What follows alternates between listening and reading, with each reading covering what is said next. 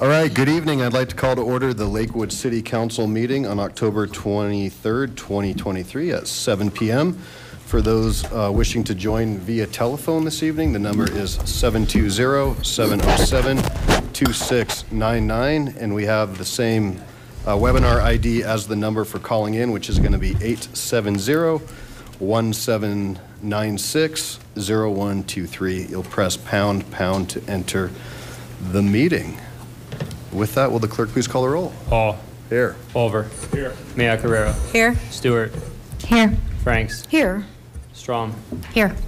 Jansen. Here. Shahrezaei. Here. Springsteen. Here. Vincent. Here. Counselor Able is absent. Mayor Paul, you have a quorum. Great. All right, I'd like to welcome everybody. Thank you for coming out tonight, and for those people, those folks that are joining us online, a couple housekeeping notes. Um, we all we are all here because we care about our community.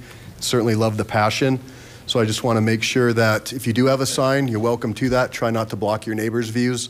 And uh, we're also going to make sure that we have a civil discussion this evening and uh, refrain from audible support or discourse with the speakers. We have a budget hearing first, so there'll be a public comment portion just for that budget hearing. That's our annual, annual adoption, and then we have regular, uh, regular public comment. So if you are able, please join me and rise in the Pledge of Allegiance, and we'll remain standing for a moment of silent prayer. Thank you. Pledge allegiance to the flag of the United States of America and to the republic for which it stands, one nation, under God, indivisible, with liberty and justice for All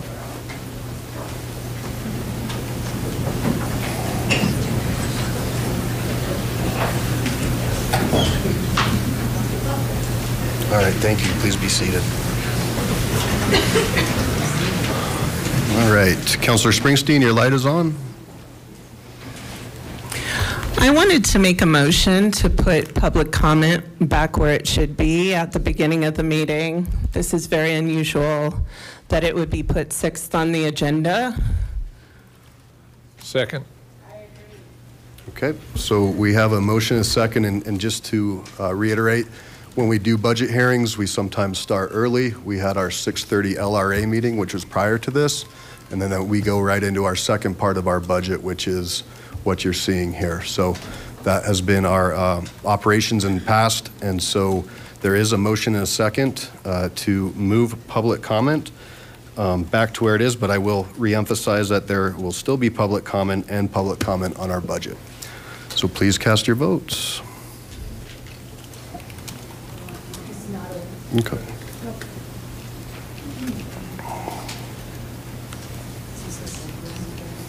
And that fails uh, three to seven. The nays being Paul, Mayott-Guerrero, Stewart, Franks, Strom, Shahrezaei, and Vincent.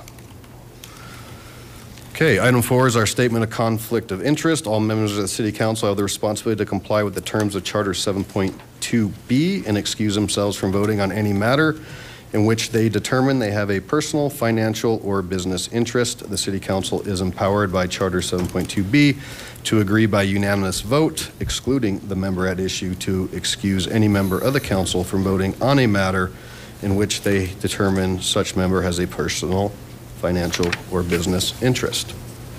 Councilor Olver. Yes, I, I just had a question for you, Mayor. Are you going to be voting tonight? Beca- Yes, sir. Because you have a clear conflict of interest because of your employment by the city, full-time employment by the city of Denver. And I don't believe that you can f- serve two masters at once. And in my, in my field, oil and gas exploration, I was in it for 40 years, very professional um, business. When somebody quits, or not, let me back up.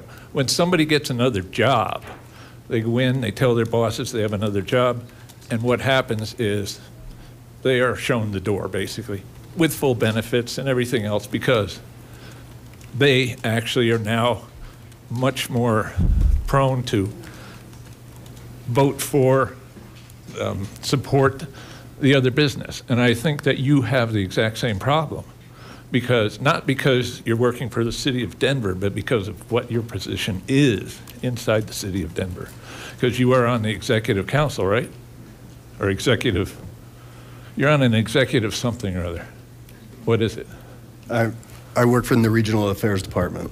Right, but you're on the, the mayor's executive Certainly, no, and, and I understand, and in, in fact, we have an ethics code, and I certainly, as, as every member, has the uh, ability and the, what would the word be, the responsibility to call out any kind of conflicts, and so we actually have gone through this for the last couple weeks to make sure there are no conflicts, and certainly if you see something in this budget that is conflicting with my role in Denver, I would ask you to state that, but we are very clear about perceived and real conflicts, and have run all the flags through legal on both sides to, uh, to ensure that. So if you do see something under 7.2B that you would like to state, I'd be happy to address that conflict.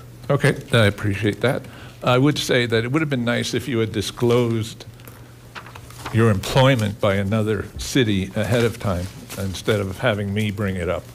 I mean, it, it's kind of common knowledge, but it's not common knowledge that you've been working there full-time for Thank you, six sir. weeks. And Thank so, you. I appreciate um, that. yeah, so, and, and I don't blame you for getting a good job at all. Yeah. I would have, I would have gone too, I, and I I think would it's, have, I think it's important to state the, the mayor position in the city of Lakewood by charter is a part-time position, and um, most people do work outside, and it's, as we were running these flags, there are other communities where there's elected officials that work and serve on board, so, but I appreciate Right. the, the information, and with that, I'll go ahead and ask if we could turn that off, if possible. Thank you. And uh, I'll go ahead and open uh, the public hearing on ordinance 2023-41 and ask the clerk to please read that in. Item five, second reading public hearing for ordinance O-2023-41, adopting a revised budget for the year 2023 for the city of Lakewood, Colorado, and further adopting the annual budget for the city for the fiscal year beginning on the first day of January 2024 and ending on January 31st, 2024, estimating the amount of money necessary to be raised by levying taxes for the year 2023 to defray co- the costs of municipal government of the city of Lakewood, Colorado for the fiscal year beginning January 1, 2024 and ending January, excuse me, December 31st, 2024, and estimating the amount of money to be derived from other revenue sources, setting forth the appropriations for each fund. Thank you. All right, with that, um, we've, this is our second hearing on the proposed budget. And just as a precursor, the Lakewood Reinvestment Authority had their budget hearing prior at 6:30, and that budget was passed. Um, Ms. Bjorklund and Mr. O'Neill are here for questions, as the presentation has been shown twice or presented twice, and it is online. Ms. Bjorklund, do you have, please? All right, thank you.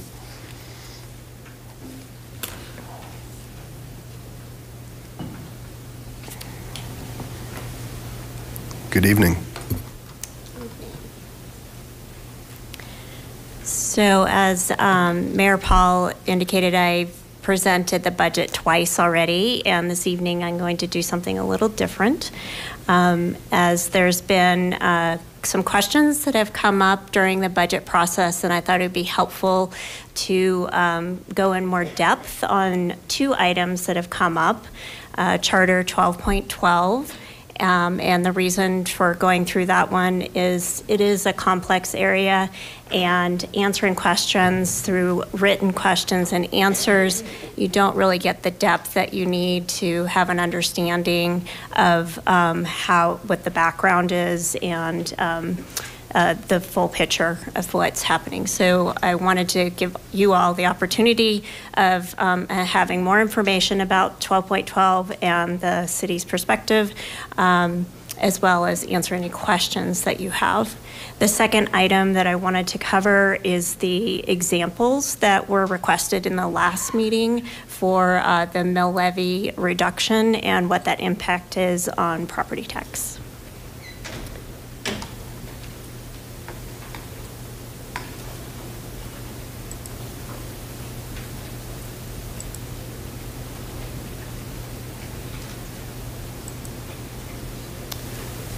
So I thought I would cover uh, 12.12 and the additional information that wasn't asked during the budget process, um, and then uh, give the opportunity to ask any questions that you may have. So um, at a summary level, 12.12 i- in the city charter is um, a limitation on property tax, and it is um, a limitation of 7% on growth year over year. The way the city has interpreted this historically is that it is a limit on the number of mills, um, so the mill levy rate. Um, However, Counselor Jensen has brought up an alternative um, interpretation of it, which is that uh, revenue is actually the measurement for um, increasing uh, uh, the limit on the 7%. The discussion that I want to have this, this evening is not um, actually the language within 12.12 because I do not think it's actually relevant any longer. Um, and the reason for that is subsequent to the passing of Tabor in 1992, the city no longer um, took any action on 12.12 and followed uh, the Tabor requirements and has followed the Tabor requirements since 1992. So the fact that we, the city has been following Tabor since 1992, um, it supersedes 12.12.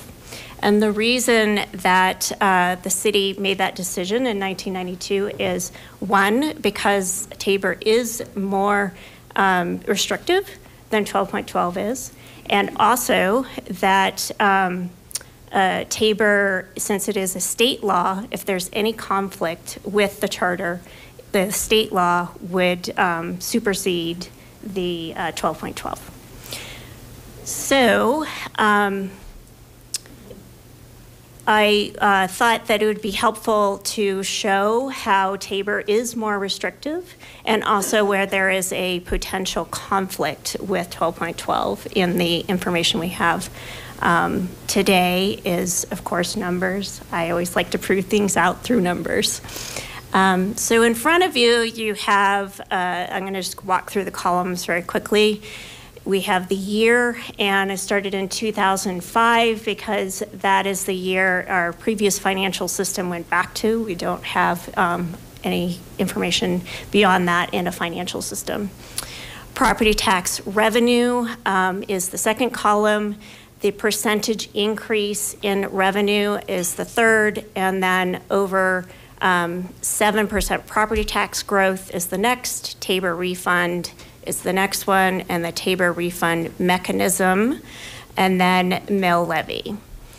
So, what I'd like to talk about is the Tabor refund um, as to what that impact has been within the city um, first. So, you can see in 2008, 2010 and 2013 that the Tabor calculation indicated that the city did need to refund money to uh, the taxpayer. And the mechanism that was used is uh, to reduce the fees for stormwater. Um, after 2013, 2014, 15, and 16, there was um, a much larger amount that needed to be returned. So uh, the mechanism that was used at that time was property tax instead of stormwater. And the reason there's that color coding on the um, slide is because when you use property tax, it is a two-year um, difference when it's identified to when it's actually returned. And the reason for that is let's take the example of 2014.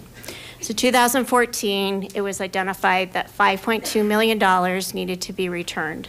That was identified in 2015 when we had our audit. So that was halfway through 15. 15 mills were already identified.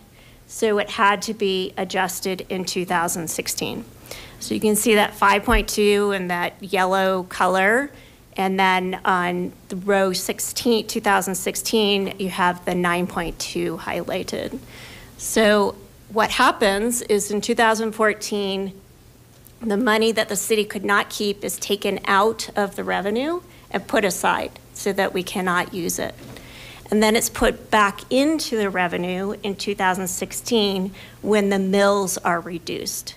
So you can see on the right-hand side that the mills are um, much less. It's went from 4.7 2.11 in 2015 to 2.031 in 2016.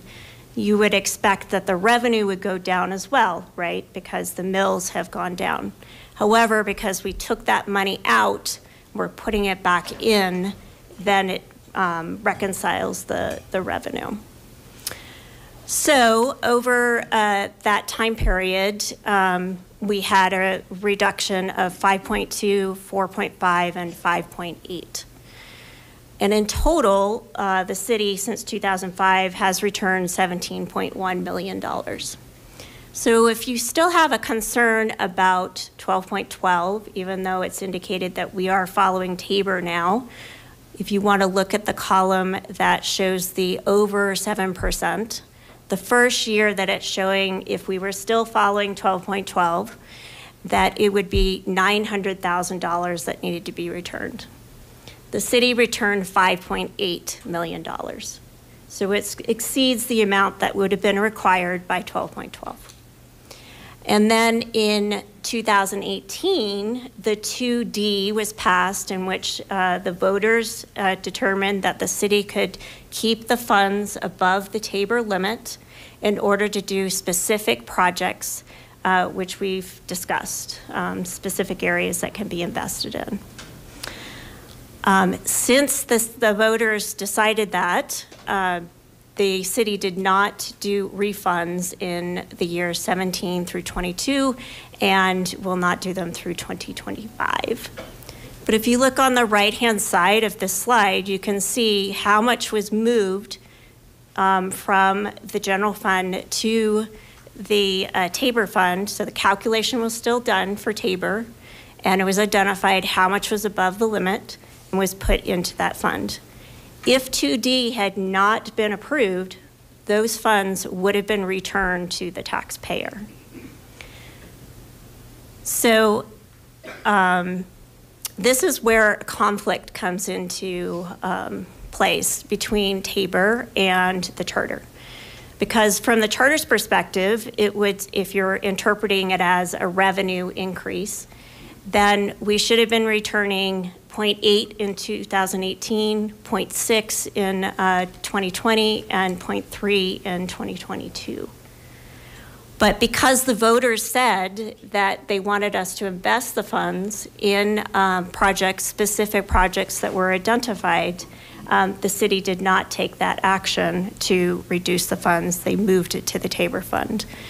So since Tabor is a state um, law, that that was what was followed versus the uh, 12.12 in the charter. So that's a lot of information. um, and if you're still concerned about 12.12, the city has returned $17.1 million in Tabor and it's only 2.6 million, which would have been the over, the overage amount, which has been fully covered by that 17.1. So that's a lot of information, and um, I'm available to answer questions. So, thank you. That was a nice way to talk about some complicated things that I think this council's been seeing information going back and forth on. Do you want to go to your next piece? Do you want to finish your presentation? We can go back, or what? I thought it would be best to answer the questions on this first, and then go to You betcha. um, the mill. Okay. All right, council. So we'll go to questions on this subject. Did you want me to sit down or stay here? Whatever you feel comfortable doing. The- the- Yeah, there's no, there's no lights on, so I don't think there's any questions on 12.12 at this point. So if you'd no like to move into your next Okay. phase, thank you. All right.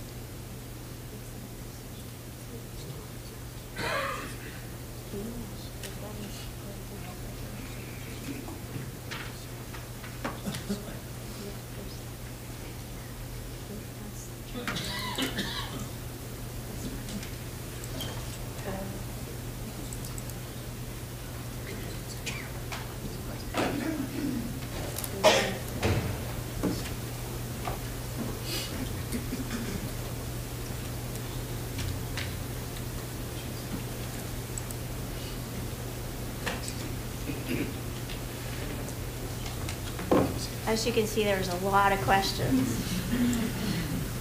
Somebody say there was 18 pages? Is that accurate?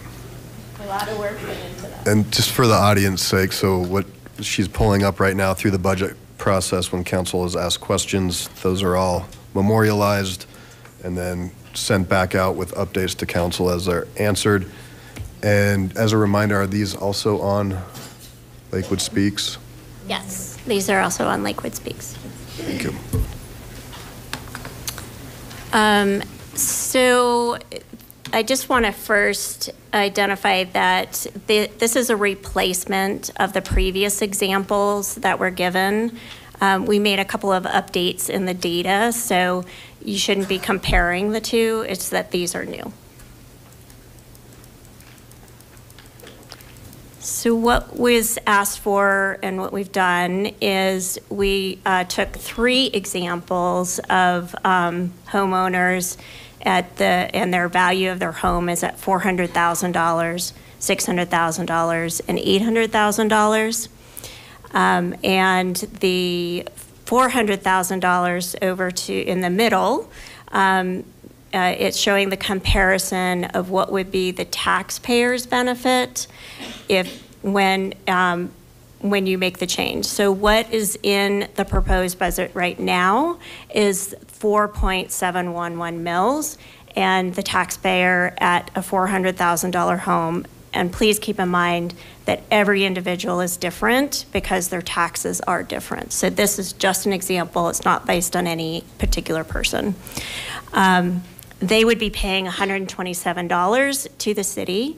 If you reduce it to 4.28 mils, they'd be paying $116 to the city. So the benefit compared to the proposed budget is $12. Um, And then all of them work the same way. Uh, If you go to 600,000, 800,000. To the right-hand side, um, then you see the comparison of 4.71 mils to 3.85 mils, um, and what the benefit would be to the taxpayer. And then the second part of the question was, what's the impact to the city if you make this change? So um, we based it, the comparison on uh, 2023 budget for, uh, that is $13.1 million in terms of their property tax revenue. And then the 2024 proposed budget, which has $14.5 million in there currently. So on the left-hand side, it's just, it's identifying how much that revenue would be based on each of the mills. Um, So 16 million for what's there now, and then um, 4.28 mils for, uh, is uh, 14.5 million, and then 3.85 mils for 13 million. So this is the net assessed value from the assessor's office. And then the change in revenue from 2023 um, is, uh, we would have an increase of $2.9 million um, at what we are in the budget right now. So um, increasing because of the increase in the assessment rates is 2.9. And then if we were at 4.28 mils, it'd be 1.4 million. 3.85 mils, it would be basically flat. And then the change in revenue from what we have in our proposed budget, the first one is an increase of 1.4, wait, yes. An increase of 1.4 because we estimated it at 14.5, and so now this would be the assessed value. Um, And then 4.28 mils would be flat, and then a reduction at 3.85 mils is 1.5 million dollars. Does that make sense? Okay. That's it. All right. Nicely done. Thank you for those two presentations. So again, this is ordinance 2023-41. I'll open public comment on the proposed budget before us. If you have not had a chance to sign up for the budget, we'll get through this list And then if you mm, signed up for the budget but didn't mean to sign up for the budget and wanted to talk at general public comment, just let me know and we'll switch you back over. So, Ms. Geese, budget? Yes, I'm giving my time to Natalie. Okay. And then Laura Lee? Yes. Okay. You are up. And I'll just remind folks that it's a three-minute time limit. Your uh, timer up here, you'll see that, and it'll go uh, yellow with 30 seconds left and then red at the end. For those folks who are calling in online, when you're at 30 seconds, you'll hear and when your time is up, you'll hear a, I'll try to politely wrap you up. Also at three minutes, and um, again, just want to make sure we keep the decorum of chambers. Good evening, welcome. Good evening. Um, This is the first time I've attended a meeting in person, so Welcome. it's a historic moment for me. Um, So my thoughts in regard to the mill levy. um, So it's my understanding that we currently have a surplus. Um, It doesn't make sense to me to increase the mill levy to create more of a surplus. It feels like it's lacking integrity to take more money than we need. Um, And because your positions are a position of public trust, I would hope that you would do the thing that would show integrity. Thank you. Great, thank you. All right, Ms. Sinks. And after Ms. Sinks, I have, forgive me, Tina on uh, Iowa? Oh, okay, great. Thank you. My name is Glenda Sinks, and I'm with, in Ward 1. Um, I'd like to ask the council to vote against the mill levy reduction. Um, we heard at first reading that it was a very symbolic gesture. I don't know what the proponents uh, want to symbolize, I can only guess. And we also saw previously that, wow, things really tanked during the pandemic. Things can just go down very fast. And I think um, our personal finances are probably, you know, um, something that we live by. So, in other words, during windfalls, I don't run out and throw my money away. I like to save it and invest in, in projects. And so I think that the symbolism is that um, for me, I, I don't want to have a bare bones budget. I love that the city was able to spend the money on the land at 20th and Quail. We had that money there. I, I know too that the infrastructure can be failing and crumbling. We need money for that as well. Just like we all save money for projects that we want at our house, I would like to see that happen as well. And again, that word symbolic, it's very symbolic because it's not of substance to individuals necessarily, 150 I saw up there. Um, but it's not symbolic. It comes to millions of dollars when we're talking about the city and uh, about budget cuts. And, and so, what's going to be cut in the budget? I, I haven't heard that. Is it some jobs that would be eliminated or some resources for the police? So, um, for individuals, it's not symbolic. And so, once again, I would say let's keep the budget and the mill levy where we are. Thank you. Great, thank you. Uh, Ms. Nickerson?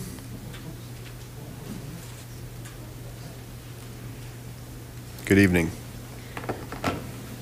And then Mr. Dorman, you're up next. Uh, my name is Jody Nick. You can hear me. My name is Jody Nickerson. I've done this at the Capitol, but never here. I love this.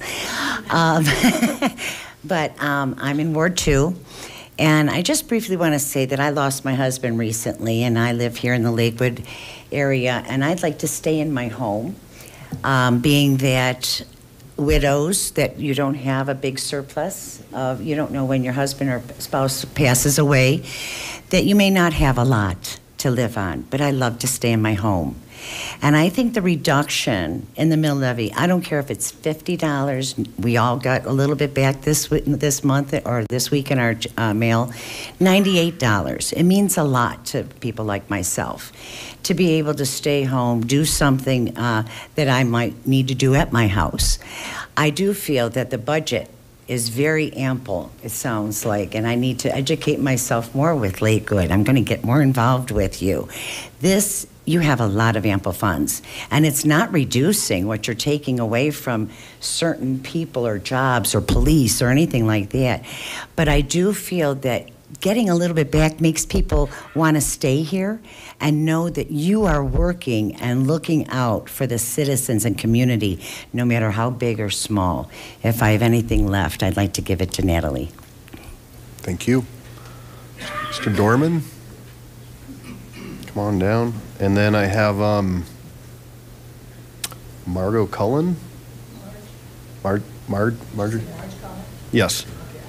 Okay, great. Good evening. Good evening to you all. First of all, to all of you on the City Council, thank you for what you do and your service to the city. You field all those phone calls from people whose neighbor's dog is barking and the potholes don't suit them, and you take all those calls, you suffer the slings and arrows, and you do it on our behalf, and I am grateful, uh, even though we are about to disagree. All of us have uh, noticed a couple of phenomenon in our financial lives over the past, past few years. We've seen inflation where our money buys less. It's a strain on our pocketbooks. On the plus side, we've seen the value of our homes go up. That's plus. But the value increase in our homes is a paper gain. It's not a monetary gain. And if we allow government to capitalize on that gain with not really any additional service, we have to pay for it out of our pockets. We've got less cash on the hurt side from the inflation. So I'm asking you to support Councilor Jansen's uh, proposal to give us a small relief. It's not a decrease, it's a decrease only in the rate of increase. And it's something that uh, I think the city can live with, and certainly the citizens can live with it easier than they can an increase. And thank you. Thank you. Marge, and then Fred Clifford, and then James Mace.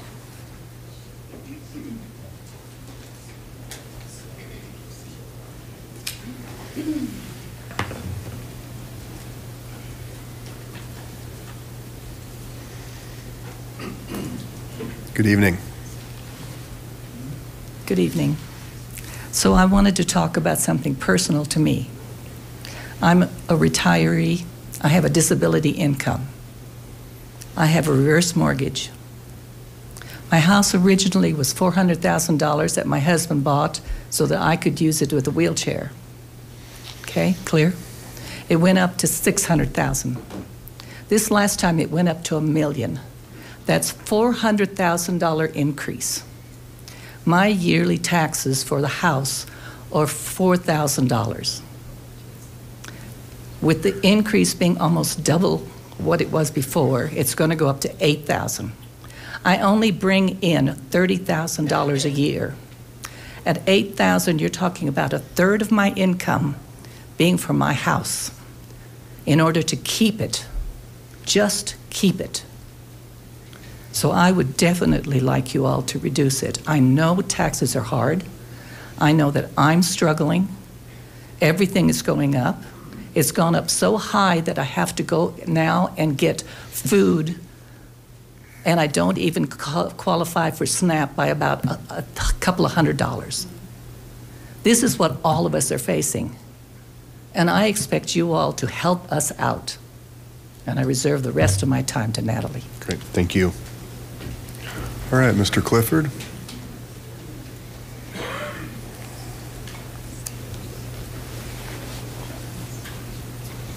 Good evening. Good evening, Council. Um, I was coming here once before, I don't remember what year it was, and I was just thinking about that as I was driving in, and there was news trucks here. I don't know if you remember, some of you will will remember that. And why the news trucks were here, we were getting rid of the uh, grocery tax. And the reason why they're here, it was unprecedented. Normally, governments raise taxes. We were, we were lowering taxes at that point. And like this, it wasn't very much per person, but every little bit helps.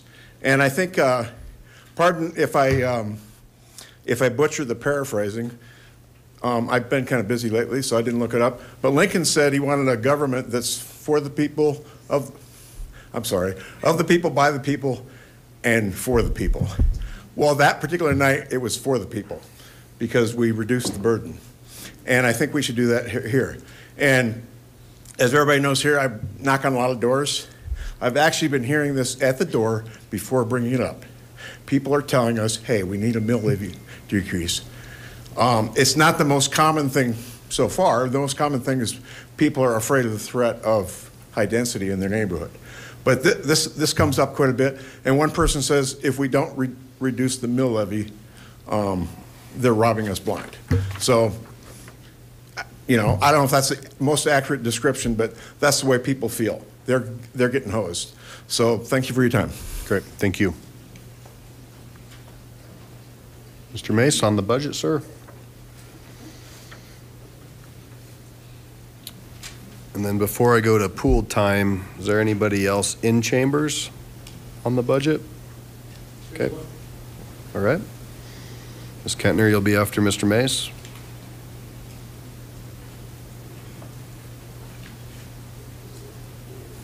Good evening. Evening. Mayor Council, I have two questions for you about the budget. How much money is Lakewood actually spending to get, re- to replace the, um, um, walk signals for Alameda and um, Quail compared to and uh, Sixth Avenue. Um, I would like to know how much money Lakewood is spending to replace the buttons and the walk signal itself. The other question that I have is how much money are, is Lakewood also spending to fix the AD buttons for the bathrooms um, and for chambers as well? I'd like to know that. And with the mill levy, how much of our tax dollars is going into that compared to how much you guys are actually spending? Thank you. Great, thank you. Ms. Kentner?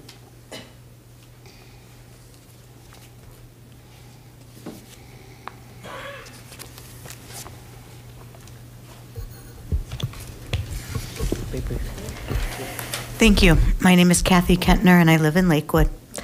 And I've been talking to a lot of people lately, and this is something that has come up. And we can budget and have a successful city and success- successful budget and lower the mill levy. It is very meaningful to a lot of people, particularly people who have lived in Lakewood a long time and seniors and those on fixed income. Whatever relief we can offer them at this time, we should. And if we can, and we can. Thank you for passing Mary Jansen's motion. Great, thank you. All right, Ms. Menten, we'll go ahead and do your pooling of 10 minutes, and then we'll go online. Ms. Peters, your hand is up, and if anybody else is online and wishes to comment under this budget topic, go ahead and press star nine.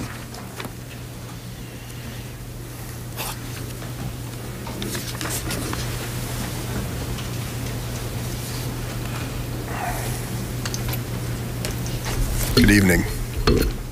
Good evening. Um, I will hand this in once I'm all done. We already have it. Oh, well, then I have more to add. Yeah, There's we quite can a few, add so. Ramey Johnson, Leonard Maglachetti, Wendy Purcell, Um, I don't know if you had Jim Kinney. I think you did, and Linda and Tina? Maybe- Okay. All right, great. Then I will be starting here. So I'm Natalie Menten, and I reside in Ward 5.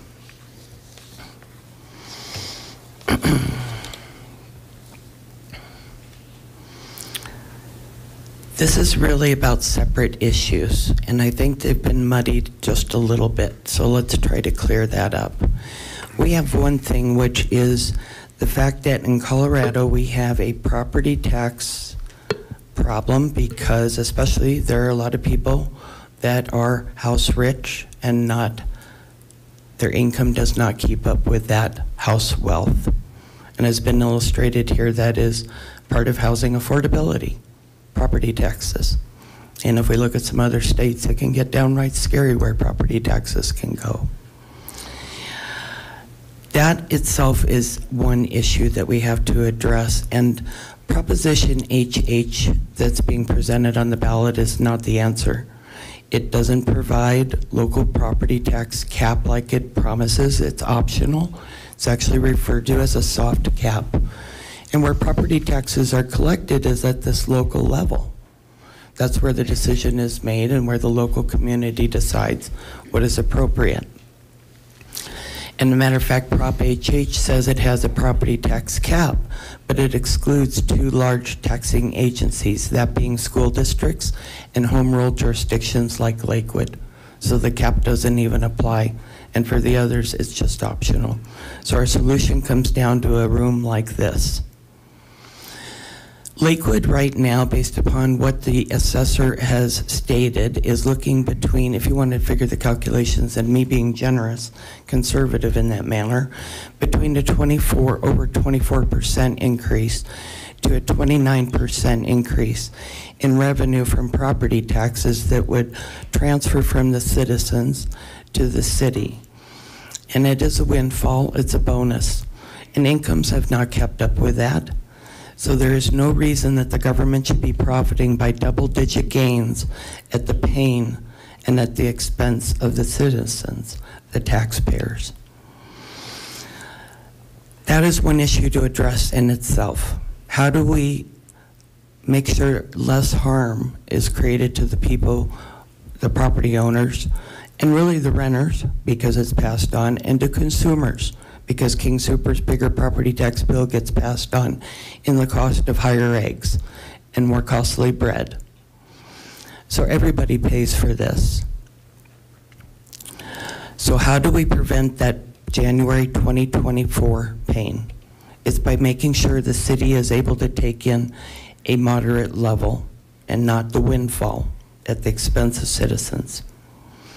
But then there's a second issue here and this is where it gets more complex, and that's about the discussion about Charter Section 12.12, which has a property tax limit in it. And I've been studying property tax um, matters here over the last several months since this has really come to a head, and actually done quite a bit of research and work to figure out what are these property tax protections that taxpayers have. Well, it starts with one most people know about Tabor and the Taxpayers' Bill of Rights, which doesn't have a specific property tax cap, so to speak, but a revenue across the board. It allows government to grow a moderate, appropriate amount so that the citizenry can support it, make it sustainable. That is part of our state constitution. Then, besides that, we also have another protection in Colorado for property taxes. It's called the annual levy law, and a lot of people do not know about it, but it limits property tax increases to 5.5%. Now, this law was put in place in 1913, 110 years before Tabor, 110 years before it, this annual levy law, property limit. Problem is, in 1913, they really weren't thinking about home rule jurisdictions. So it doesn't cover them. It doesn't cover us if we're in a home rule. So what's the filler on that? Well, the filler is Charter 12.12. The problem we're running into is the interpretation. And let's read it. The city council shall not levy an ad valorem tax, that just means property tax. The city eh, shall not levy a tax on taxable property in the city that provides revenue from such levy in an amount greater than was levied in the preceding year, plus 7%. Now, that is saying, based upon, first of all, I read it, and many others, including some legal professionals who are not strangers to municipal and tax law. They read it as the trigger there is the revenue. Can't go more than 7%. So think of 12.12 as the filler. We don't have the annual levy law limit, okay? And this makes sure that at the Lakewood level, we have that protection from these big spikes. Well, what city staff's response has been, first of all, they are interpreting not as a revenue increase 7% over year to year, but increasing the mill rate. Nobody I've encountered outside of this, and I've talked to lawyers, and interprets it that way. One lawyer quoted as saying, whoever read it that way contorted it. Contorted it by definition, twisted. Doesn't make sense. So we have this problem of the interpretation, but then staff was asked about Lakewood 2D, which waived our revenue limits here in Lakewood. They were asked in the budget and audit questions. Question number 54, where supposedly voters waived their right to this city charter. How does an ordinance, by the way, override our city charter? And 54 said, did Lakewood ballot issue 2D amend our city charter 12.12 property tax limitations? And the city staff responded back, no, it didn't. Charter 1212 and Tabor are two different issues. Ballot issue 2D had to do with Tabor. The voters passing 2D in 2018 gave the city the authority to keep revenue collected above the Tabor calculation. So how did the voters waive their property tax limit with 2D. That was the first it was really heard of tonight. So there's multiple problems here. We have one, just forget about the city charter and all that stuff.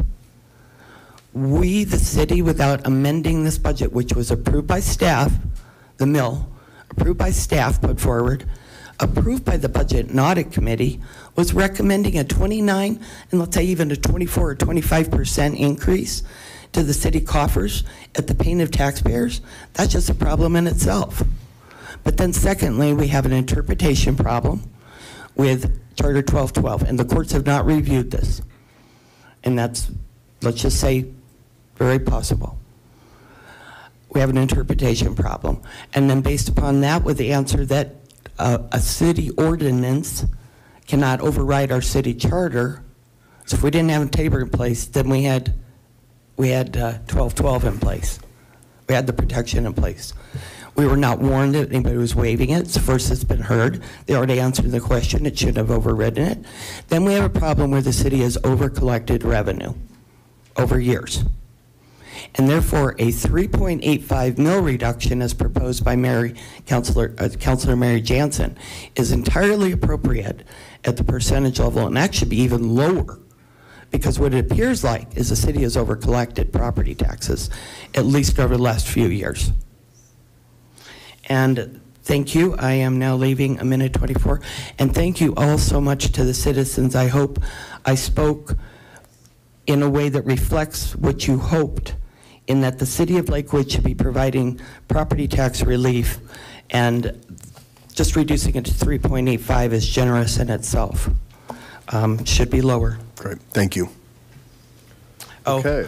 I'm sorry, one last thing. I want to address the dollars. All right, so we're not, Um, we're not gonna, we're not gonna do it. I want to fit this in real quick.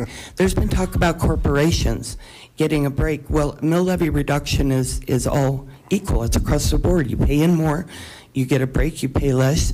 You get a break, it's relative to what you paid in. That's the way it should be. So, but the fact of the matter is, in Lakewood right now, we're allowing Walmart at Colfax and Wadsworth to keep property tax revenue because of a decision made. So I hope, I'm glad to know that that will end in August 2024. And that's one more thing, is we have more money going that's going to a mega corp right now, and we'll come back to these coffers where it should be, and the citizens deserve a break. 50 bucks buys more groceries or whatever the person needs, but it's money in their pocket. Great. Thank you. Thank you. All right. So we're, that's, that's going to be it. So get it out. And then we also have a TV set up outside if we want to continue. So just want to make sure that we are respectful. We're all here because we care about our community. I want to make sure we keep that decorum. So bear with me. Let's make it happen. That's a First Thanks. Amendment form of expression, so. So, Counselor, you don't have the floor. Um, All right, Ms. Peters, you are online, and if you want to come on over and if you give us Hi, thank, your, right, what ward are you in for the record? um, thank you, Mayor Paul. Um, my name is Patty Peters, and I am in Ward 5. And one, I'm sorry, one second, real quick. Let's get your time going. All right, thank you. Go ahead. Uh, thank you, and I'll be super quick. Um, as I stated when I was there two weeks ago, um, um, I lead by truth, um, and I would simply like to make sure that all uh, Lake City of Lakewood property taxes are collected per charter. Uh, secondly, um, I just really hope that, that there is not a city council that was elected to represent, represent the people that looks at any mill levy reduction as a ceremonial gesture. As uh, one of the other speakers pointed out, sources of revenue changed. We used to have a grocery tax, things changed, now we don't. As Natalie pointed out, uh, we had been giving a tax discount to Walmart. That ends in August. It's a different source of revenue. Additionally, in 2023, the city of Lakewood uh, started um, having permit fees and will receive taxes from uh, short-term rentals. So sources of taxes change, and we have a lot of hurting people in our community. I heard that loud and clear tonight. Um, and I hope the people that have been elected to represent all of us um, hear that and can make sound uh, fiscal decisions that are best for all of us. Great, thank you. All right, anybody else online, go ahead and press uh, star nine.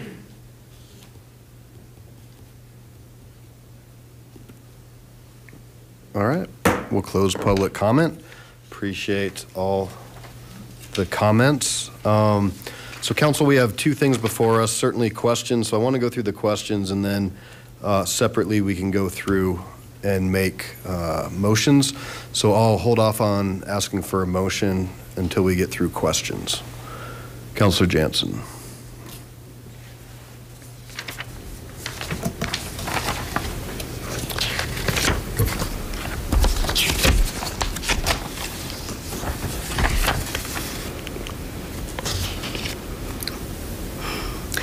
So I guess we kind of already went through one of the questions I was going to ask you about um, 12.12.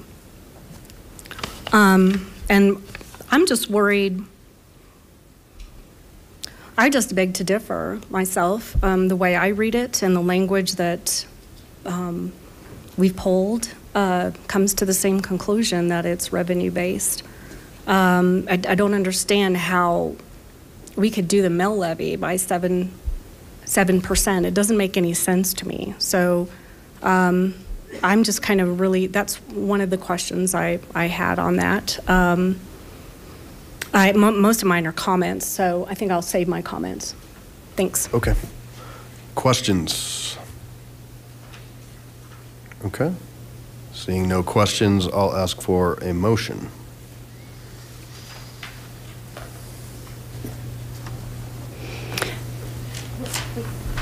Have to, no.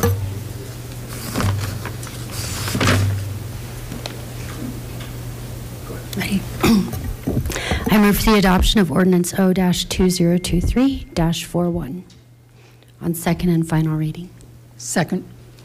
All right, we have a motion and a second, and now, so for further discussion or amendments, since that has been motioned and seconded. Councillor Jansen. Thank you. Um, So I make a motion to set the 2003, 2000, excuse me, 2023 mill levy rate at 3.85%. Is there a second? Did I say two thou- Oh, oh, oh, excuse Hold me. Hold on real quick. Do you want to clarify? Yeah, Let me clarify that. I make a motion to set the 2024 mill levy rate at 3.85. Second. And I have some opening statements. Just one, one second. We have a motion and a second. Mr. Rob, you clear on that? Okay, we're good on that. Yeah. Uh, if I may, Please. in order to avoid any sort of issues with Ta- with Tabor, in the event that the mill levy reduction wants to be, or that you as a body or future bodies decide they want to increase the mill levy back to 4.71, it should be phrased as a temporary mill levy reduction. What was your intention? My intention is to set the 2024 mill levy rate at 3.85%. It's not temporary. So, hold on real quick. So you want to reduce it in perpetuity? You can always raise it if you need to So. with the people's So vote. let me just get clarity from our city attorney. Sure. If it's reduced without it being termed as a temporary reduction, any subsequent move to raise it would have to be to, by a vote of the people. Right. All right, all right, we're, okay. Glad we got that straight. So, please, bear with me. All right. So that's where you want it to be? Yes, please. Okay, so there's a motion and a second uh, as stated. I have some opening statements. All right, go ahead. So my opening statements for why we need to reduce our mill levy to 3.85%, whereas Lakewood's total taxable property value has increased 24.3% or higher for the year 2023, as reported by the county assessor on August 25th, 2023. And whereas a 24% increase in taxable values results in higher property taxes and bears undue financial harm to residents, businesses, and consumers for property tax bills payable 2024.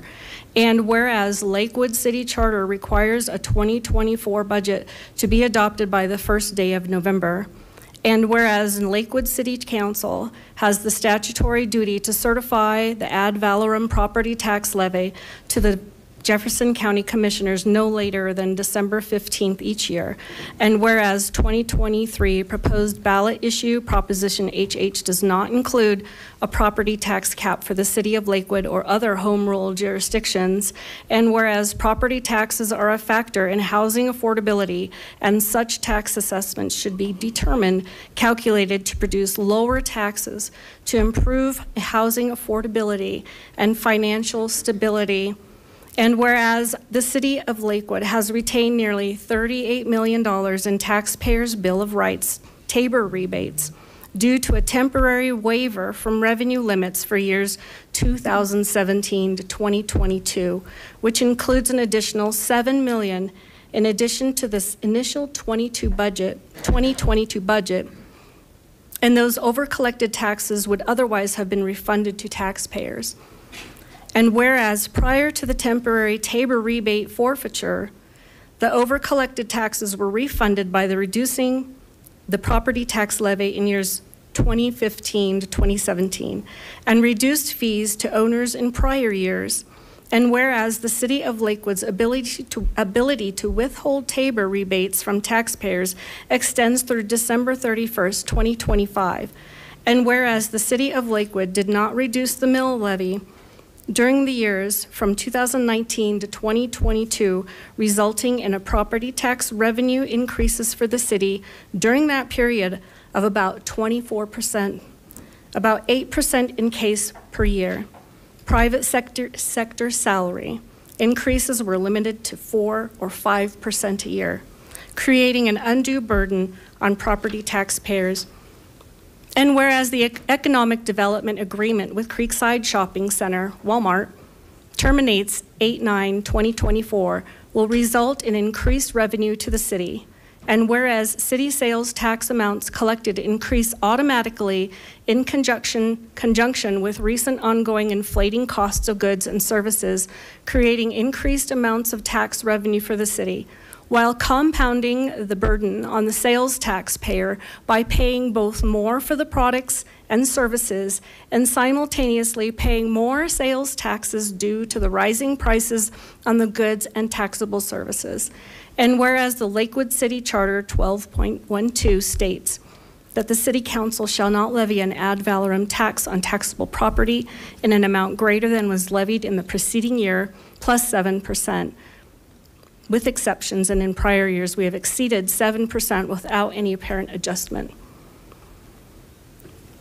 And so I have this, I already had those questions, and I, I just have um, some following, a closing statement, but I'll, I'll digress and for more discussion.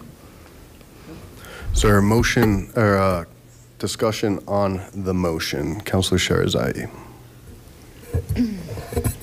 Uh, yes, thank you.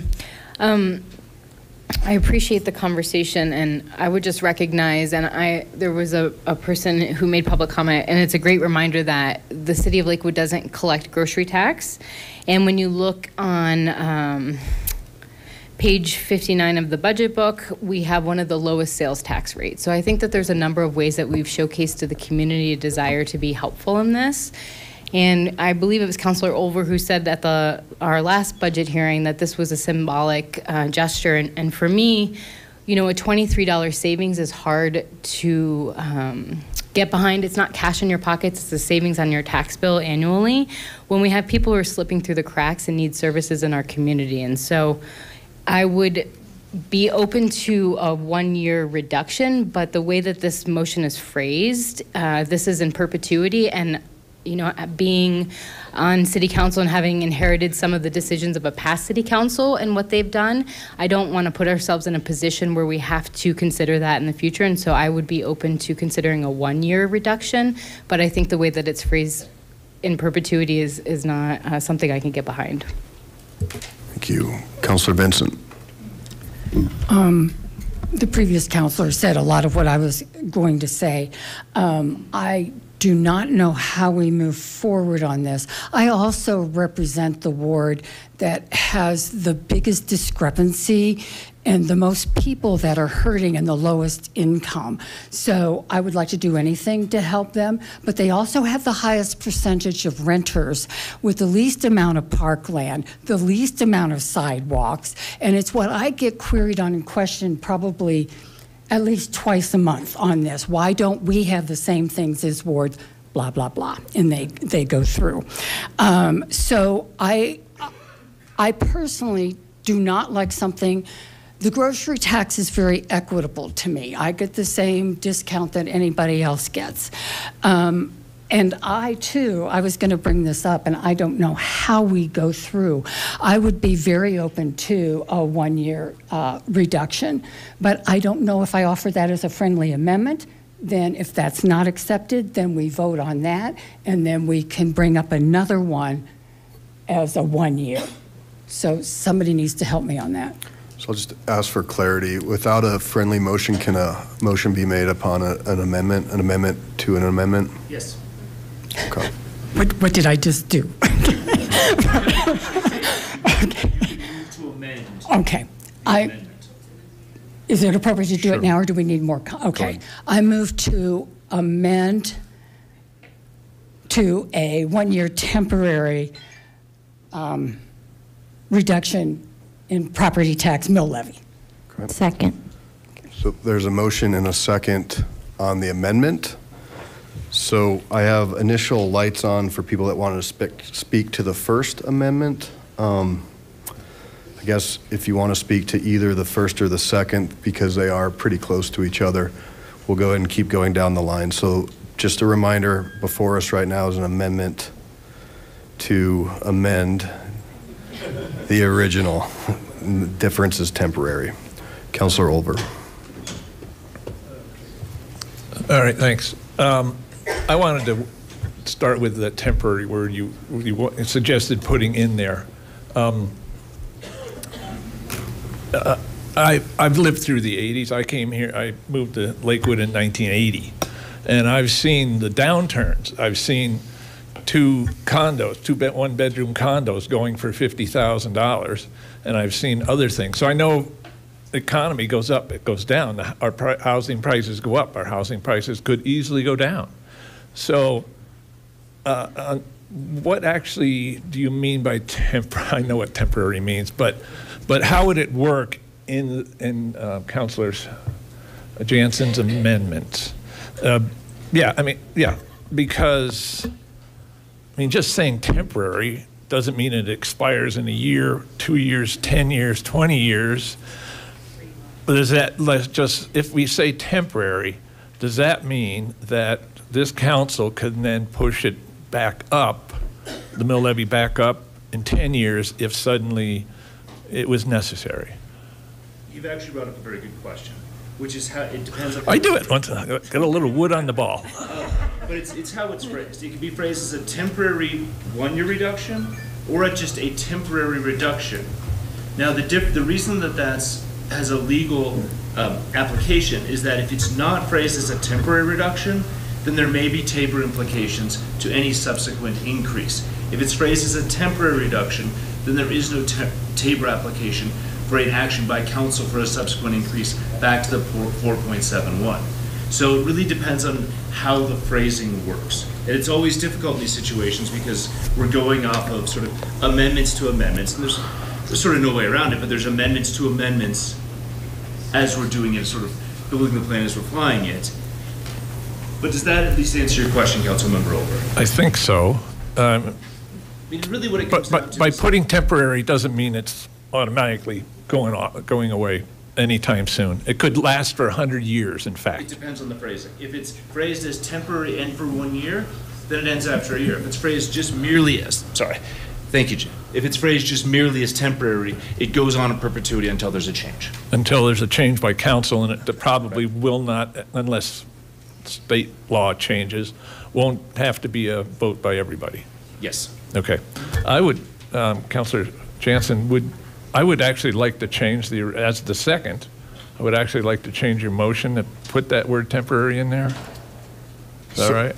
And just real quick, real quick, let me process that, because, no, no, no, you're fine, you're fine. So would we then, if, if that is amenable here, we'd have to pull, we already have, so we have a different one on the floor right now. Well, can I just, uh, can I just take her friendly amendment? So And go for the so hers temporary wasn't amendment? friendly, hers was, Oh, yeah, but um, I think if, if. can I start if- over? Yeah, if, if our second and our second maker wants to take those off, Counselor Stewart, I can withdraw my second. Counselor Vincent, I remove my amendment. Counselor Olver, Yes, I. review, add- remove add your the second. temporary, yes, Okay. yes, I So remove my Back to second. the original, I remove Motion maker. my motion, there you go, and I'd like to make a new motion. please. I'd like to make a motion to set the 2023 mill levy rate at 3.85, 24, excuse me, uh, 3.85 um, as a temporary one year. No, wait, I'm not, no, as temporary. You don't Second. need to say, you So, don't need hold to on, say hold on, one year. Hold on, just hold on. Just, So I'm thinking just temporary. could you just, could you, Stop there, dead stop. okay, could you pull back your second, please? I pull Thank back my you. second. All right, if you want to just restate the motion, please. Okay. I'd like to make a motion to set the 2024 mill levy rate at 3.85 as a temporary. Second. Okay, so we have a motion and a second on the second go-round. Um, I'll Do I keep, still have the floor? Because I didn't continue. let me go back to, we addressed your question on the temporary, which got us to a new point. So let me just keep going and go to Counselor Franks, who hasn't had the floor yet, and then I'll circle back around. Counselor Franks. Well, I had a different question, um, but I do want to circle back and make sure I understand what temporary means in a practical sense. I'm going to be off count. This is my last official meeting. So I want to make sure I understand and we can project out to those that are joining on council in, in a few weeks, what does temporary specifically mean? So if we put this in place, then what happens for the next tax year, to 2025? In 2025, a new council could make whatever decision it wants on the mill levy between 4.71 down to zero. In the same way we're doing it on this budget night? Okay, so just wanted to be clear on that. Um, Is it still questions, or is it more Just pertaining to the particular motion, please. Okay, well, it is pertaining to the motion, but I, but I do want to say that certainly I appreciate everyone's uh, comments. We did hear from a lot of folks who um, are in support. We also heard from folks, many of the same folks who voted for the Tabor timeout, that they are interested in investment in the community. And so uh, all those things need to be taken into account. Um, And so I'll be doing that as we listen to the rest of the discussion. Thank you. Thank you. All right, Counselor Jansen and Counselor Olver. Okay, um, I guess I'm a little confused on this 2023 mill levy and the 2024. I think it needs to be the 2023 mill levy. That's what I'm putting this on because that will affect everything that's happening for this coming spring, right? When the new, So, Ms. Bjorklund, please. You're setting the mill for 2024. 2023's mill's already been set. It was set in 2022. okay, sorry for my confusion. That's okay. Sorry. Counselor Olver? Okay, um, let's see, we're talking about only the temporary reduction. We're talking about the reduction, okay? And I'm so much behind this.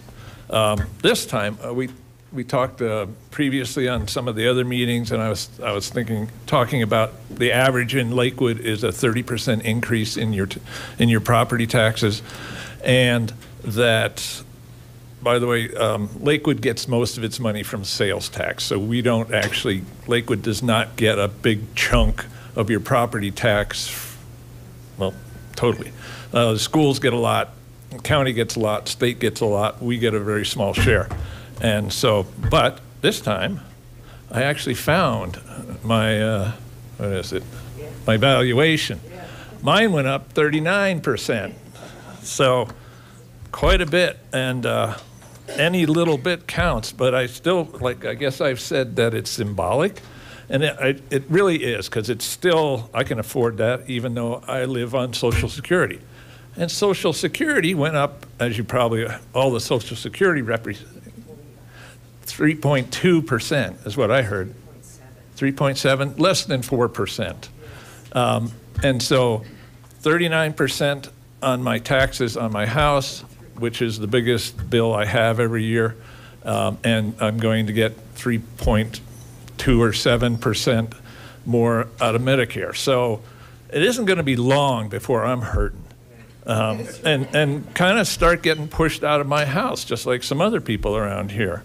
And so just doing this little bit, yeah, it's a bit symbolic because it's not a lot of money. But you've got the school districts, which are closing 19 elementary, or has closed 19 elementary schools. So they're actually losing students. Do we really need to give them a 30% increase in revenue? No. And so, and the same thing with the state, the same thing with the county. So if Lakewood does it, lowers the mill levy, then you have the other governmental entities, like the county, the state, the school district, everything, who might follow suit. There already are a couple I know around, around the state who have done the same thing. And so hopefully this turns into a snowball effect, and hopefully we actually will see some relief by the time the bills come to us next summer, no, next spring. Yeah, and so that's why I'm totally for this, and even if it isn't a lot of money. And I would like, there's some misconceptions about it. It's, people talk about it's only going to affect homeowners. Well, of course not. Anybody that rents, it's going to affect them. There's not a landlord in this state or the whole country who isn't going to pass along a giant tax increase along to the renters. So every renter is going to see a giant, you know, maybe a 39%, well, not a 39%, but a big, you know, a big jump in their rent. It's going to happen, and hopefully we can stop that from happening. Same thing with the real, uh, the stores. Like uh, we've talked about Walmart a couple of times. Walmart also will be, you know, paying a lot, and they'll be, you know, but they do the same thing. They pass their tax increases along to into the price of the things you buy, and so it's it's just all flowing downhill. and so that's that's the main reason. Um, and I've between the 39% going up and the 3% increase, you know, I'm not going to be able to go out and buy nice jackets like this thing, which which I got in an estate sale for four bucks. So, so I'd really like, you know, I'd really like to pass this amendment. Thanks a lot. Okay, so we have a motion and a second. Any other comments on the amendment? Councilor Jansen? I just, I just want to, I have a closing statement. As I fully understand the magnitude of this issue, um, I'm asking for a listing of the property taxes we've collected going far back as possible. Staff provided these figures, and she did show them to you, back to 2005. And the calculations included year over year whether we had increased or decreased. Several years show us exceeding 7%. 2016, we collected 18.29% over the year prior. 2018, we collected 15.84% over the year prior. 2020, we collected 12.90% over the year prior. In 2022, we collected 9.88% over the year prior. So it looks to me like we've been over collecting a substantial amount of money. So when I propose this mill levy reduction, it, it includes many factors, and those are listed in my comments earlier. Property taxes affect renters, property owners, consumers. A mill rate reduction is fair tax relief. It makes up the upcoming bill less, and everyone gets a reduction that is directly related to how much they have to pay in January 2024. The city has benefited from inflation with higher sales tax collections. It's completely inexcusable to let government profit from double digit gains at the expense and pain of the taxpayers. I hope council will support this motion. Thank you. Councilor Mayott-Guerrero? So sorry to um, ruin the moment, Councillor Jansen. I didn't mean to go after you um, because it's a very good closing statement. Um, I, I just before we vote, wanted to make clear that I um, am very likely to vote no on this, but would, if we come back at the mill levy, vote yes on a reduction to 4.28 mills, which basically would allow us to break even with our assessed budget. Um, I too represent Ward 2, and I, I do really recognize the importance of keeping money in people's pockets. I also know that representing a part of the city that has been historically underserved and given um, less attention than was maybe always needed when we are finally in a place where we are getting some park investments, really serious sidewalk investments, and things that my community have been asking for, not just of me for the last couple of years, but really for years and years of the city, and we're finally to that place. I feel deep concern about reducing what our current proposed budget is. Um, without really knowing exactly where that's going to actually come from. Is that going to come from my community's bike lanes? Is it going to come from the city's crosswalks. So I would be very open to the reduction that would put us at a breaking even of a four point, a reduction to 4.28, which is in the charts on the question packet on page 17, which is also on Lakewood Speaks for those who are trying to follow along. So just as a reminder, reducing our mill to 3.85 would reduce our, um, from our current proposed budget to, by 1.5 million, but reducing to 4.28 would um, essentially let us be flat. Um, I also do really want to point out that there is um, not good evidence that the cost of food, goods, or even rent is actually reflective of local tax rates. And I want to point out specifically that we know that uh, grocery companies such as, such as Kroger have had larger profits this year than there have ever been before, while the cost of regular people has skyrocketed. And I too am deeply impacted by that inflation. But a reduction of the mill at this level is not actually going to have any bearing on the cost of your eggs. It just won't. That is that is absolutely not how this works. And so I like I said I would be very in favor of the reduction where we end up at a flat rate um, so that we can pay for all the services we're currently promising in our budget. Um, but if we reduce below uh, that amount, I am not comfortable with voting in favor of this. Thank you. Thank you, Councilor Springsteen.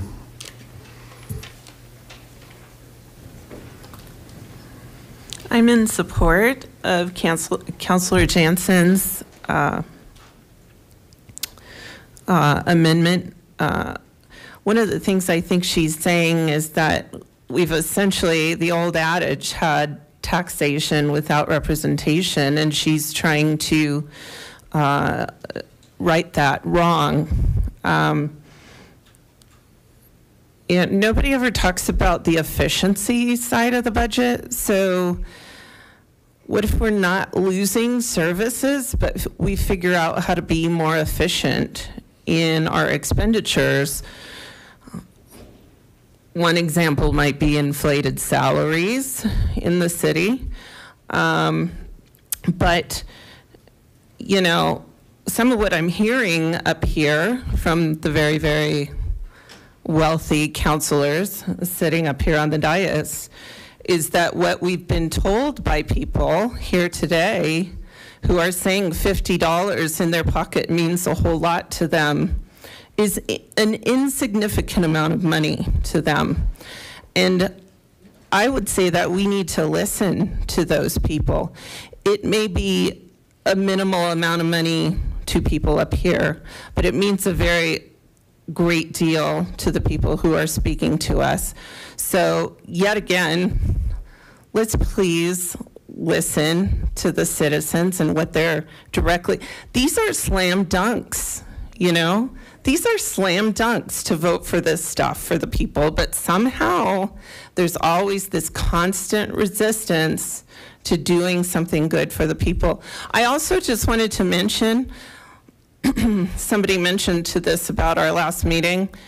Um, I could barely see Councillor Jansen. She's in the dark over here. So I'm just wondering why some of us are in the dark Because there's an ADA, on there's an ADA request to deal with it. Thank you. Okay.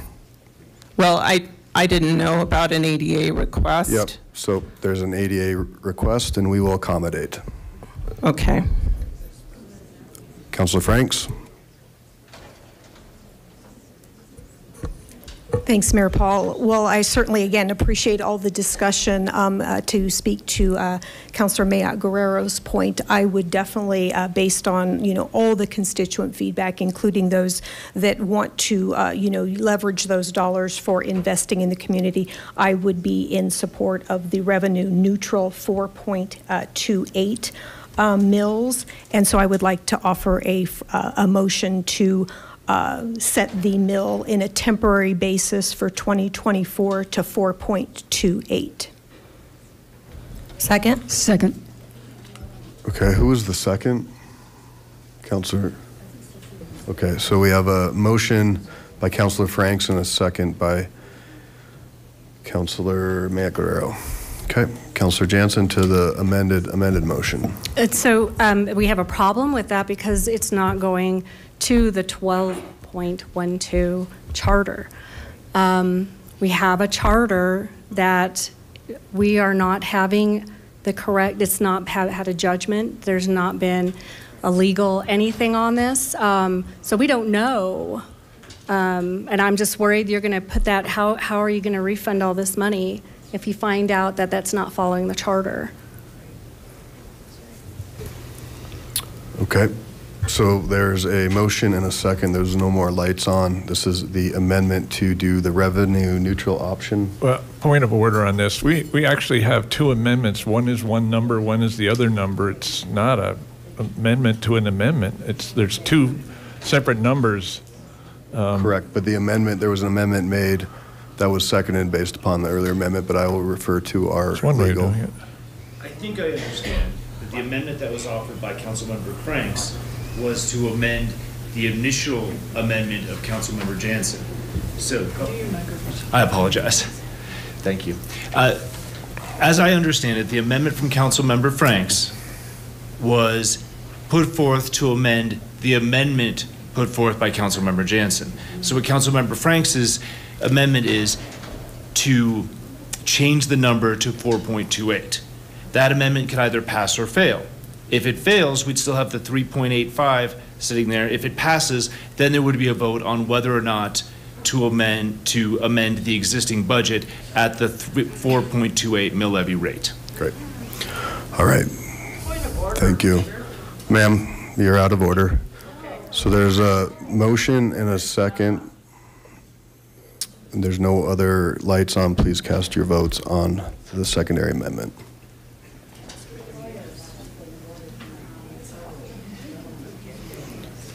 And that amendment passes seven ayes, three nays, the nays being Olver, Jansen, and Springsteen.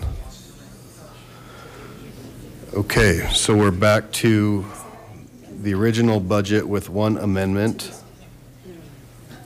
Are there other questions or amendments? Okay, seeing none, there'll be an amendment, motion to pass the budget as amended.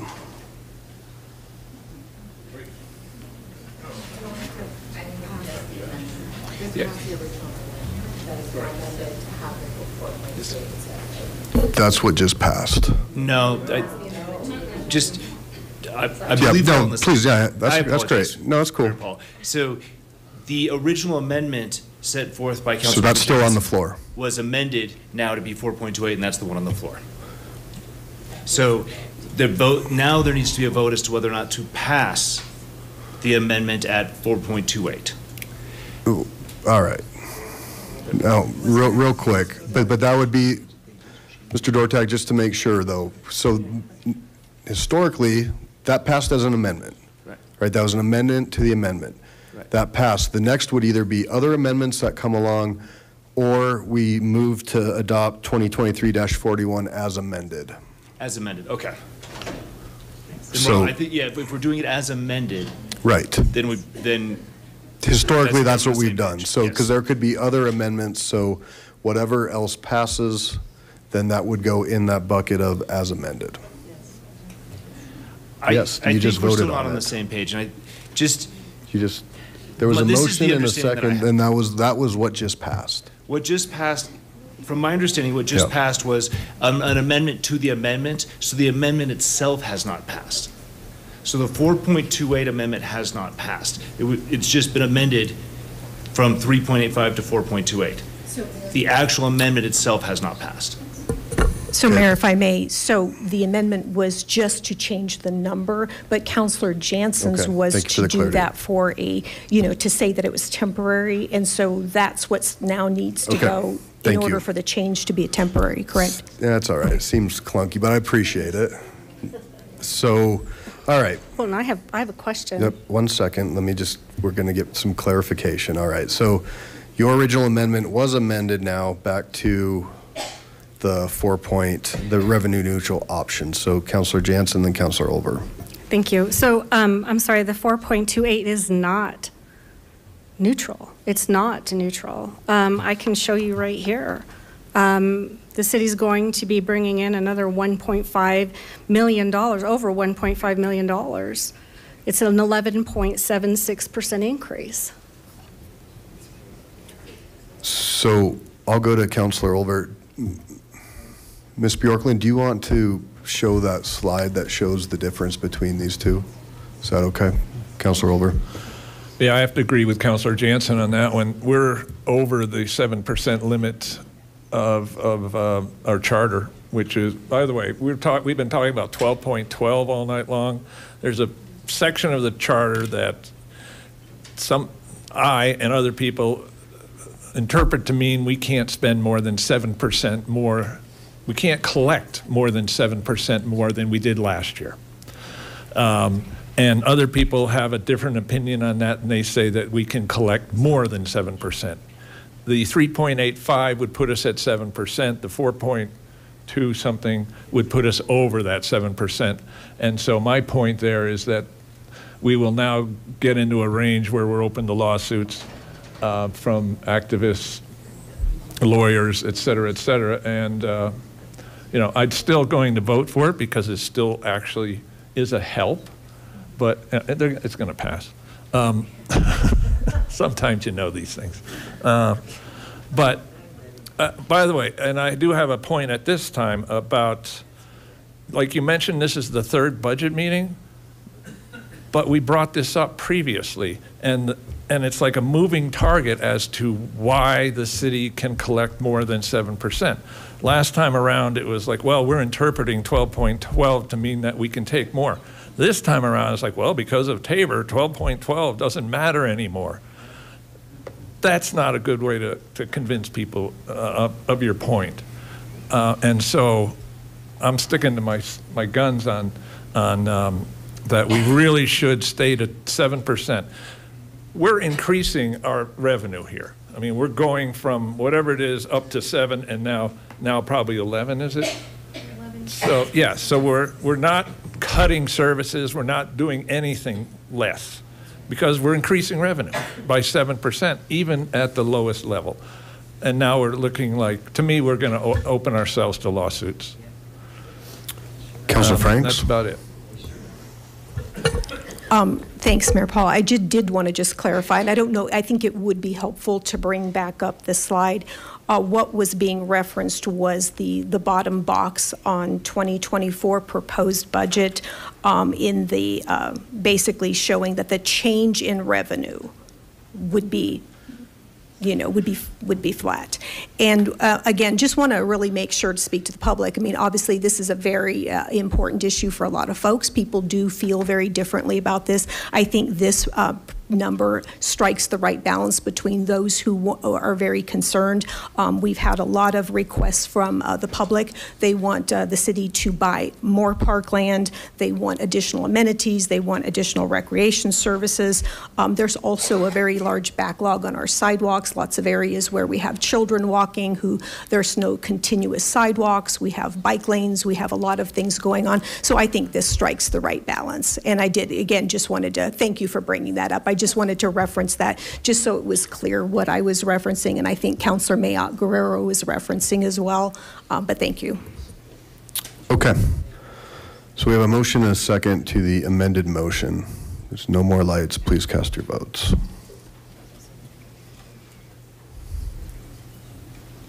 That passes nine aye, one nay, the nay being Counselor Jansen.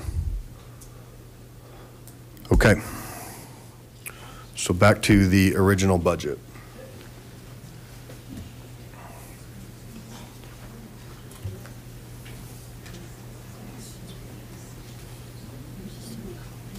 Hmm. Uh, Not quite comments. I think if there's any other motions at this point that people want to make, and then we can go into comments, or if they're tied together. Counselor Jansen. So I'd like to have a second, uh, another motion. Um, I would like to, the staff to add language in the title that we are certifying the mill levy with this agenda item number five. This was brought up at the last meeting. The title doesn't say mill levy right now. So for clarity's, we did address that. What, Ms. Bjorklund, do you want to? Mr. Rob? Uh, Sure, thanks, Mayor. Um, We did like a six-year review of budget ordinances, and that title seems to be pretty standard. The- It is reflected in the ordinance itself that the mill levy is adopted. Why can't we have it on the title? Um, It was on the title before. I- Yep, we can amend the title. I'd love to have, I'd love to have an amendment on the title. Okay. That includes mill levy. Okay, Thank you no you. problem.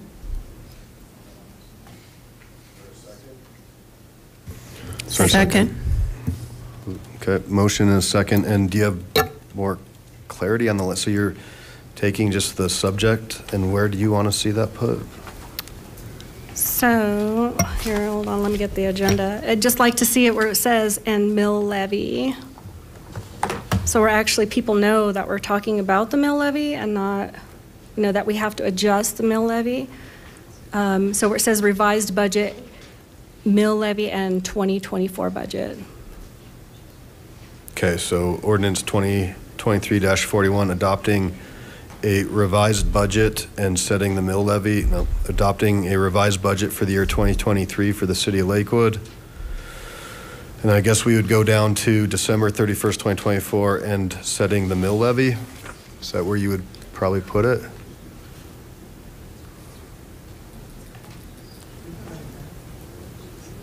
I just want to make sure before. So it would read, adopting a revised budget for the year 2023 for the city of Lakewood, Colorado, and further adopting the annual budget for the city of Lakewood for the fiscal year beginning on the first day of January 2024 and ending on December 31st, 2024, as well as setting the mill levy for the year 2024. Is that okay? I mean, is- okay. Do you want to, is that okay with you, that Yeah, language? sometimes, as long as it's- the people know that we're setting the mill Okay. levy, they know what that is. So there's a motion, a second on that amended on the title. Please cast your votes.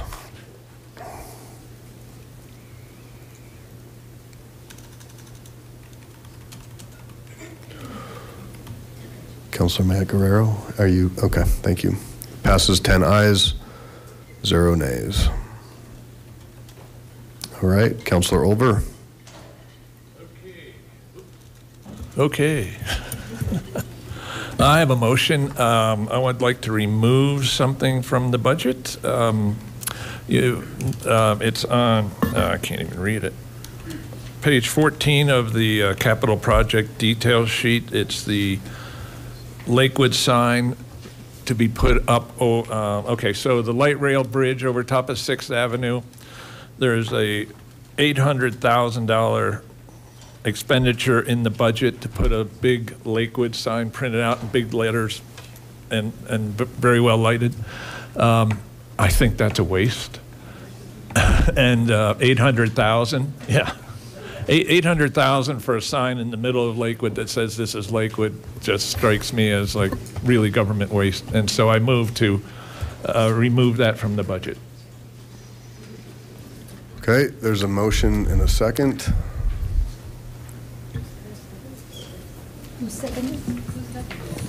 I said, is there a second? Sorry.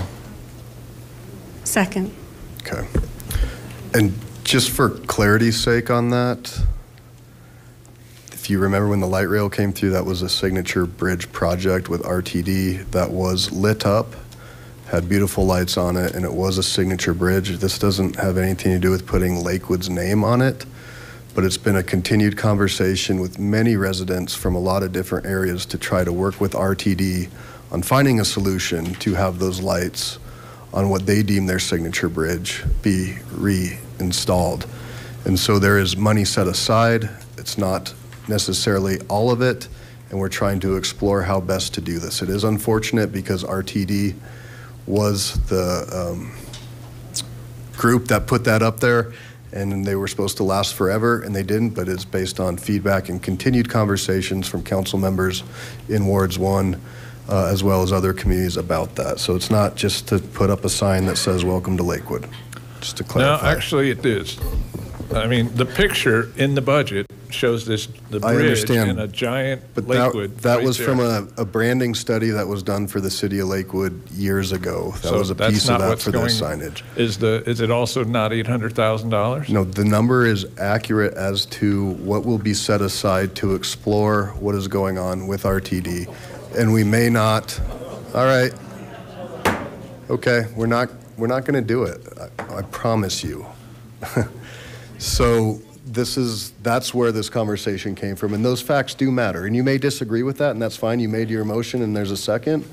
But just know that there's a lot, there's a lot deeper conversation that's happened with RTD about that. So motion and a second. Please cast your votes.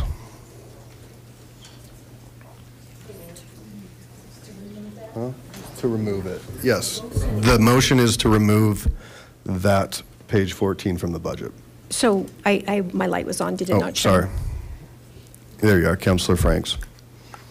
So there's been, you know, over the years, a lot of, uh, you know, communication about this. So what I'm trying to understand is that um, there are a lot in the community Ward 4. I mean, obviously, it's a gateway to get to our community. When the lights went out, it was certainly something where there was a source of pride when, it, when they were on and when they were not on. What happens if we again, uh, pass this budget, again, and it determines that there is a way in which we can work to get, um, you know, other funding. You know, I, w- what I'm thinking about is, like I said, what are the other avenues? Because again, it's one of those things that did come up a lot when the lights went out. It was a certainly source of a, a lot of frustration and folks uh, saying that we needed to press RTD to hold the vendor accountable for a lighting system that failed, failed early.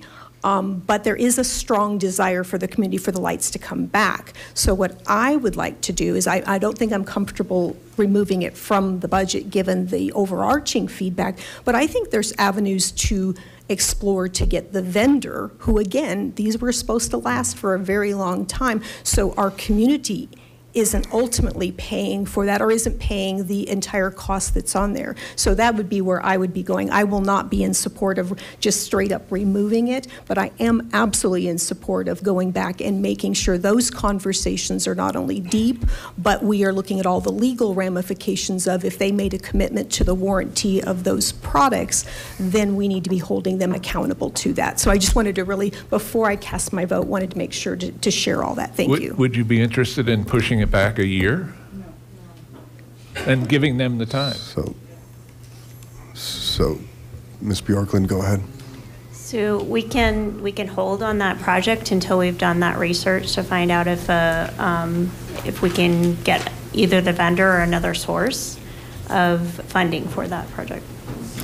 So would that require then, at this point, if the council, would it require a different motion to say that those funds will not be removed from the budget, but the project would be put on hold until those, and then the next council would then review that to determine budgetary dollar change or no change? I just, again, want to make sure the funds stay there and mm-hmm. stay, but I want this conversation to happen, and I want it to be with, with legal pressing upon what were the contracts and getting involved with RTD to really understand if they're letting a vendor off the hook for something, and then the communities needing to pick up the bill. So I really want that conversation to be deep. So from a budgetary perspective, we do not have to make a motion or a change. Um, But what we can do from a staff perspective is we can bring it back to the council to say, this is what we found out, and determine if the council is comfortable with that. Counselor Shahrezaei. Uh, Yes, thank you. Uh, This actually just came up from community advocates at a meeting last week on this. And so luckily, we have an RTD representative now who's willing to advocate for this. Uh, We previously did not have that sort of representation that we're advocating for us to hold these vendors accountable. And so it's my understanding, we've been having these conversations with RTD. As the DRCOG rep, I meet with Marjorie Sloan often. This comes up at all the Jeff Tag meetings from community members. So this is something that's driven by community response.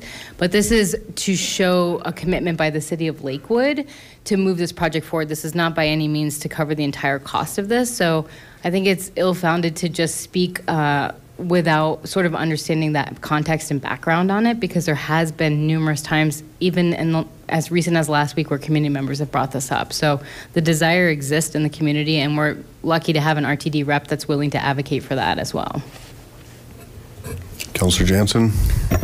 So this $800,000 is for um, just, we're not paying for anything, it's just exploratory. We're using this $800, $800,000 to, to get RTD to fix it? I'm, I'm confused about what the $800,000 is for. There hasn't been a full scope of the project identified yet. It's identified for um, what wants to be accomplished. So. So that uh, $800,000 would be held for a year until you figure out, until they figure out what this, what they're going to do? uh, may not be a year, but um, would it be determined during to it 2024. And then that would be put towards fixing the lights? Or? It it hasn't been fully um, defined what that would be. Thank you. All right, let's, Counselor, uh, Mayor Pro Tem Strom. So clarifying here, when I have a project pending that I think is coming up or that I want to do, from a savings perspective, I start by setting aside X amount of dollars that I think it might take to accomplish said goal. However, I don't always know at the forefront what exactly the steps are and what the full cost of each one of those would be. Is that what I'm hearing from you? Is where we've kind of earmarked what we think it will look like, but we won't know exactly until we go through the process and have some conversations again with our, our RTD advocate. Is, is that what we're looking at here? Yes, and it might be better if Max Kirschbaum answered the question um, because he has more of the detail. He- He's the one that presented the project. I believe he is online. Good evening, Mr. Kirschbaum.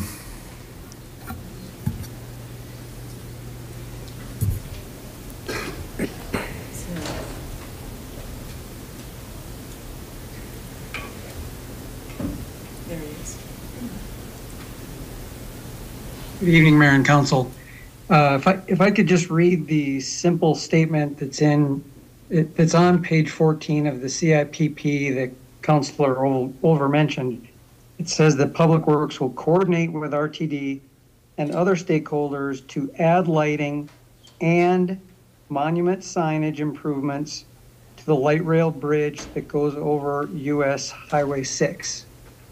We have not initiated uh, contact with RTD uh, yet uh, to resume uh, any progress toward this project.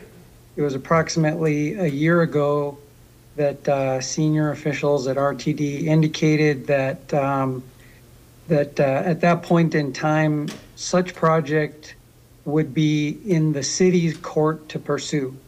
So the intent of this was to provide a, a, a project amount for design, investigation, construction, just like we would any other project, though we have not either secured a, uh, an agreement with RTD in any way on how funding may be split, uh, nor have we done a detailed cost estimate at this time. Okay, thank you. So there's a motion and a second to remove this item from the capital project list. Please cast your votes.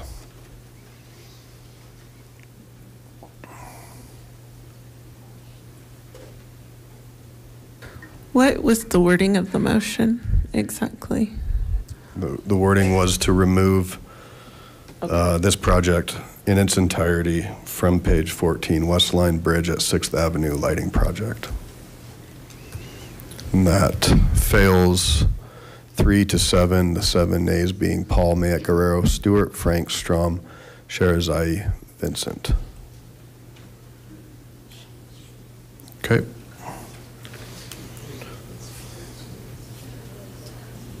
Counselor Olver. Okay, my last one.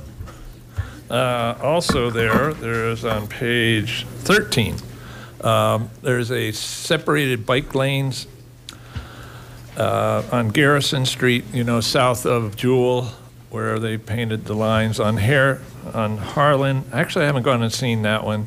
And then on Denver West uh, Parkway, uh, there's $900,000 budgeted to put in upright, I call them upright wiffle ball bats. They're also called stanchions, I think, and low-level dividers between the bike lanes and the, um, the street. Well, actually, on Garrison, it'd be between the bike lane and the parked cars. Um, As an avid bicyclist, I don't I do love separated bike lanes. I actually talked about this in March, and I showed pictures of where it works in Denver, right next to Wash Park. It's some great place examples, and in fact, on the budget, they show a picture of Wash Park. Um, the problem with this one is on Garrison Street, the parked cars are on the outside of the bike lane, and that puts the people who live there at great risk of the cars going by on Garrison, because Garrison is also now narrowed up, just like a lot of our other streets. So when they, the, the biggest problem there is when the people park there, they have to get out into traffic. And their kids on getting out on the other side get out into the bicycle lane. And so I just don't like that whole setup at all. Um, I don't know much about Harlan Street. I don't know anything about Harlan Street. I do know Denver West Parkway because that was also one of the things I had sli- slides on here back in March. And it's nice, actually. It, it would be a good good place for this kind of thing, except for one really important thing, which is that road goes nowhere. It actually goes out to the um, NREL, National um, Renewable Energy Lab, and stops. And, and think about this NREL, the big lab, is all uh, barbed wire fences all around, doesn't allow bicyclists to go through. So you can take that Denver Park West, or Denver West Parkway out there, then you have to turn around. and so what's the point of spending $900,000 on these two things?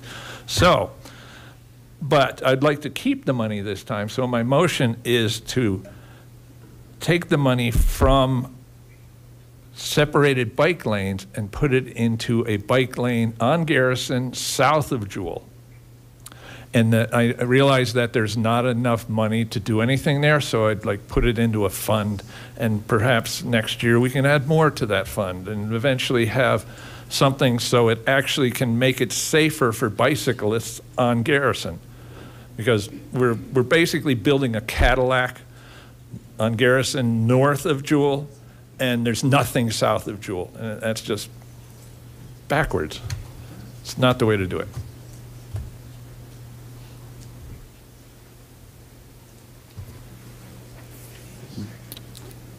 Yeah, I don't think that's, I mean, could you be more specific? So you want to move 900,000 Right. to a proposed project south of Jewell on Garrison to where?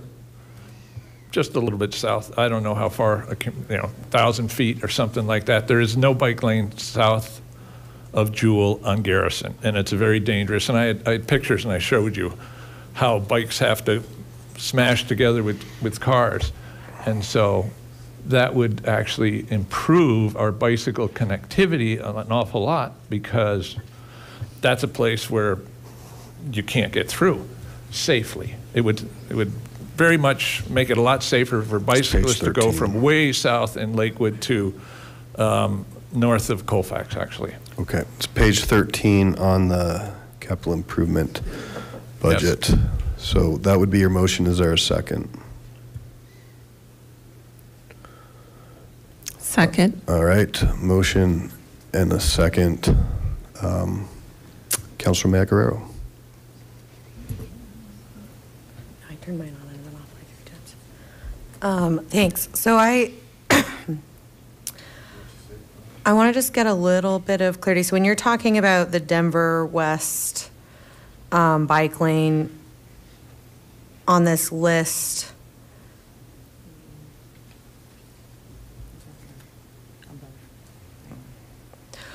Oh, I see. It's just, it's on the, the general location. So there's also then like a, a more specific list of places.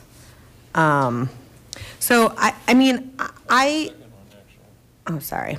Um, so I think that the idea that we would put this money unvetted into uh, specific projects that you're not sure whether or not they would cover them when um, frankly, those are all places that have been brought to our attention for specific reasons, and again, is focused on connectivity. Um, I will also say that personally, I bike more for transportation than for um, leisure, and I think biking for leisure is fabulous. I, I don't mean any any disrespect. Um, but biking for transportation, being able to get from the east side of Lakewood all the way into the Denver West area, where there's a lot of business campuses, my doctor's office is over there. Um, it's easier to access Colorado Mills from over there. That actually, in terms of connecting most of the north part of Lakewood and the east part of Lakewood to um, those really important resources that are all all west of there, it, it, that is actually a, a road that I've biked on a lot because of using bike uh, my bicycle for transportation. So uh, rather than for leisure. So i am not in favor of changing these projects. I'm definitely in favor of figuring out how we can increase our bike lane projects over time. Um, but unfortunately we don't have that budgeted at this moment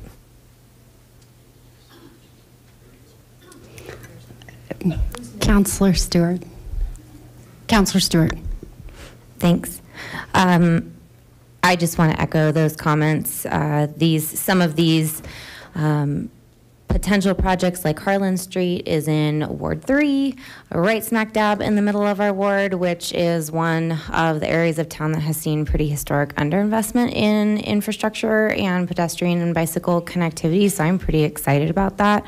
I am all for making Garrison safe from top to bottom, though. I would love to find money to fund that whole project because it is one of the only ways to get north to south, um, you know, in Lakewood across Sixth Avenue. So would love to would you know obviously nine hundred thousand dollars is not gonna is gonna be a drop in the bucket for a large garrison project like that. And again, I just want to say that this came about from the community. Um, folks in our community have been begging for specific bicycle connectivity projects, especially safer protected bike lanes. So I am delighted that this is the first budget that Lakewood has ever put forward that has this in there. Um, so would love to increase, uh, not interested in um, reallocating these funds to a different project. Council Vincent. Um, I just don't even know how, I, I'm on the budget committee, I realize, but how would that even work? Can we take a chunk of money that's already been allocated, approved by the budget committee, which we have citizen input on, and we've already had two budget meetings? Can that just arbitrarily be assigned to another bucket without a project attached to it? Um, you, you can identify it as, as the specific project. Um, you can't have, you can't have a separate fund uh, of what you're proposing, of earmarking it somewhere else. It has to either be in the budget or out of the budget, one or the other. So, okay. um, yes, it can be, it, uh, that technically the council can make that decision of moving it from one place to the other. But not to something that's been identified yet, is that correct, as part of the The general improvement? practice is that you have to have something identified. To take it to, okay, thank you. Councilor Shahrezaei. Uh, yes, thank you. Uh, this impacts Ward One. You know, Lake or um, Garrison Street is where we have many school age children traffic or getting to and from school. So having a protected bike lane to Lakewood High School to Creighton Middle School feels critically important. Also, there's a tremendous amount of uh, employees uh, that live in Lakewood that work in NREL. So I imagine that they don't turn around there. I imagine that they're riding their bike to that location. And so I too wouldn't share in the sentiment of removing this as this is an investment that's been desperately needed in Ward 1 in particular because we have so many unsafe routes to schools. Mayor Pro Tem Strom. Thank you. Uh, Living not very far away from the Garrison slash south of Jewell, I would love to see that a safer bike lane. I drive that almost daily and do acknowledge it is not a safe space for a cyclist. However, in order to create a lane in that space, we are probably looking at moving earth, which I would imagine would cost significantly more than what we had originally planned. What I would ask for is instead of making a change to this year's budget, is that we continue to have these conversations in the planning retreat like we have, how we identified um, multimodal, increasing multimodal infrastructure before, and looking at having that be as next year's plan once we have it a little bit more vetted and have a little better understanding of what the true actual cost will be. Counselor Olver, back to the motion, then we'll take a vote. Okay. Um, I think we could actually do this. I mean, like you said, you're in Ward 5, the, the main port in Garrison there is Ward 5, and um, it is unsafe. And we don't need to spend eight, 900,000 on something that is a lot safer than that. And so it's, it's really a reallocation of the money. And yeah, I would love to have a- millions of dollars to put into bike lanes all over the place. Uh, But like I said, it, we're building a Cadillac in one spot and you have dirt in another. And the dirt actually is at the end of Denver West Parkway because there is no schools, first of all, out there. And, and so, yeah, the NREL people that go to work can use that bike lane, but anybody that wants to go to Golden has to go through, Col- on Colfax, or through the, through the parking lot uh, behind uh, the malls there. It- It's, it's massively unsafe to do- go anywhere in through there. So I'm just trying to make things safer for bicycles. Okay, the motion on the floor is to remove the $900,000 off page 13 and reallocate it to a project from Garrison and Jewell south to, I don't know what that first street is, but in that area. Please cast your votes.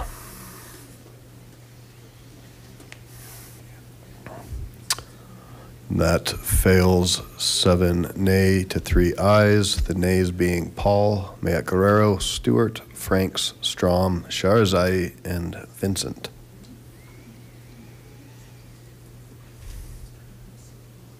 Okay. Is there anything else? Counselor Jansen. Thank you. All right, so I have another motion. I'd like to make a motion to add section 12, or 12.12 to budget page 40 in the 2023 budget and financial policies section, just so when um, auditors look at that, they'll know that's part of our charter. Second?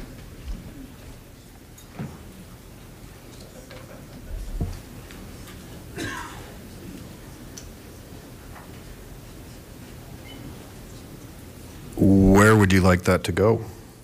Um, I don't know, you just have to put it in there so the auditor can see it. So we, okay, just anywhere? Can I borrow that? I.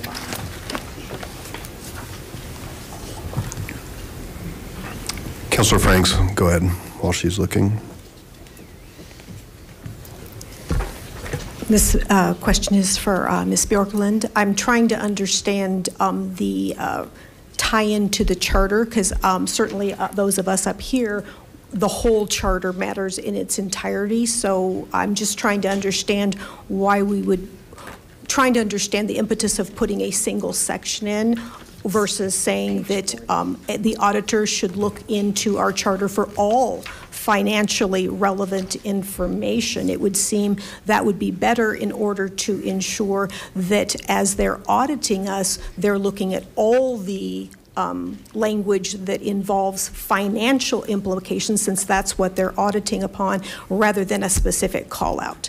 So I just wanted to sort of understand, sort of, is that already part of their practice? I know that when we have audit engagements, I work for a private company, those audit engagements are very detailed as far as what's in scope, what's out of scope, documents, whole menus of plans, remediation, controls. I mean, we could go into a lot there. That's all baked into the agreement and into ensuring that you're uh, matching um, uh, best practices for accounting processes. So I want to make sure that, that we're adhering to sort of those things. Is that already where they look at all the financially relevant aspects in order to complete their audit? Um, Yes, the- the simple answer is yes, that, that is the case.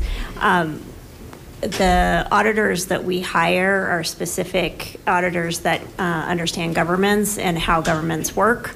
Um, And all the public documents are things that they go and look at themselves. One of those is the city charter. And there are multiple things in the city charter that relate to budget. Um, So they go look at the charter and um, look to see if there's things that they need to ask us about or identify. Um, 1212 has never come up as an issue from the auditors. Well, Thank maybe, you. maybe because they never saw it. So maybe if it was in the budget book, they would be able to see that and interpret that the way they see it. Um, I mean, I, the way you guys interpret it is not the way a lot of people are interpreting. It's revenue-based. And I think, you know, I think it's going to come out. It's going to come out about how it's revenue-based. And I think it needs to be in the budget book, right under where it says maybe right above where it says the information that follows provide the summary budget financial policies of the following areas. Maybe in the on the right there you can say in our charter there is a motion or there is a 12.12 um, that would has some financial issues that I think they need to look at. So that's just my that's my motion. So if you want to request putting it in the book, what I would recommend is that you indicate that staff needs to identify where in the book it should be put. in under 24 budget and financial policies Right, that but area. in terms of what, where we put it within the policies, um, that that's something that we could determine since. Yeah, you'd have to determine where it would fit Mhm. in, but I think it would be a good place for an auditor to see that, you know, instead of having to dig through our charter. I'm sure that they have a time limit. Well, there's a lot of different documents that they have to look at, and um, they like to look at things in a whole versus uh, parts of, uh, of, you know, whatever the influence is, because let's say 12.12 um, would be impacted by another portion of the charter. They want to see the entire charter so that they can make that determination. So by uh, putting in a specific section of it um, may not give them the information that they need. So generally, they do go look at full documents. So anything that's a public document, they look at the entire document. Okay, thanks. Yeah, but there's a second, yeah? Was there a second? Okay, so we do need to vote on that. Um, And could you just restate the language that you want, please? I'd just like to make a motion to add section 1212 to budget page 40 in the 2023 budget and financial policy section. Okay. As, as the staff sees fit, where it could fit. Okay, I have two lights on, Counselor Shahrezaei and Franks. Do you wish to speak to that motion? I do. Okay, go ahead.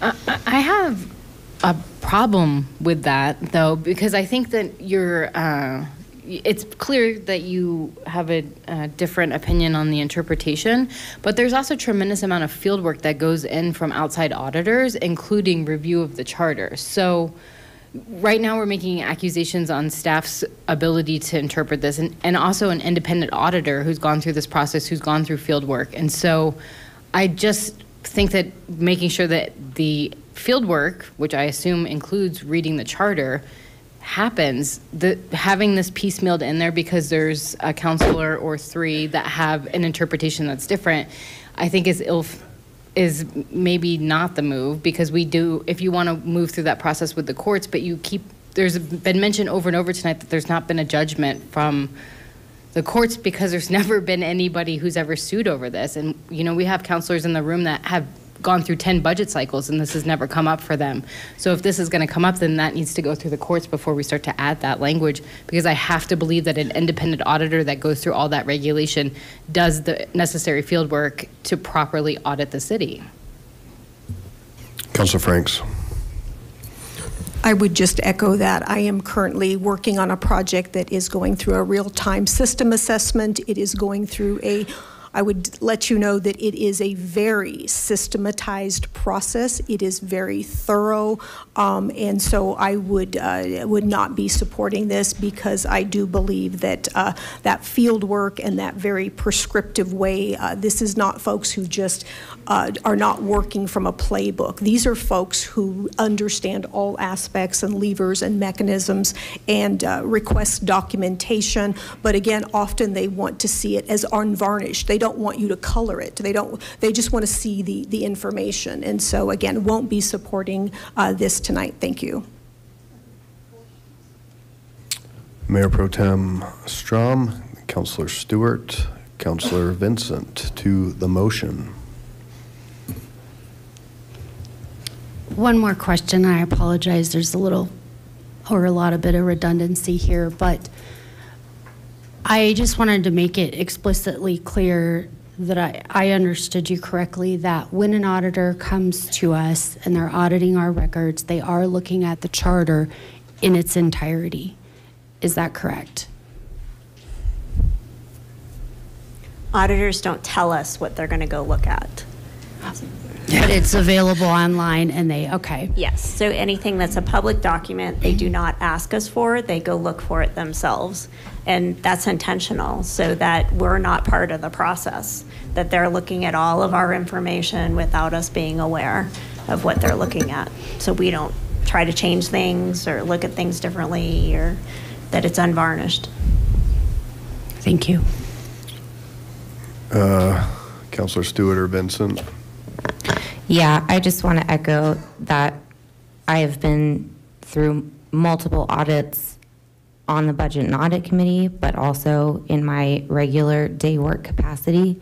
And the importance of objectivity is paramount. Um, we don't want to color an auditor's feeling about um, any sort of financial decisions that the city is making in any way, shape, or form because we need them to come back with a very uncolored, clear, and objective evaluation of the financials of whatever organization, whether or not it be a city um, or a nonprofit organization. It's incredibly important to not um, try and color uh, what an auditor is doing. And quite frankly, that would be difficult to do, having been someone who's been through a few audits myself.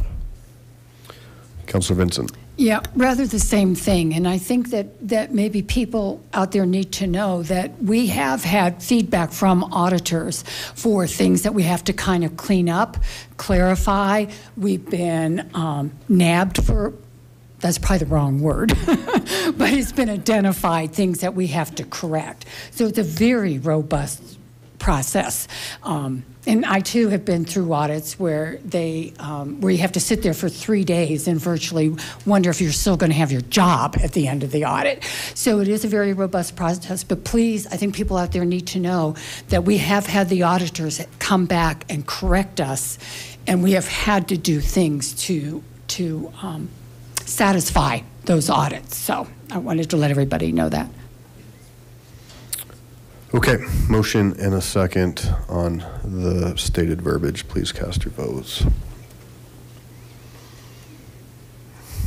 And that fails three to seven, sevens being Paul, Mayott-Guerrero, Stewart, Frank, Strom, Shahrezaei, Vincent.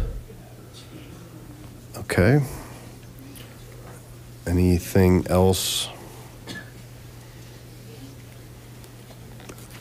Okay, could I have a motion to approve the budget as amended?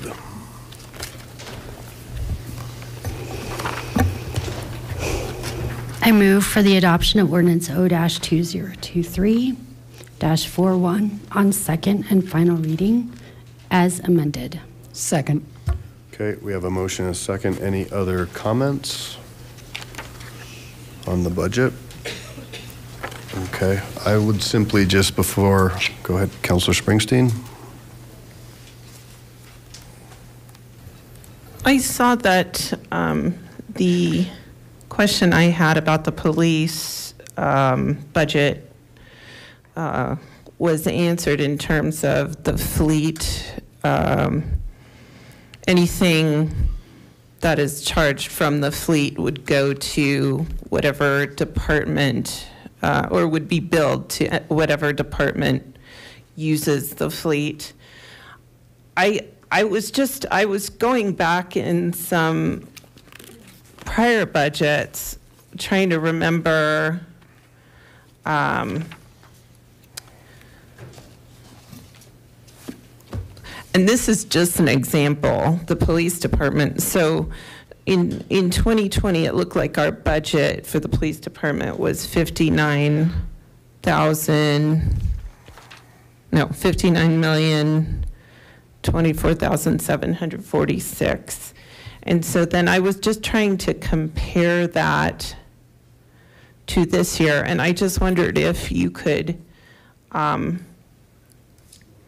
just kind of state what the comparison would be to 2024 uh, between, I mean, what kind of increase in budget did we have, I guess is my question. Are you asking what category? Specifically for the police department, because Right, they're, Are you asking what category increase from 2020 to 2024? I guess just dollar, dollar amount, or Dollar what amount? percentage increase? That'll take a moment. Okay, thank you.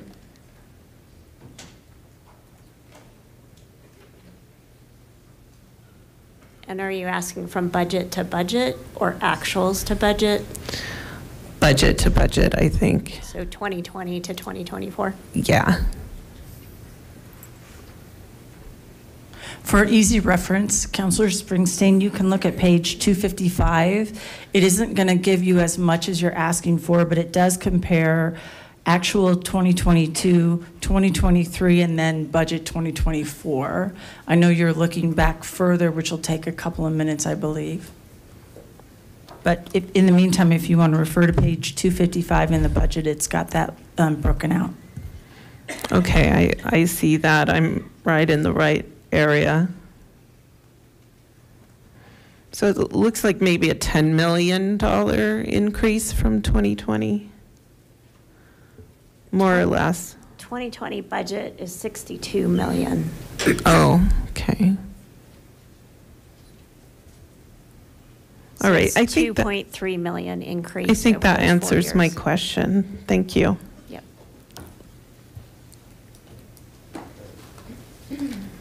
Other questions or comments? Counselor Stewart.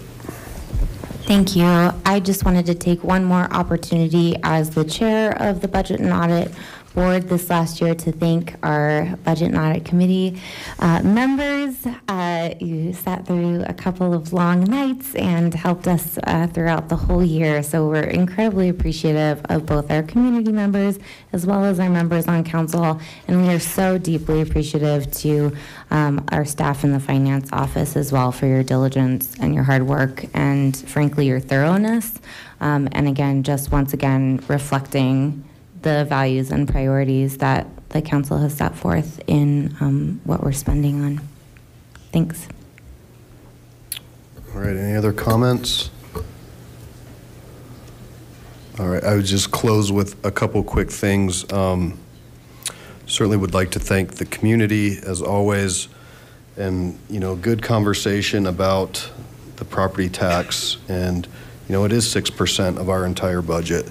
So while it's not a huge amount, it's certainly meaningful. And I think, as always, you know, trying to find a middle ground sometimes works, and that's what's potentially going to be voted on tonight. So I appreciate the conversation in regards to that. The charter was written in 1969, and certainly if there are things, and we've found things all throughout my tenure, things that probably do need to be addressed or changed. And so I would encourage future councils and the community, that's really a community conversation about looking at a charter cleanup if there are questions moving forward. But I, I will say, you know, police parks and potholes has, has really been the focus. This is my 16th budget, and I think, you know, what I'm proud of is we haven't raised taxes, and you have allowed us to keep some Tabor dollars that we've reinvested to the tune of, I think, 13 new parks, almost 200 acres of open space, some meaningful things for our police and certainly infrastructure. So I'm proud of the city team in this final year and all that you have done to help produce these. It's, it's never easy, and, and while some of these ideas tonight, I think, have decent merit, it's hard to come on the last night of the budget hearing when we've had a previous one as well as a study session with amendments that might make sense or they could be doable, but trying to do that with little or no time to understand where to move those dollars. So I think, you know, in the future going forward, that could really mean a lot. And again, I'd echo our thanks to our budget audit folks. I know I see one here, there are two maybe, but we do appreciate that. And I'm excited to support this moving forward. So with that, please cast your votes. And that passes seven ayes, three nays, the nays being Olver, Jansen, and Springsteen. Okay. So we are moving right along. Thank you, Holly and team, thank you. Frame that for you? Yep. So I have a request to take a five-minute break, so we will be back at 9:25.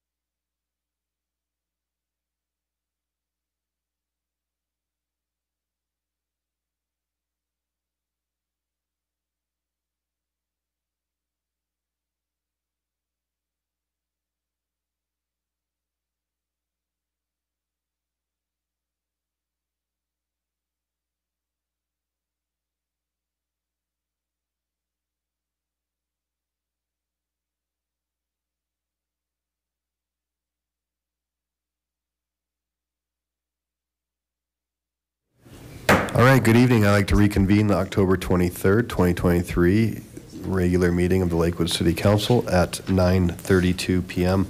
Appreciate everybody staying here with us. We're going to go ahead and move into our next section, which is general public comment. And uh, just this point in the meeting where the public is invited to address the city council on items that did not appear on the agenda. All comments should be directed to the city council. I ask that all in attendance observe the decorum of city council chambers and refrain from applause or audible support or discord with the speaker. We certainly know there's a lot of interest, and so in light of it, you certainly have your three minutes or some pooling. But if you'd like to just say, I agree with the speaker, that's fine as well. And then as a quick update, I would just uh, like to make sure the community is aware. I know some of you are, but some of you may not be aware of a letter as this pertains to um, our Belmar Park property issue, the 77 South Yarrow Street. And that was a letter that was sent to the mayor and city council uh, dated the 18th of October. That talks about um, writing to let you know that we'll be pausing on any future site. I make a motion to object to this discourse at this time. You have already called public comment. It's time for public comment. Great. I, um. I make a motion to go to public comment. Okay, it dies for lack of a second, and I'm going to continue um, with this letter just so that everybody has the opportunity. We're, we're going to get through this, we're going to get through it civilly. So again, just to set the table for folks who may not be aware. I appeal the decision of the chair. So I am writing to let you know that we'll be pausing on any future site submittals for two months to allow for a discussion about this project with the Lakewood community. This is an important step because of the concerns that have been expressed over the past few weeks about our project. We want to be a good neighbor and understand that while a neighborhood meeting was not required as part of our process, we should have worked to have a community discussion because of the importance of the neighboring park. We want to work with residents to listen to their concerns and explore opportunities for potential changes to the project. We have contacted city staff to schedule these discussions and to reach out to concerned residents about participating. During the three years that we have been developing this project, we have come to an understanding, we have come to understand how unique and special this location is, and that this formal pause is an important step. We look forward to becoming part of the Lakewood community and want to be a partner in making sure that this project serves as an asset to the community. Okay, so we're not going to have outbursts. We're going to get through this respectfully. I understand there's a lot of passion, but that's how this is going to go, okay? So first up,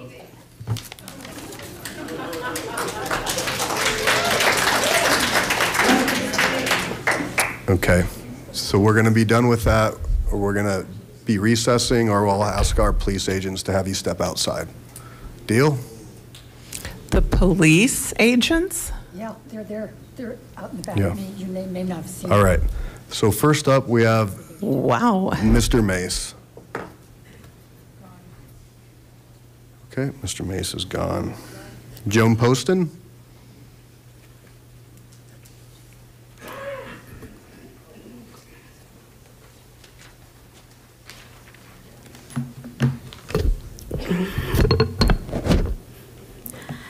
My name is Joan Poston, and I have family in Ward 1. I'm here because um, I have been uh, looking into development in Lakewood for some time. As you all know, I did a Freedom of Information Act um, request for the GSA for the land at um, 15, at the 59 acres at 4th and Union. I have still not gotten that FOIA after a year and one month, but the EPA has gotten involved, so I'm excited. Um, I do want to say that when I heard about what was happening with um, the park, that I started to look at who this developer is that's working with this park. First of all, I'm surprised that this has been going on for three years and nobody knew about it. But the other thing that's kind of surprising to me is this. This was put out um, yesterday. Plans appeared scrapped for 37-story tower in downtown Denver. This project was done by the same developer. The developer's name is K-A-I-R-O-I that is working here in Lakewood. This developer is based out of Dallas, which is kind of interesting because the developer that's working over on um, 4th and Union is um, based out of Dallas as well. And oftentimes, um, Texas is um, some place where developers go to register when they are um, an international um, entity. I am telling you that perhaps you might want to look a little bit deeper into the roots of this developer and maybe try to understand exactly what they're promising and stuff. Because apparently, they've been working for five years in Denver to build a 37 story tower and really doesn't understand what is acceptable as far as our um, standards here in Lakewood. Um, please listen to these people that are coming after me. They are upset because of the trees. They are upset because there should be some kind of boundary. And most of all, they're upset that we have um, people interfering with this and putting this on a two-month pause, something I have never seen done before. Thank you very much. And I appreciate you listening. Eventually, this FOIA will come through. Thank you very much. Thank you. All right. Uh, Gail Hamilton, then Linda Stop.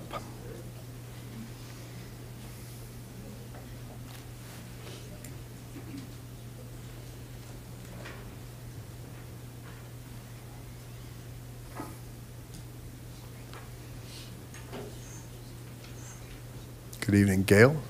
Yeah. Uh, Thanks for letting us speak about this. Um, I am, I want to address city council, but also everyone that's stayed long enough to support the Belmar Park uh, itself, because, you know, for most of us here, we're upset because all of the residents we've all talked to are in Lakewood, and if they've been to the park, or if they know anyone that's been to the park, it is um, an incredible bird sanctuary. It's a wildlife refuge. It's been that way for decades. and any type of massive development like this one would really destroy what exists there. And if for no other reason than that uh, proposed development is six stories and it looks like it should be at the uh, TOD project at 13th and Wadsworth, yes, I understand West Colfax. I understand MGU zoning. And we know it's zoned appropriately, but the issue is wildlife, birds, and the ecosystem in the park. It's a natural habitat. It's destructive to all that to develop this kind of project. And why aren't they putting that building which looks like nothing in the area surrounding the park on, on West Colfax or at any other TOD station. Um, so some of the points I wanted to make also was is that uh, the um, I believe that the city officials do have an obligation and a duty to protect our habitat areas, our parks, there needs to be a buffer, and the surrounding uh, developments need to coexist um, and be congruent and also homogeneous with all the other surrounding adjacent developments. So we counted up how many single family and townhome units there are around the park. and there's something like 450 or thereabouts, and they're proposing 412 units. This doesn't make sense, and nothing is taller than two-story. And so you've got single family and you've got townhouses, but that's it. So this does, it's not only that it doesn't fit in, uh, I, I mean, it goes against your own building codes. Your codes say uh, that it has to exist or work with the ecosystem, the habitats that supposedly you should be trying to save, not eliminate. And it apparently, would- I mean, it would destroy it. So the park as we know it would not be really a park, and it would hurt the environment for the whole area. Thank you. All right, Linda, and then Celia? Good evening. Good evening, everyone. Thank you so much for allowing me to speak. Uh, I've spoken in front of you before uh, with a group, uh, advocacy coalition called Clean Energy Lakewood, and as you know that uh, we look, I'm not representing them tonight. I work, I live in Ward 4. I'm here as a citizen who really loves and cares for this city. I've lived here for over 20 years. Um, we have talked to you, and I have talked to you in the past about our city government focusing and funding clean energy, conservation, and enhancement of our natural environment. And this includes preserving Belmar Park. And we just can't allow this construction to occur. It definitely is going to destroy the entire area. As you've just heard, and we've been receiving a lot of correspondence of people that have been telling you about this, that definitely would tarnish this jewel. Belmar Park is a jewel for the city of Lakewood, and putting that construction in there would tarnish it.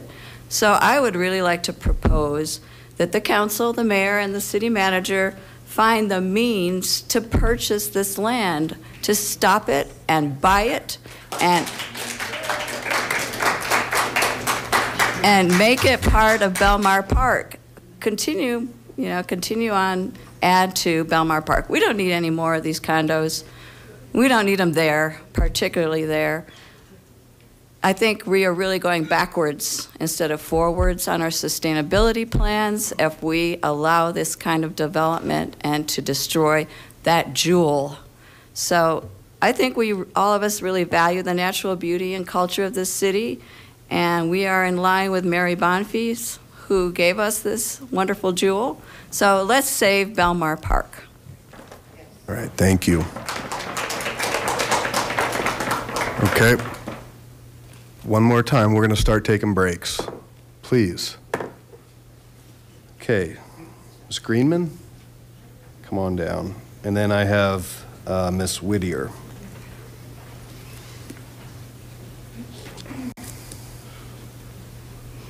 Hello, Good Mayor evening. and City Council.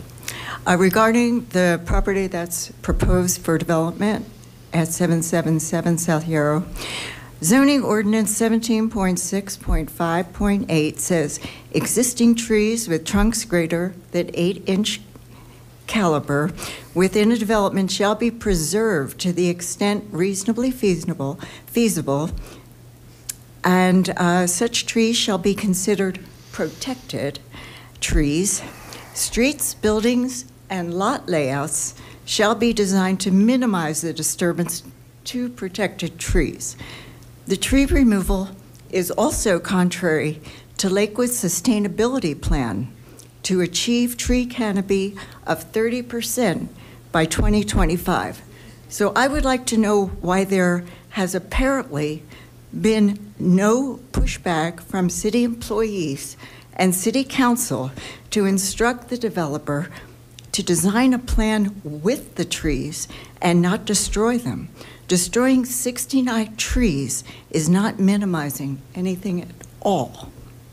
The municipal code 14.16.040 calculation of parkland dedication. Based on this calculation, the developer owes the city 3.3 acres of parkland. However, we're informed that the city has opted to accept an in lieu of cash offer from the developer, which will involve removing green space south of the library and paving it for a parking lot. Now, which city bureaucrat made this decision, and why is it acceptable? The comprehensive plan has a goal that was just stated by one of the previous speakers that through the site plan review process, it is to ensure that new multifamily and commercial developments adjacent to single family neighborhoods are compatible by incorporating appropriate design, scale, height, transition, and connectivity to seamlessly integrate with the neighborhood. As was stated, the surrounding area is parkland and townhomes. The five story Belmar West project that will house over 1,000 people and 500 plus cars is not compatible with the current land use.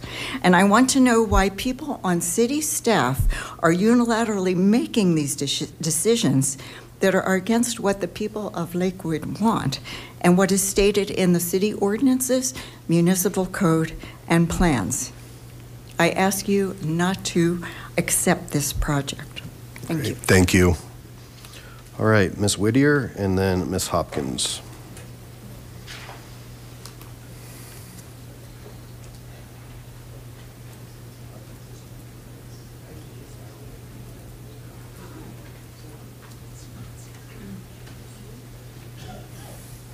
Good evening.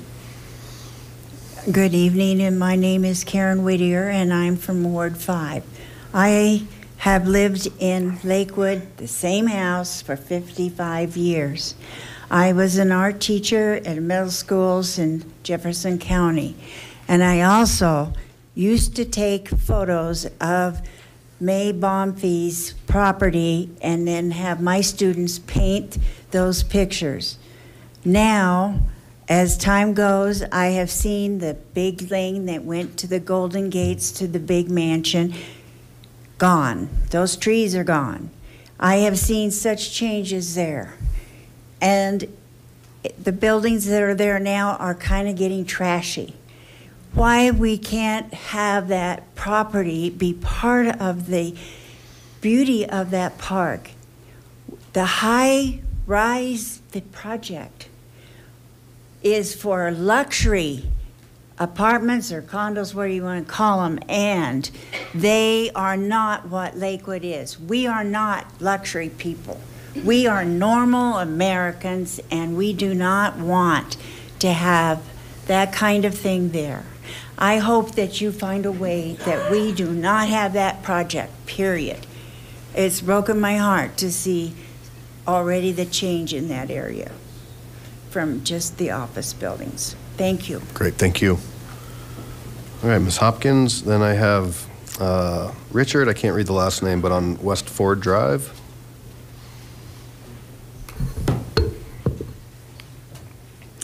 Good evening, Council. My name is Regina, and I stand before you this evening to share my personal perspective on the crucial endeavor to safeguard Belmar's unofficial bird sanctuary. It is with a sense of concern that I address the council, for it seems that there has been a misguided attempt by two of its members to claim credit for a grassroots movement that they chose not to engage in or support. To imply that Wendi Strom and Rebekah Stewart were the main reason for the developer's pause supposedly achieved through their tireless efforts to reach a compromise is misleading. In reality, it was the unwavering dedication and tireless work of our entire community that compelled these council members to take notice of our cause and arrive at this pivotal moment. The public's outcry and the momentum we've generated around this vital issue have propelled us to where we stand today. In decisions, particularly those of significant public interest and transparency, Transparency and fairness should be the guiding principles. When these principles are not upheld, it's the city's council's responsibility to intervene and assert this is not acceptable. In the spirit of transparency, I wish to clarify the purpose of the resolution to be presented this evening. First and foremost, it does not aim to nullify or amend existing ordinances. It, instead, it seeks to uphold the, the current ordinances and establish an additional set of guidelines for the developer. They are not mutually exclusive. Its, its purpose is to prevent the potential abuse and discretion and enhance the checks and balances within our decision-making process. As council members, you are entrusted with safeguarding the interests of the public, particularly in the face of substantial projects such as the one before us. This is a moment that calls for your unwavering commitment to reflect the will of the public who have granted you the authority to act in the best interests of the community you represent. Council members, I urge you to approve this resolution. We must protect our 69 trees. I implore you to not be swayed by any misinformation or misleading narratives that suggest you cannot vote on this motion for resolution. It is well within your purview to cast your votes tonight. Let's unite as a community and endorse a proposal that serves our best interests. The strength and unity of our voice are evident in the number of people gathered here tonight. Thank you for your attention and consideration as we work together to preserve the interests of our community and the crown jewel of Lakewood. Thank you. All right. So, Richard? Richard Danley. Danley, come on down. And then uh, John, I'm sorry, on South Floor, South Flower. Good evening. Good evening. Thanks for all your hard work, everyone. Um, I reside in Ward 3 at the base of Belmar Park at the Belmar Estates Stanton Hill development, recently opened up in 2003. Um, I'm here to, first of all, announce that there is a body of interested professionals. The Belmar Park Preservation Group, LLC, has come together to do some interrogatory work to discover any missteps, any misappropriations, any mistakes that may have been made by the council in the decision-making process, a body, in this effort to develop this mammoth property that's absolutely undesirable and unpurposeful in the Belmar Park facility. Um, I feel strongly that the community that stands behind me is going to be the foot soldiers of our effort and we have every effort intention to come to you and gain the insight of the materials, documentation, timelines, expenditures, and decisions that have been made that will help discover how this came to be and how it will absolutely fold. I think what's happening here is I see a Goliath 7 sitting before me, and behind me I see David. And I think that the Belmar Park Preservation Group will be the slingshot. Thank you. Great, thank you. All right, John? John on South Flower Circle? Still with us? Okay. I have Todd, uh, Todd Allen, and then uh, Connie Reddig.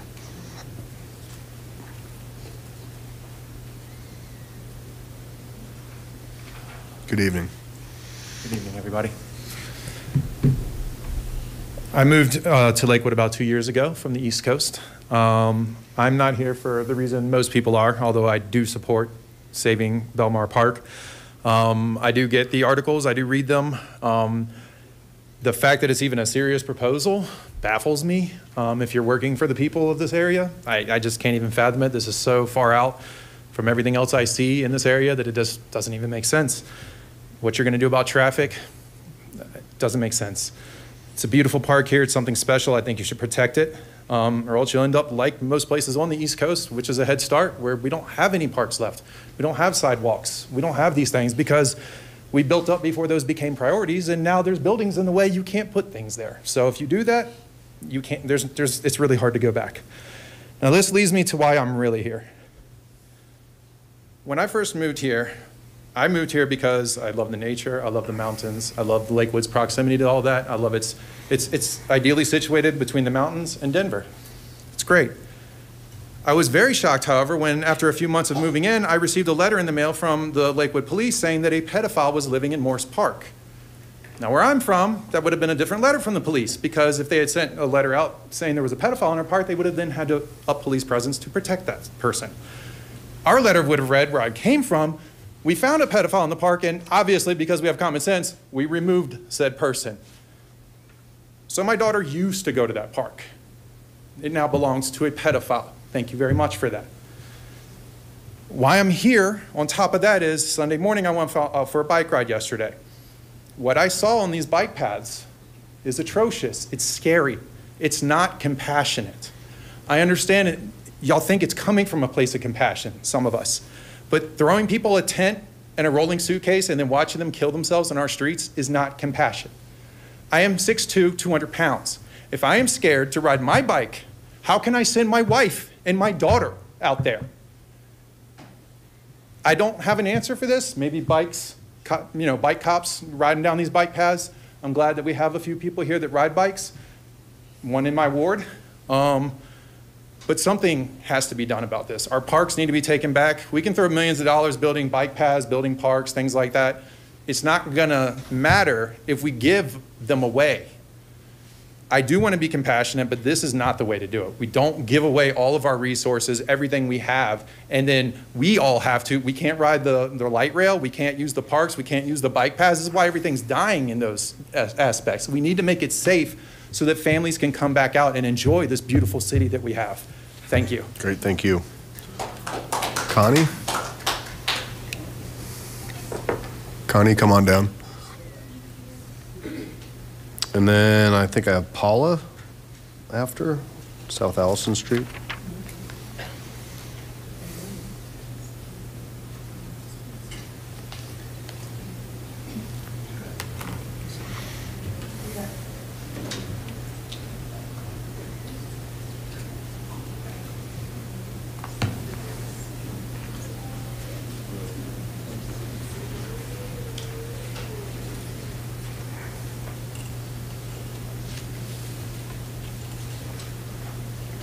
The first thing I want to say is, oh, I don't see my picture up there. Oh, the first thing I want to say is that um, under the ADA law, I would like to bring up the fact that why is it only certain people were uh, blacked out and not everybody? Not the mayor, not Rebecca, not the lawyers. So if you're going to have an ADA law, have it for everybody. And I come first because how many times have I come in here and talked to you about a reasonable accommodations? And what did you say to me? Absolutely nothing. They have not been following the ADA laws, the federal laws, the state laws. Now, there are several people on this panel that say, oh, they want to save money and charge more uh, taxes and because they want more money for the state. While I'm part of the state, I uh, uh, deserve reasonable accommodations. When uh, I gave them several papers showing how I was being discriminated against. The mayor is over, what is it? With Metro Solutions? Now, I don't know how a government job would be given to the mayor, which is a state job. And so, not following federal and state laws, is that right? Because I get discriminated against. Because how many people of color are in here? I happen to be indigenous. I happen to be black. I happen to be a Latino woman. And I have had to suffer like I'm not privileged. So why is it that there's only certain laws for people other than people of color? They don't deserve to have reasonable accommodations. They don't uh, deserve uh, to have housing. They don't deserve to be able to come up here and speak. No, they don't. And last uh, meeting that I was in, they all know that I'm indigenous. Did any of, of the people in here that were indigenous, did the mayor call up here to tell them, oh, we respect that this is your land? And part of it also, Belmar Park is indigenous. And um, my understanding, when it is given, uh, donated, and they're not going to use it for that purpose, it has to go back to the indigenous people. So, there's so- a lot of questions as to all the fraud that has been going on here, and I really would like to see all these people on the panel why it is that only certain people, I want to thank, first of all, Charlie Able, that really listened and helped our community. I would like to thank Anita Ms. Springsteen Rennig, your because time's up. she If you could wrap up your comments, please. Wait a minute, remember last time? I told you I wanted a reasonable accommodation because you never give me enough time to speak. But yet you could uh, bring uh, other people and give them the time to speak. Now, the ADA law, you wanted it for your staff member so because he had a, a visual problem. Well, I have a talking problem. And so I asked you since the last meeting that I wanted Reddick, a reasonable please- accommodation. Please wrap up your time. Thank you. That is not fair to me. Everybody gets three minutes. No, it's not fair to me. Not been- everybody is in my a lot of our situation. They're not you know. disabled. Okay. You said that you you could just wrap up your abide by the please. federal laws. Thank you. All right, See, this is how, how it goes on. Paula? And after Paula, I have Linda. Good evening. Good evening. My name is Paula Nystrom. I live in Ward 5. Um, I am in support of the resolution of saving the 69 trees, but it goes well past 69 trees. If you have never walked through Belmar Park, beyond the heritage site, which would also be completely uh, damaged by this development, um, you need to do so before you pass any, you approve any development of this, of this nature. The lack of transparency and the lack of a strategic plan for development in Lakewood is really scary. The fact that this initiative is even being considered is scary. Um, in order to stave off climate change, stop climate change, we can't stop what's already happened, but out of the 8 billion people on the planet, every person would have to plant six trees. Eliminating 69 mature trees and the downstream environmental impacts that would be caused by the building going on is going to go well past those 69 trees. It's going to affect the lakes in the area. It's going to scare off the wildlife, and it's going to have a larger implication. You need to ask yourselves what planet are you leaving for your children and your grandchildren? And if this isn't your backyard, then you need to walk through that park and take that to heart and keep it into consideration for these types of measures. There's no strategic plan here.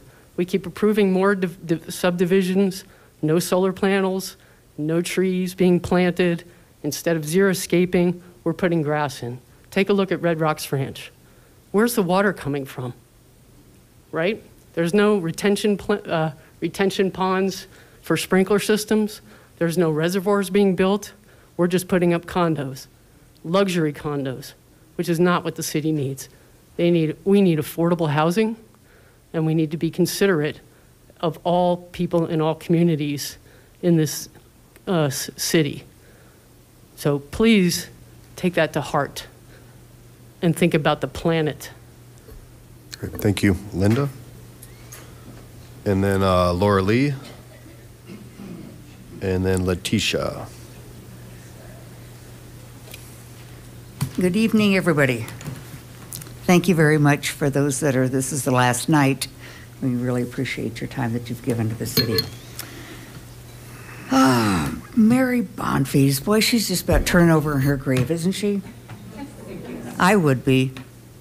This is a place, I have grandchildren, I have great grandchildren. I own a unit over in the Villa, uh, Villa West area.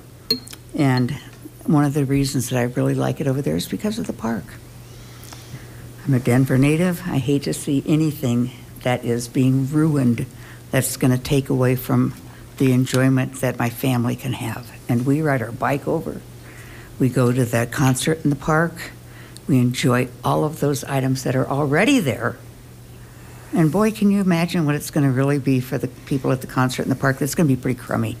Or else the people in the apartments are going to have a really good seat. Either way, it's not fair to anybody.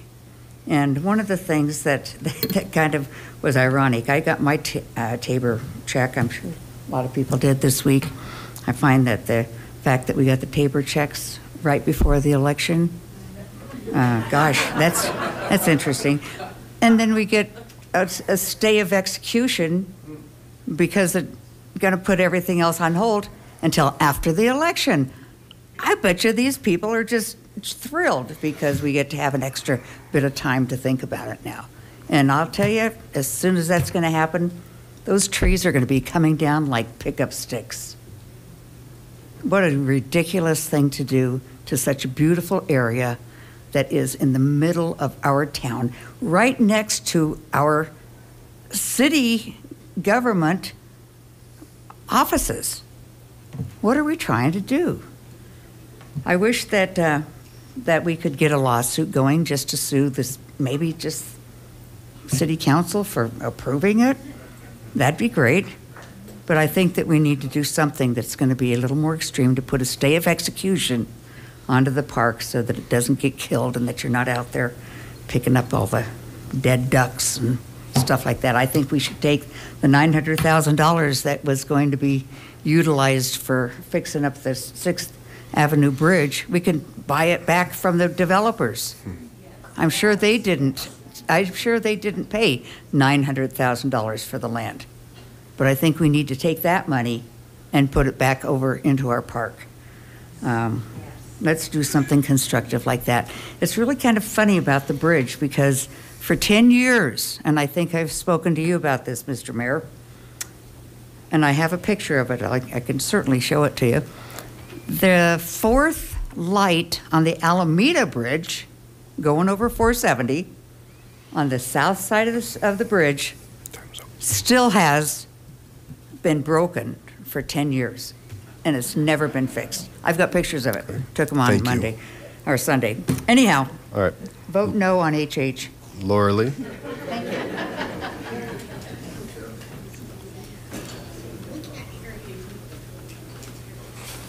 Laura Lee. You still with us? Uh, Letitia. Good evening. And then Lynn Kinney. Hi, good evening, everyone. Thank you for listening. This is my first time. I apologize if I'm not going to do it right. I um, am here because I promised my students I would show you their sign. Which is this. Very cool. Save our trees and birds, Belmar Park. Um, you're going to get a lot of really good, um, sort of rational, logical reasons to support Councillor Springsteen's uh, resolution, which I do hope you will pass tonight. Um, but I can't bring anything to you right now that's not just an emotional, spiritual plea on behalf of the children that I work with. I've been in public education for 28 years, and I coach a lot of teachers um, in Denver and other places um, around the nation, actually. And I constantly witness students going through lessons about the state of our environment, the state of our political structures, our economic structures, um, global conflicts, et cetera. And there are first graders that are worried about the, about water pollution and the air for their own grandchildren. These kinds of things are what we are subjecting our children to. We're putting the responsibility onto them. And it is one of the reasons I'm convinced that we have so much depression and mental illness in our kids um, from very young ages. They really are living in a, in a context where we are giving them things um, that they see no way out of improving. And so I just wanted to bring to bear also the um, a statement that's attributed to Chief Seattle. It's very famous, but I think it's really rele- relevant, which is that we do not inherit the earth from our ancestors, we borrow it from our children. And we do not own this park and these wetlands. We do legally, but we actually are just stewards of it right now. And so I encourage all of you to do whatever you can that is, has integrity in terms of what we are borrowing from the future generations. If we tear down 69 old gro- old growth trees and take away more wildlife habitat, more birds at least leave, if not die en masse, that is, we are taking, we are stealing that from our own children. Thank you. Great, thank you. All right, Lynn, and then Lenore, and then Barbara Millman.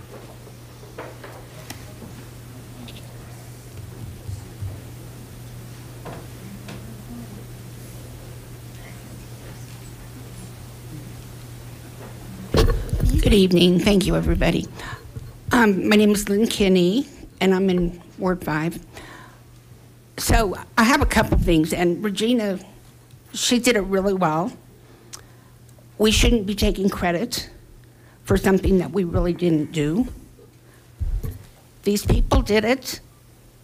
We were the ones that we got together, we wrote the letters, we researched it all. So I just want to make that clear. Okay. I was a public servant for almost 40 years, and I worked with developers. I have never, ever had a project put on pause. And that scares me because I think what's going to happen, but we don't know. Of course, we won't know until after the fact. Is he going to be charging liquidated damages? That's two months that could be accrued of liquidated damages. He's losing money. There's no reason for him to put this project on pause. So something is going on. So think about that. I mean, I don't know what he said, we just know what he put in the letter. So I want you to think about that because, you know, that's $23 in my pocket. And I don't think that's right either, but I'll, I'll write you about that. Okay, I've lived in Lakewood my whole life, 64 years. I can't, it's, it's unfathomable what's happened to our city. And you've allowed it to happen. We come here, we write you letters, we tell you, no, no, change it, do something. And you keep doing it. When is it going to stop? You guys have to take responsibility. We put you in office. I got one minute. We put you in office. We are your constituents. Listen to us. Don't turn your head when we're talking to you. Look us in the eye and say, Yes, we hear you. That's it. Thank you. Thank you. All right, Lenore, and then Barbara, then Lynn. Let's see, Lynn. First of all, my deepest thanks to Mary Jansen and Anita Springsteen. You will be greatly missed. For the past two council meetings, well informed and passionate constituents have appeared before this body to present you with facts and feelings about the Belmar Park development. Their concerns were wide ranging from public health and safety to environmental impact. How the city has handled this issue is also being questioned. Since the last council meeting, Councillor Stewart, who said she had quietly been working with the community members on this project for over a year, entered into a partnership with our Mayor Pro Tem Wendi Strom to take action, claiming our voices had been heard. At the end of last week, they shared, and I quote, incredibly exciting news, unquote, because the developer from the Belmar project was willing to meet with concerned residents and place a two month pause on moving forward with their plans. I wonder when the clock started ticking for that time frame. Additionally, when did anyone commenting online or in person request an in person dialogue with the developer? The people want action And that is what Councillor Springsteen's resolution provides. The dialogue should be in addition to, not a replacement of the resolution. The developer, uh, developer's offer provides no guarantee of anything. It has no teeth. It is a short-term attempt to appease us. On the other hand, the resolution is very specific in reflecting the community's concerns and places no specific time limit on the pause. The people want passage of this resolution tonight. Councillor Stewart said, and I quote, the groundswell of community voices have been heard by your city councilors, unquote. Yet because of council's previous responses under similar circumstances, I suspect we will be subjected to numerous excuses to justify the majority's denial of the wishes of the community. They'll say our hands are tied. There's nothing we can do. There will be fabricated procedural problems, or maybe a suggestion to just meet with the developer and see how it plays out. The public is tired of waiting and demands action now. You tout the importance of community engagement and claim our voices are being heard. Prove it with your vote tonight. Thank you. Great, thank you. All right, Barbara? And then uh, Lynn, is Lynn still here? I think Lynn Judson left. And then if you haven't signed up to speak, please see Mr. Rob. Good evening. Good evening. I was the one who was uncivil, but I would like to say that I felt, uh, Let's get your time started.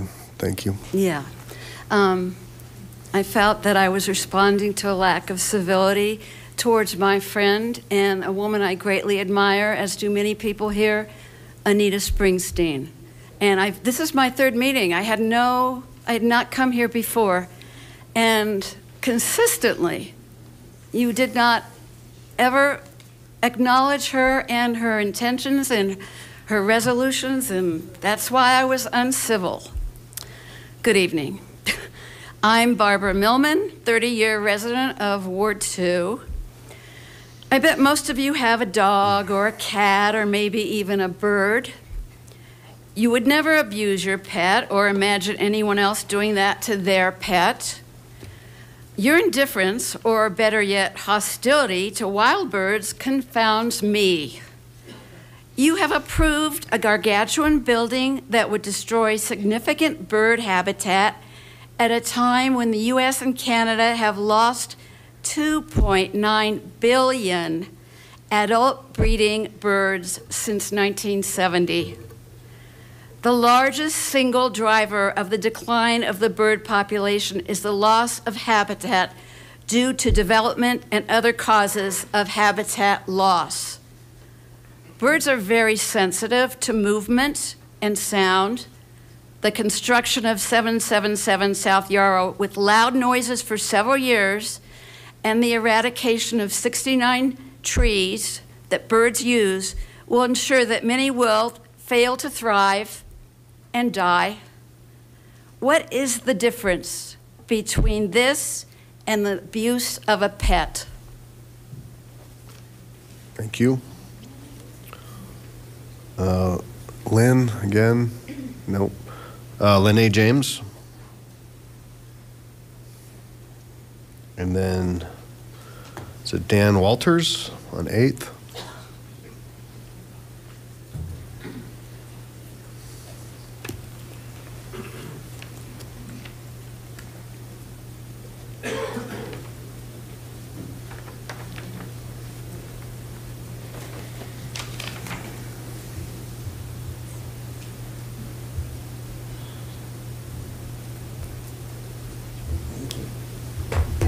Good evening. Good evening.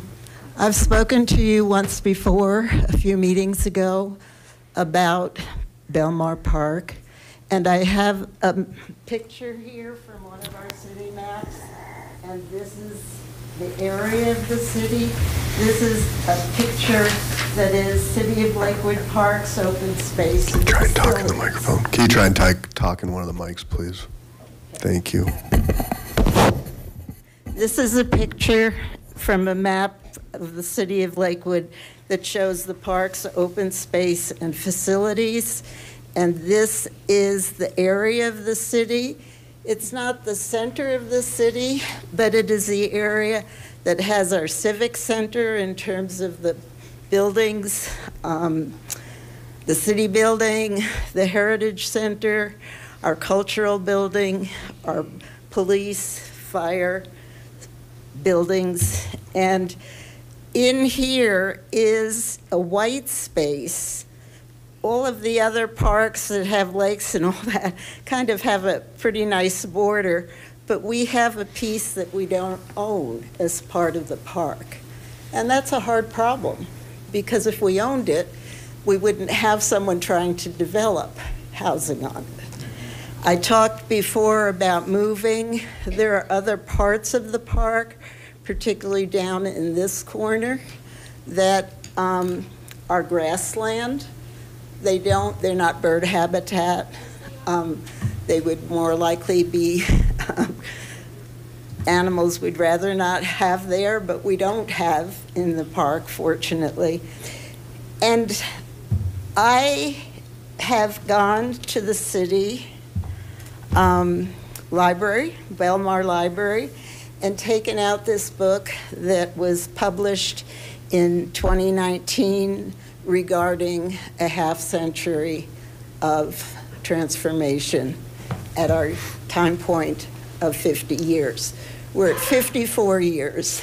And what I want to ask tonight is um, what it says in this book is, in terms of the history of the city, that um, Lakewood's green spaces define the city. Its parks, green belts, and open spaces open glimpses of the same breathtaking landscape that has attracted generations. Contemporary residents can thank Lakewood's early elected officials, community leaders, and residents um, for their foresight and hard work.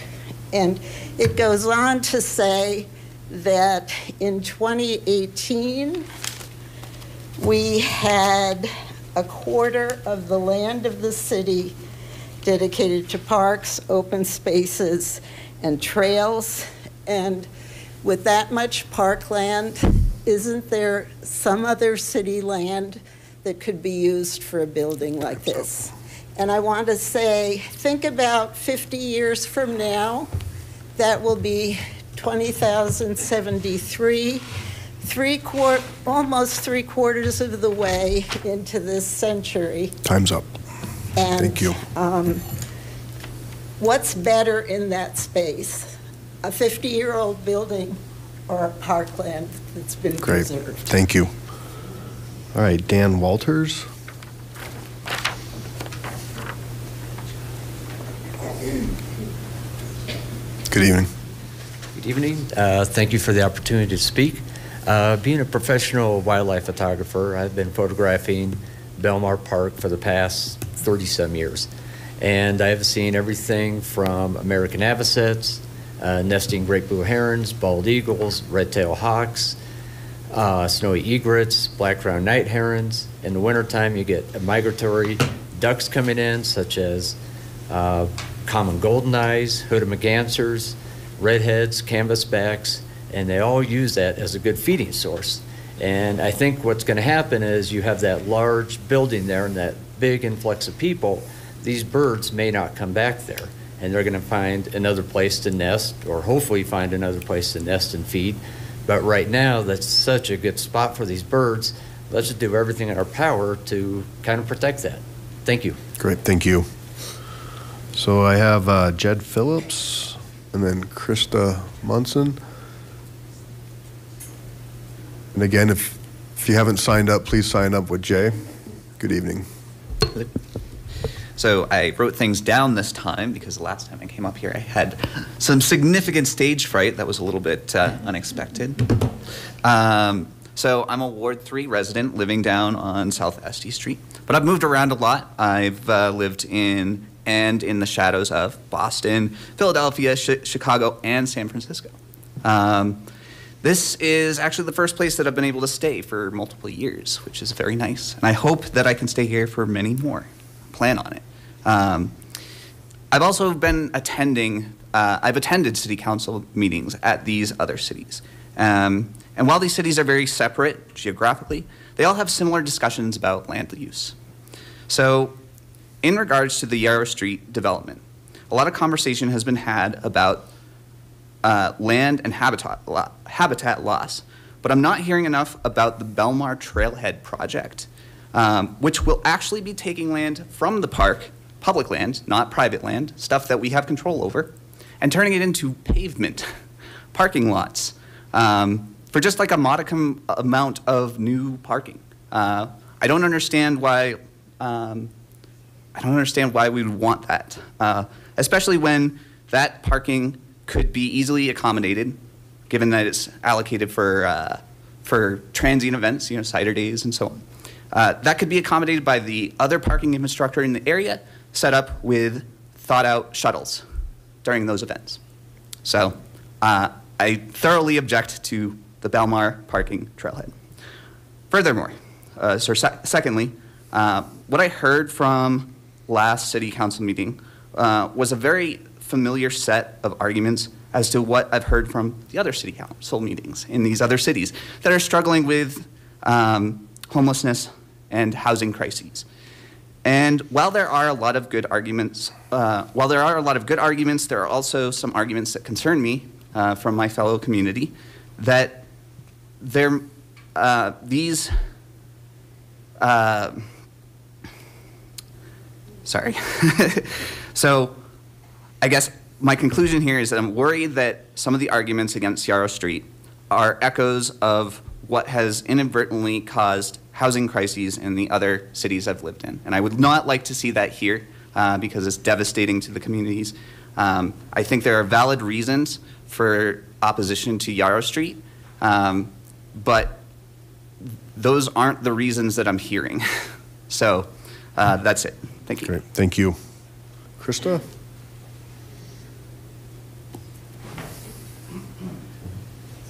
Good evening.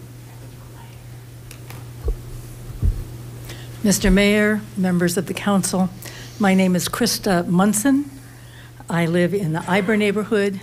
I walk in Belmar Park most days of the week.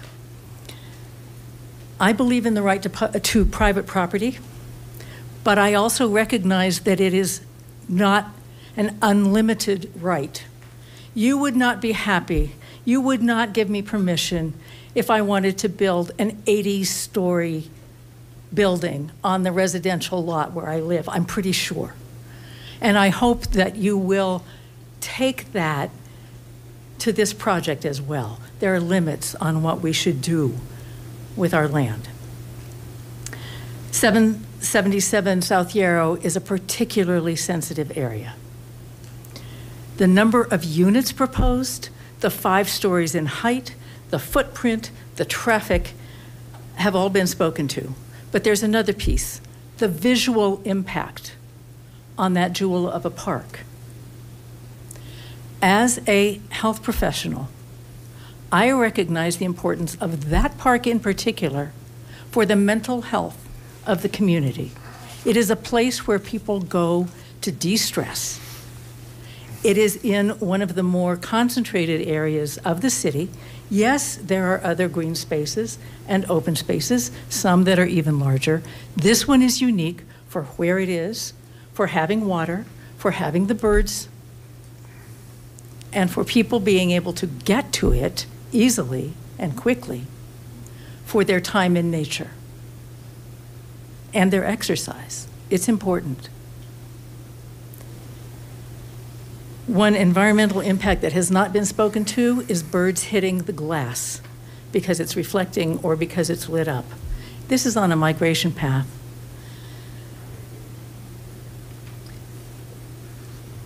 Some have said it's too late in the project to consider public input and, and potentially denying uh, a permit for the project. But there have not been opportunities for public input. If there had been, I might buy that argument. But without earlier public opportunities, and I certainly haven't heard of any, and certainly there's been no, uh, no posting of opportunities at the park, which is the most logical place. So without an opportunity for public input, I can't see it as too late to consider whether this project should move forward. We need this public input, a full public meeting. And personally, speaking only for myself, under a number of conditions, I would not oppose a project on that site. But it would have to be small, fewer units, it would have to include a percentage of affordable housing, housing, and it would have to protect the environment at every step of the project. Thank you. All right, Mr. Rob, do you want to um, read off your list, please? Sure. Mark uh, Kosmanoff. And again, please, if you haven't signed up, see Mr. Rob, we'll be going to the phone here in a minute. Good evening. Hello, first meeting, don't know the procedure, and I'm not really sure how much power you guys have to oppose this project. Just really how excited you can get. I think I might be in three, so I'm not even sure. That uh, a few people have said some of the things I've wanted to say about the birds hitting the glass, the photographer back, back there, but I'm from University of Montana. I'm a graduate in wildlife biology with a specialty in migratory waterfowl. I was interested that 10 years old. That that park over there has got more migratory ducks than any body of water I have ever seen. He mentioned canvasbacks and redheads. There are gadwall, shovelers, blue-wing teal, cinnamon teal, green-wing teal, uh, buffleheads. Uh, I could go on, and I can give you all the shorebirds too. I have never seen such a concentration of wildlife for some reason in that area, and it's what they call a riparian habitat, where you've got niches. You've got the water, open water, and then you've got the little hills, and you've got the, you've got the cattails, and that's why it's so abundant in wildlife. And we got to save that. You know, those birds hitting those windows, and the people that are going to be moving there, all those people with their cats and dogs and their sprays, all of that kills the insects, and everything of which, when I was a kid, there was nine to 10 times more birds than what we see now. Now, it all comes down to money, and I'd be glad to become involved in that and volunteer to raise money, buy out that piece of property. And I'm pretty good at it. You, it's, this is all going to come down to money. So uh, developers are going to come to you and say, you know what? Oh, I want to be the partner. I want to be. I want to work with the people. And they're going to want to present you with this money and all these advantages to it. Don't do it. Thank you. All right. Next, I have Bill Keys. Then Mark Smith can go after Mr. Keys.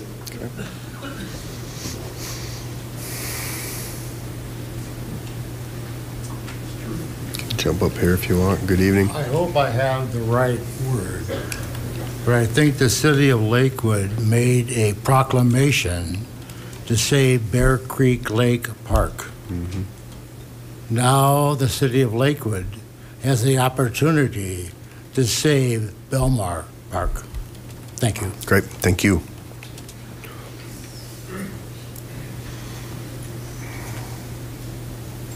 Mark Smith? Yeah, thanks. Hi, thank you for the opportunity. Hi, thanks for the opportunity to speak tonight. Uh, my name is Mark Smith. I live in Ward 3.1 0.5 miles as the crow flies from beautiful Belmar Park is an absolute gem. I think you know that. Persons have been there. We all know it's a, it's a huge gem, and it's not just city residents. Um, I painted a house up in Arvada a couple of years ago. I was a city planner for 20 years. I painted a house up on Arvada, and I was talking about Lakewood Parks, and the Arvada resident said to me, "Yeah, Belmont." I said I live near Bell Park, and she said, "You're really lucky. I go there a lot." This is our Arvada resident, so it's not just a Lakewood. It's just like Green Mountain, Bear Creek Park, Bear Creek Greenbelt. Those are way more than just municipal users and municipal. Uh, uh, they're regional gems. Um, so, uh, Belmar has very unique and special characteristics, as has been noted tonight. Uh, the first I heard, my, my notes are not highly organized. The first I heard of um, the whole uh, development project, I'd heard a few months ago, but the first meeting I heard about was a week ago Tuesday. Uh, a week ago tomorrow night, the 17th, was I guess was organized by Anita and um, Regina and some other folks. I was there. One of the things that really struck me was this project is 18 months in or two years in, and this is the first citizen meeting. I was kind of flabbergasted. And I don't mean that critically. I mean, there's been a huge lack of public process. You guys are not the decision makers on this project. I get that. It's a staff level decision, which is very problematic unto itself. And I realize that former actions, historic prior actions, have been taken, as I understand it, the Strategic Growth Initiative, and the fact that this was an urban renewal district. So that cut it off, it put it at staff level review. But the fact that the developer, okay, it's at staff level review, staff have a lot of expertise, and decision makers, whether they're elected or appointed, often follow staff. But the fact that this has never gone through any public process until this point, and now the developer is going to say, boy, I got X invested. I totally appreciate developers' interest in reaching out. I think that's an open hand that this community ought to accept. However, it does concern, and I, I, I want to look optimistically at that, but it also concerns me that I want to be a good neighbor, somebody says, but I'm contacting you two years in, or 18 months in, or 480 days in, when I've invested X. The scale of this project, I'm, I got to wrap up here. The scale of this project, developers have rights to develop their property. I get that. There's nothing the matter with developing the property, but it, the scale of this project, as I know it right now, is way, way out of bounds with harmony with the area. Wrap it up, please. Thank, Thank you. Thank you. I'm going to let uh, Mr. Leonard Maglachetti go ahead. Okay. Thank you. Take my hat off. I hope my hair is okay. Uh, we've been here for quite a while, so uh, we need a little chiropractic exercise. Can the council go like this? Like this? Can the council do this? Mayor, can you do that? Let me see. Can you, do had- that? You had it. Can you do this? No. No, you can't do that. That is true. No up and down. Has any member run to the mayor with this project and said, no, this cannot go? Or how many of you knew about this and said, this is a wonderful project? Let's move forward with this. We can make some money. Has anyone here on city council, any one of you, oppose this? Can anyone answer that question? Do you have, that's not hard, is it? Can you say, I mean, yeah, I, I supported it. Can you say that? Jeslin, can you say that? Can, the answer is simple. It's either a yes or a no, right? Well, we'll, we'll circle back to the conversation after this, so please keep going. We never circle back. Uh, it would have been it would have been nice if you would have run to him and say, "Hell no, this must not go. This should stop." Is there any project that comes before this council or the city government that you say no to or enough is enough? Probably not.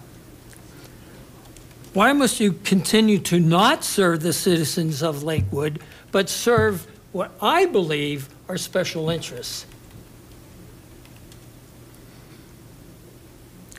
This project has to do with money and power.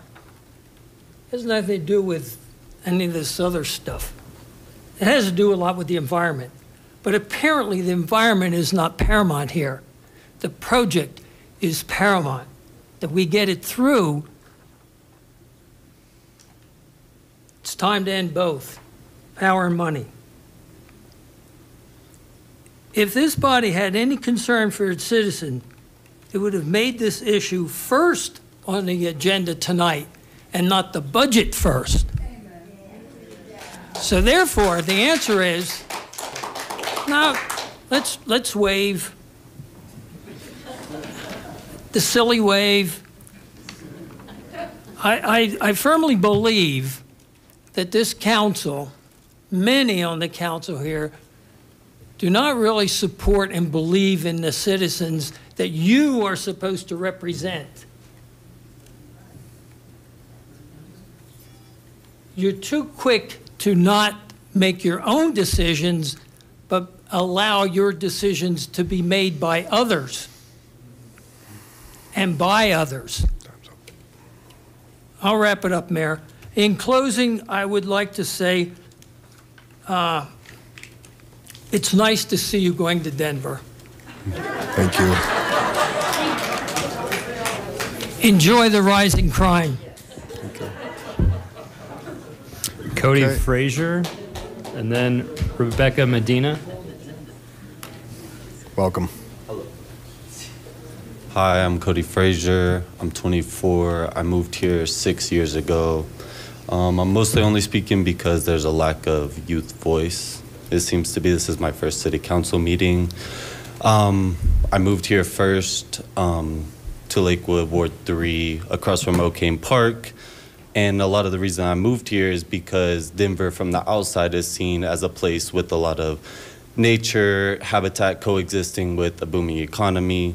And so it makes for a good up and comer youth entrepreneur type to come into the workforce. But as I, you know, work day in jobs out of the Belmar, a lot of them I noticed don't even have the affordable housing already within the Belmar. Like you can't work in the Belmar and live in the Belmar at the same time.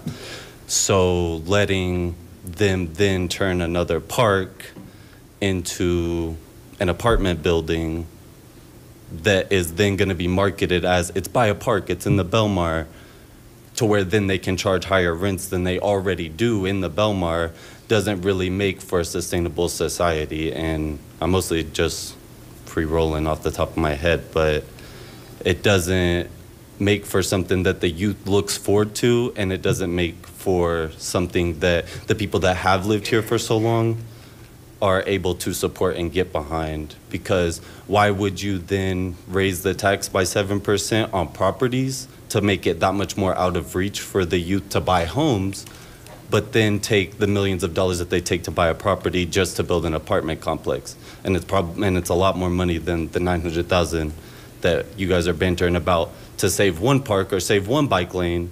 Why do that if then you're going to turn around and not save the parks that are already there? Why renovate new ones? Why build bike lanes if they don't have anything to bike to? If they're going to that one to avoid this one at that point? And that's all I really have to add on the man. Great, Yeah, thank you. Nicely done. Okay. Rebecca Medina.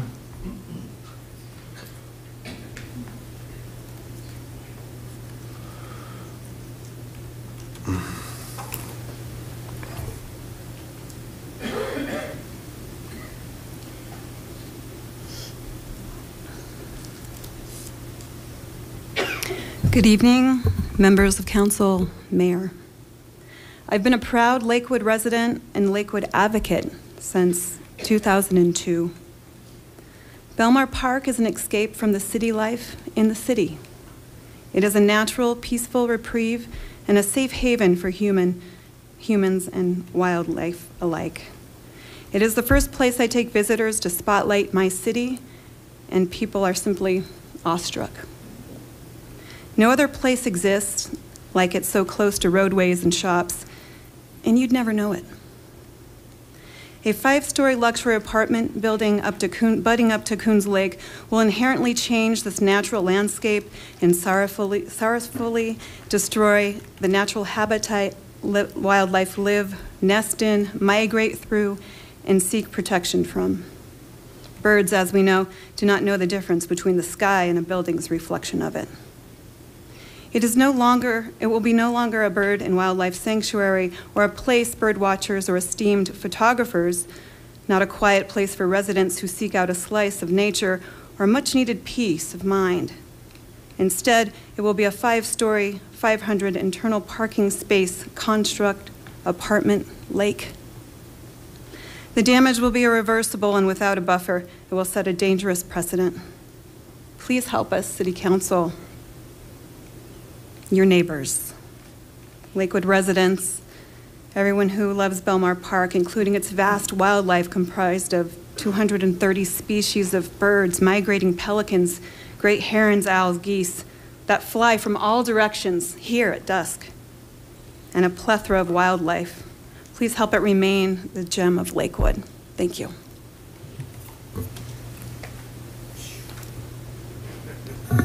Tom Dirth, he still here? Yeah, he's pooled, though. I was going to have the pooling go last. Oh, okay. I don't, that's the end of my list, Mayor. Okay. So you want to Good evening, 10 Mr. Mayor minutes? and council. And uh, in, in honor of the folks that had to leave early, I would like to just share some ideas of, um, this is my third time speaking here in about six weeks. And the first time I was here, I talked about safety. I talked about what if there's a fire that came across the park, and if you go out there right now, you see that all that high growth is drying up, and one little cigarette could, could kill many, many people.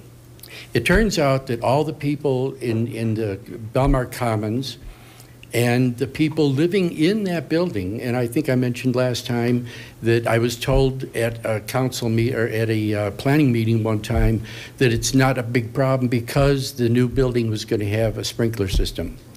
And that's not going to help when we've got the cars coming from our uh, community and the communities around, the restaurant, the, uh, um, the library, and from any other events that might be going on there. Plus, we're figuring that, you know, they're talking about maybe 500 cars. There's going to be 414 apartments there. You know full well to be able to afford those apartments, there's going to have to be a- probably two people at least living in each of those, and probably they all have two cars. That's about 800 cars that need to go out onto Yarrow Street, and Yarrow Street cannot handle that. It would look like uh, Lahaina if there was a fire. That's basically what would happen. So my curiosity is, with all of that talk about emergency, did anybody hear that? Did anybody really hear that and take that into your heart and think about how many people could die because there's 800 more cars on that street? That's scary. That's really scary. Second time I came to talk, we talked about parking. The idea that Yarrow Street could not handle the cars. You say, well, they're going to provide parking. Yeah, paid parking. And the people living in there, I- I- once again, I went down to um, what used to be Lucky's, a grocery store in Wadsworth. Lots of cars in that parking lot. There are a lot. There's no park, there's no building, there's nothing going on in that building. But there's a big apartment building right next door that people say, why should we go up all these ramps to our parking places? And why should we pay for parking? There's parking out here. Same attitude's going to happen. If they're paying that much for rent, why would they pay for parking? So they're going to park on Yarrow. There is no room. You cannot park in any of the other lots around. And if the Yarrow is filled, you saw, for those of you who were here at the last meeting, you saw the pictures that I took from cider days where there's parking on both sides of the streets and there was a bus coming down, there was a shuttle bus. There was no way for anybody to get around that. There were even two people on motor, on uh, bicycles trying to get around that. And it was really dangerous for them to go around that. If you've got parking on both sides, because it's minimal parking to begin with, and you've got UPS, Prime, FedEx, garbage trucks, all those going down that street, you, they cannot pass one another. What happens now if we need an emergency vehicle in there? A fire truck, an ambulance, you name it. There's no room for them to get through. Did anybody hear that? Did anybody listen to that and think about the fact that cars cannot get through there. We were also told at that meeting, well, maybe we'll have to have parking permits. That means for the people in our community who have to, trucks or cars because of their business will have to now pay to park on Yarrow Street. That's ridiculous. Did anybody hear that? And now we've got the trees coming down. Lots of people here talking about the birds, the trees, the animals. Is anybody listening? You have to listen to hear it.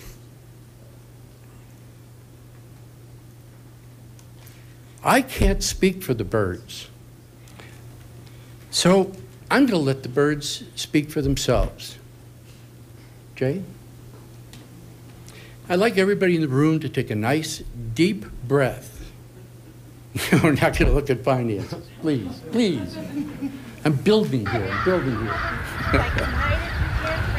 take a deep breath, sit down quietly in your chair, and just watch this video. Let them speak for themselves.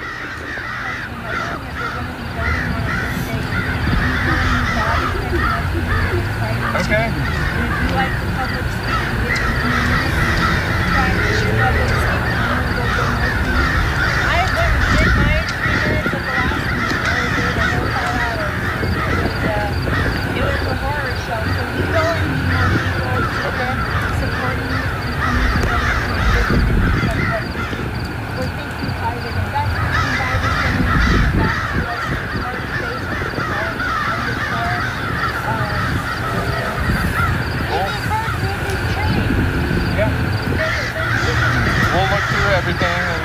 talk about it. I appreciate your effort. My name's Jessica. I'm Dave. Okay. Thank you for sharing. I had no idea. Ladies and gentlemen, those are the trees that are coming down if you let it. Are you listening? That's all I want to know. Are you listening? Because you have to listen to hear that. Let the birds speak for themselves. And thank you for the opportunity to share this thought with you. Thank you. Thank you. All right, anybody else in chambers? Okay, we're going to go ahead and go online. When I, oh, come on down. Anybody else in chambers after Natalie? Okay. Thank you. I'm going to go off topic and just jump back to uh, Natalie Menten, Ward 5. Um, I'm going to jump back real quick to the property tax issue because there's a couple things we should just know tonight. Um, based off the calculations of what was passed of a 4.28 mill, and there was discussion that was revenue neutral. But actually, it appears to be that calculation will generate about nearly 12% increase in property tax revenue over the prior year. How is that revenue neutral? I'm looking at you, Councilor Strom. If you can tell me how that is, how is an 11.7, three quarter, 11 and three quarter percent interest increase revenue neutral? When we talk about housing affordability, because that can that discussion's not going away. How is nearly a 12% property tax increase revenue neutral? And how does somebody on a fixed income with an increase of 3 4%, maybe, maybe increase in revenue, keep up with nearly a 12% increase. It's not revenue neutral. It also violates the charter. City staff's given two answers on whether Lakewood 2D, an ordinance, an ordinance, overwrote our city charter. Like an answer. Because in the questions that they answered before is no, it, it didn't. So is that what citizens gave away? Uh, that conversation's not ending, so I'm kind of glad that, I'm kind of glad the change up, lineup in the agenda did occur. But I would hope I could get an answer maybe under um, council reports tonight. Because if somebody's going to propose a motion, they should know what the percent of increase is. So I'm hoping that can be answered and we can get it on the record. But I don't think it's fair. People are, are house rich and not income rich. And what we passed tonight is, well, it's half of what was horribly going to come to us. It's not nearly, nearly the consideration the council should have given. Not nearly. Councilor Jansen, thank you so much for trying to get a, a proper mill reduction done tonight. I think you made great strides. Thank you for your service. Okay, anybody else in chambers? So we'll go ahead and go online. And again, when you're at 30 seconds, you'll hear that. When your time is up, you'll hear it twice. When you get brought in, please give us your name and ward or name and address.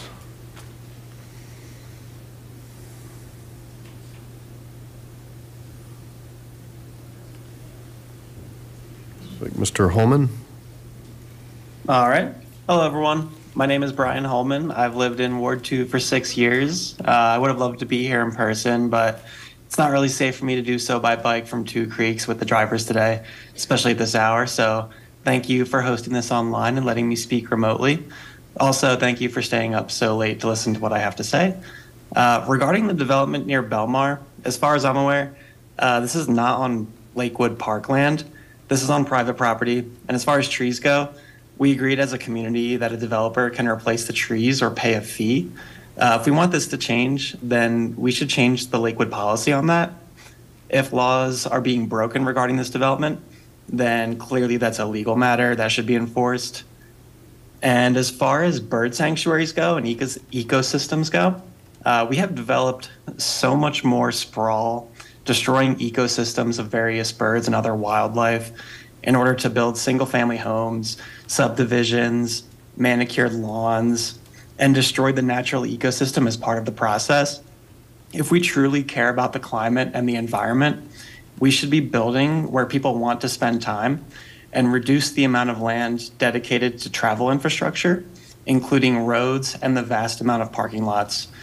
This development is honestly better than most of our existing housing developments. Studies have been conducted that show that roads and parking lots are extremely detrimental to bird habitats with the noise and pollution they produce. If anything, we need to congregate development into our downtown areas so that people don't have to drive over and build over prairies of the past. We are in a housing affordability crisis, and if we block any developments to build dwelling units near destinations where people can walk and bike to where they want to go, then we are only worsening the issue. If we prevent construction in areas that are near urban amenities but allow homes to be built on greenfield space, it seems like we're doing the opposite of what we want. People are going to move here regardless. Where do we want them to be? Do we want them in the downtown and urban areas where shopping, entertainment, and employment exist? Or in the open prairies and grasslands that once existed. We should be taking advantage of where people want to spend time and let them live close to those places. Also, those bridge lights were pretty dope and I miss them. Thank you, City Council. Thank you. All right. Cab? You give us your name and address or name and ward? You're free to go.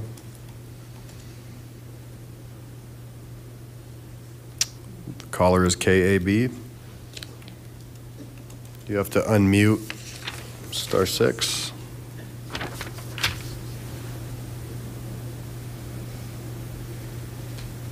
Cab? Going once. Going twice. KAB, unmute, star six. Okay. Go to the next, please.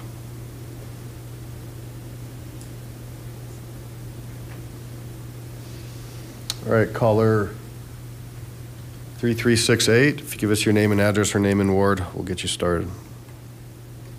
Hi, can you hear me okay? Yep, we got you. Oh, fantastic. Yay.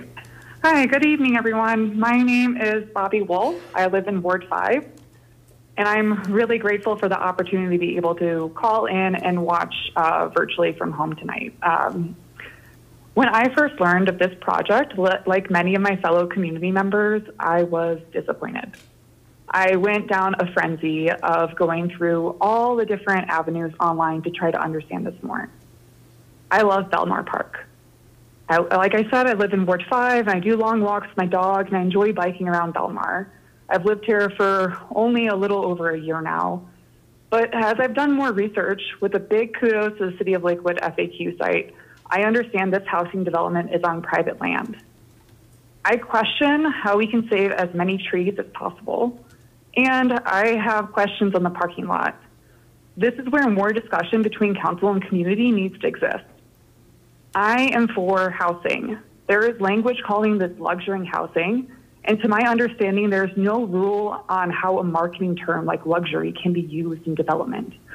I'm curious how these developers might work with local economic developers and workforce and the role this council can support with those connections to encourage affordability for a portion of units.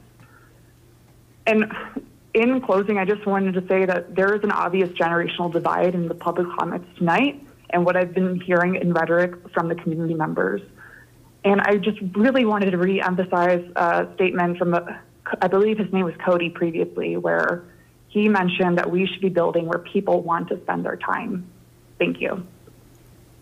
Thank you. Looks like caller 5627, you're in the meeting. If you give us your name and address or name and ward.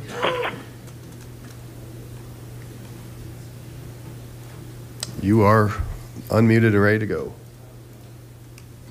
Uh, hello, I'm Lynn Judson from um, 1805 South Van Gordon Street in Lakewood, Ward 4. Um, and I wanted to, do you, do you hear me okay? Yes, ma'am. Okay. Thank you so much for listening. I know it's late. Um, I, I think the testimony has been excellent tonight. Um, I wanted to just mention a few points that I thought were important. Um, as far as the development, the more that we put asphalt on grass, the more that we create parking lots, the more we absorb heat. And we do the opposite of Lakewood's mission, which is to um, is sustainability. I think it this project does not seem to comply with our sustainability mission because I, I read something very alarming. It is that asphalt um, absorbs more than about 95% of radiant heat from the sun and keeps it there and then discharges it all night. So basically, we're just heating up Lakewood. Also, with um, I estimate something like 800 to 1,000 new cars, and we other speakers have talked about the lack of access of emergency people to um, the new air area being built. But in addition, think of the carbon dioxide that's being released um, in auto emissions. Um, those are couple things to consider, and I think we all want to attract quality people to Lakewood, and I think that it's been well expressed that this is a unique park and has um, very unique wildlife, and we want to um, maintain that and keep that, and I hope that we can. Thank you for listening. Thank you. All right, looks like caller 9514. If you unmute, give us your name and address or name and ward, we'll get you started. You can unmute by hitting star six.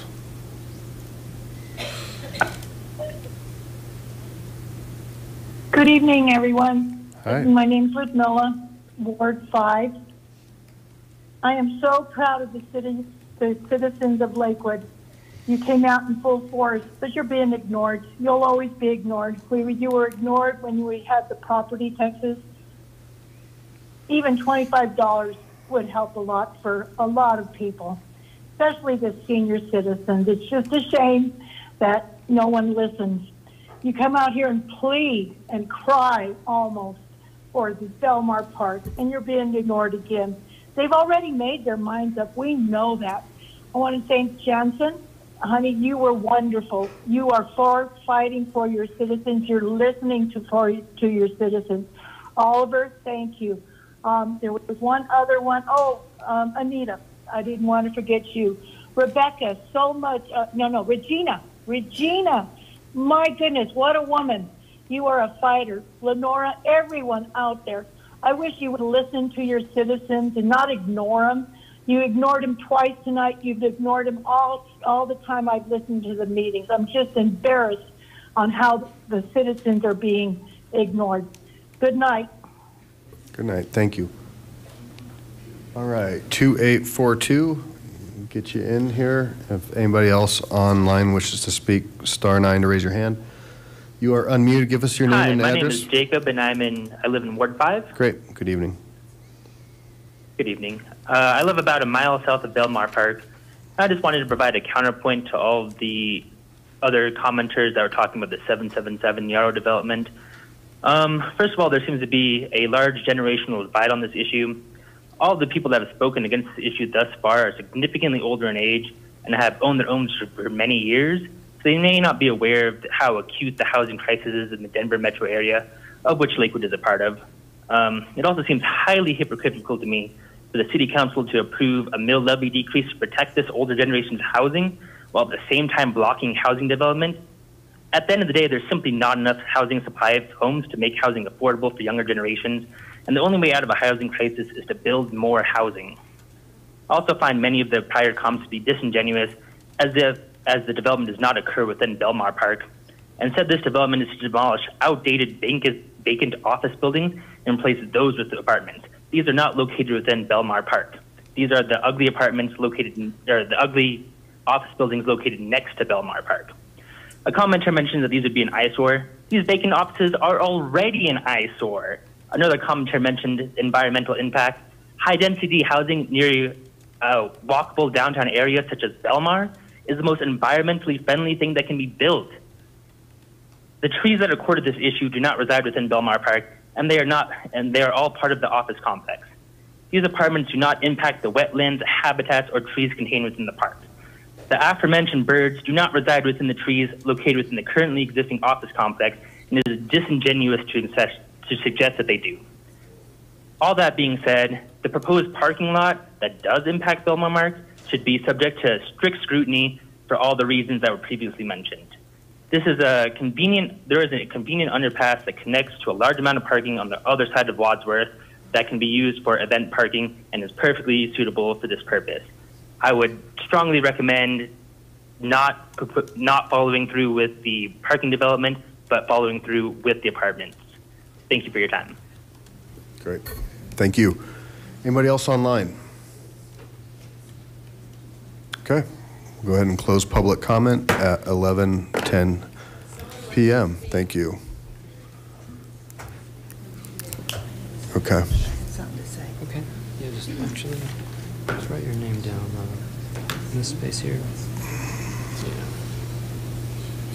Anybody else in chambers? I have closed public comment, so anybody else, please step up.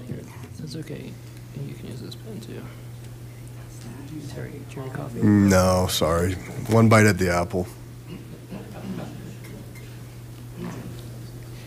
Okay. Hello, everyone. The um, last gentleman that spoke on, on the telephone prompted me to come down here. I disagree that it's a generational divide. My young children, um, who are parents, are at home right now because it's a school night tomorrow. They can't come down here and sit till midnight to tell you how they feel.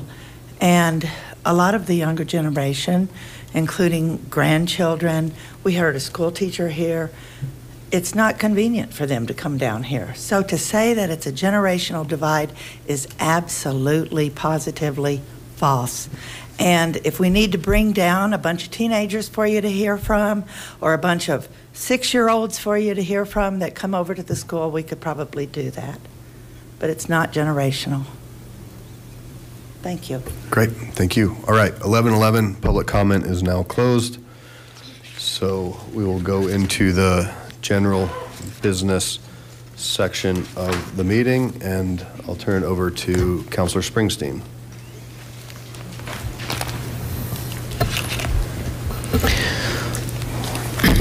Wow. Thank you all for being here so much. Um, I'm mortified by how you've been treated tonight, that I couldn't even get a vote through to allow you to make public comment at the beginning of the meeting, because what would have been the harm in that? And a lot of people ended up going home. Um, which is part of their, their playbook, you see. I've been on council for four years, so I know the playbook really well how to shake off the public, how to make you feel unimportant, how to make you go away and think you can't do anything about any of the things going on in the city. And that's why I proposed uh, this motion tonight. Um,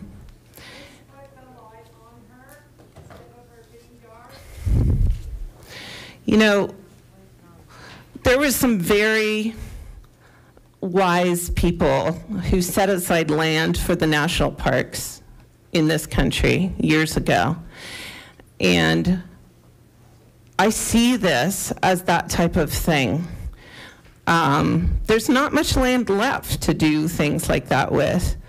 Uh, a lot of you were out front of the building protesting tonight. A lot of you came to uh, the community meeting that we held last Tuesday to talk about ideas about how do we how do we fight what seems the unfightable.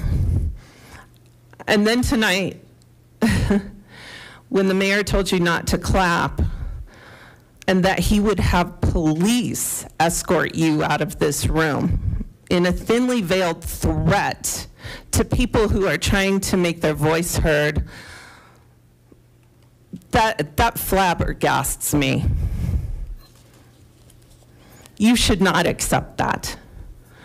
Um, to intimidate the public and violate their First Amendment rights to be here and speak and to clap, for goodness sake. I mean, you're not interrupting and they want to talk about decorum, they'll, they're all up here making comments about every single thing I say.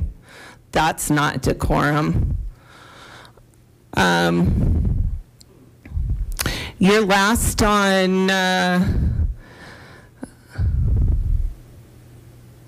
oh, I wanted to talk about the letter that was sent out by the developer this past week. And that's part of the playbook, too. Get you off your game, make empty promises. It was carefully planned that it would be two months. Where does that get us to? December 20th. What are we all doing on December 20th? Are we here in council chambers till 11:14 on December 21st? I don't think so. That's part of the playbook. Um, so a lot of people wanted a lot more than what I've proposed. They want the city to buy the land or they want the city to swap the land for other city land or they want um, this project to just stop altogether. So it was difficult for me to come up with sort of how, how do we accomplish part of what we need to without going too far? Um, going to the extent that possibly we could get a vote for this tonight. In um, what I what I came up with was and by the way, I, I did just want to mention about that letter from the developer. The amount of hubris that it takes for uh, for Wendi Strom and Rebekah Stewart to take credit for a halt. Wow. Because like people said tonight, and what I have told all of you is you did it. You organized, you spoke up, you chained yourself to a tree at Cider Days, you got the press involved. It is the citizens who have the power in this circumstance and deserve the credit. And um, and that letter was a big nothing burger, like I said. Um, we need to pass something tonight for some kind of protection of this land. And so I looked into um, the fee in lieu situation. And that was, uh, that was an ordinance that goes back many years in the city of Lakewood. I went back and looked at when that ordinance was passed, or actually revised in 2018.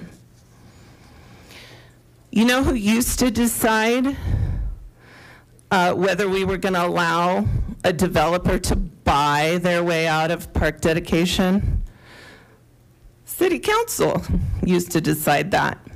But in 2018, somebody, oh, this is part of the playbook. We're going to get a red line version.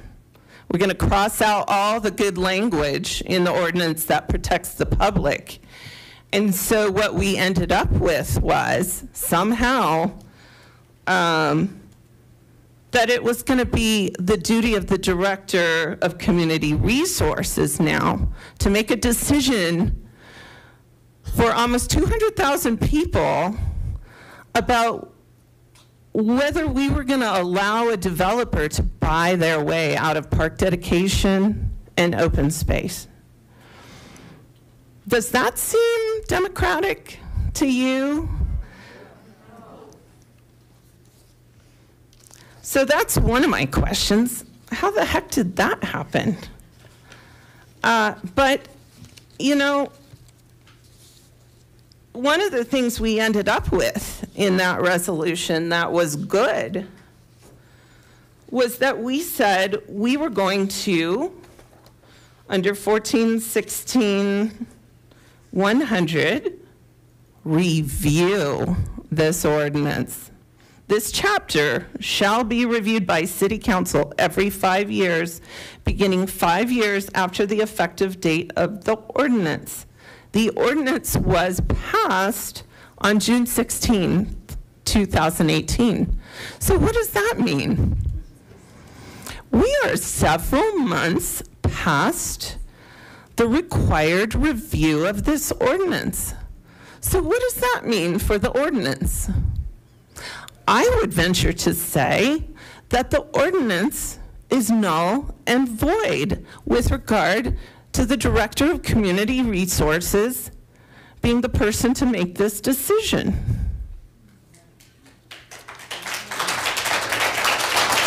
We're, we're not going to do it.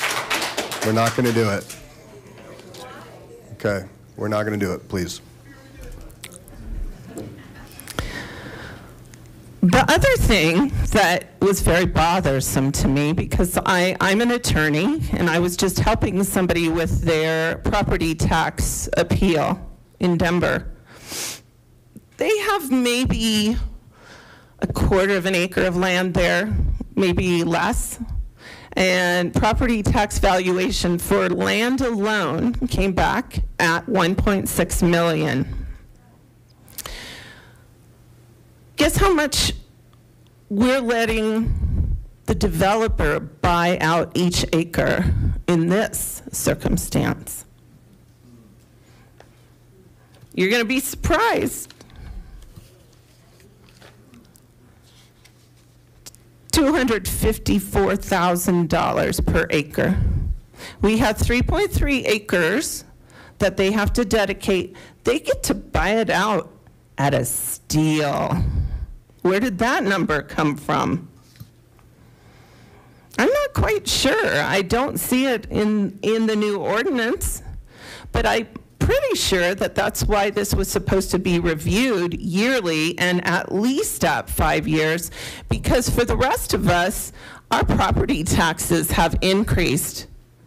How much over the last five years?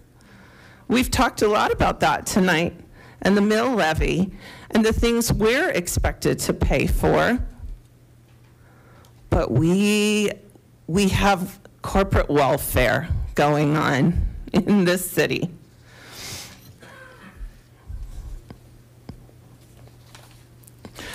There, um, there's actually a statute, CRS 2468 102.5, that allows a local government to adopt a new or amended law or regulation when necessary for the immediate preservation of public health and safety.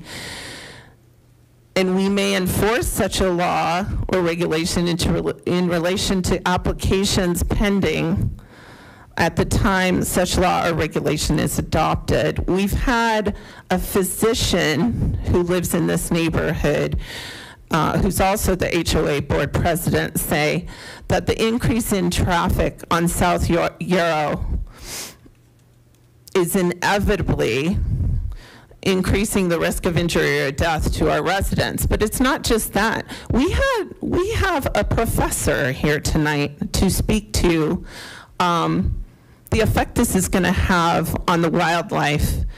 An expert, an expert in the number of species of birds that come to this area. And I don't care what anybody says, a five story building is going to interfere with that, especially especially when birds are flying into buildings. And I've seen that happen many, many times. I wonder if he knows Paul Johnsgard from uh, Nebraska uh, who was a close friend of mine and an ornithologist there. And I took him to Belmar Park. And he said similar things. It was a very unique piece of land. And that's why May Bonfils wanted it protected. Um, so my thought on this fee in lieu, and I, you know, staff and other councilors are going to tell you well, she's trying to create a new ordinance. She's trying to amend an ordinance. She's trying to do all these things that you're not allowed to do.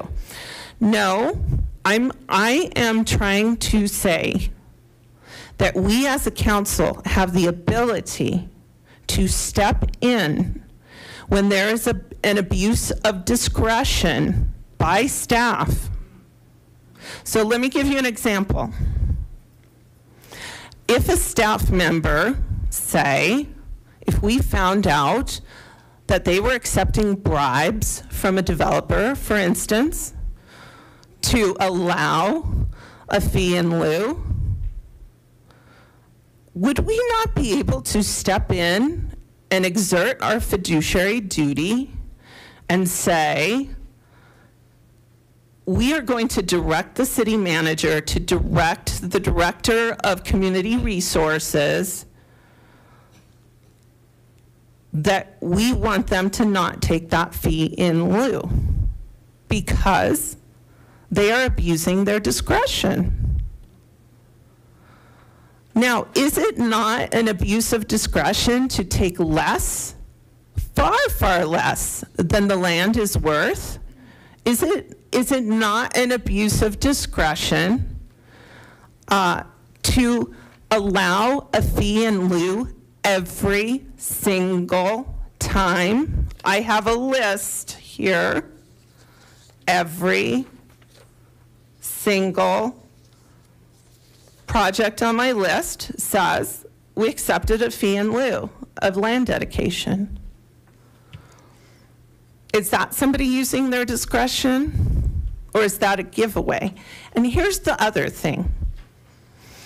They are supposed to do things in the public interest under this ordinance. So if this is not something in the public interest, and that is not being considered, is that not an abuse of discretion?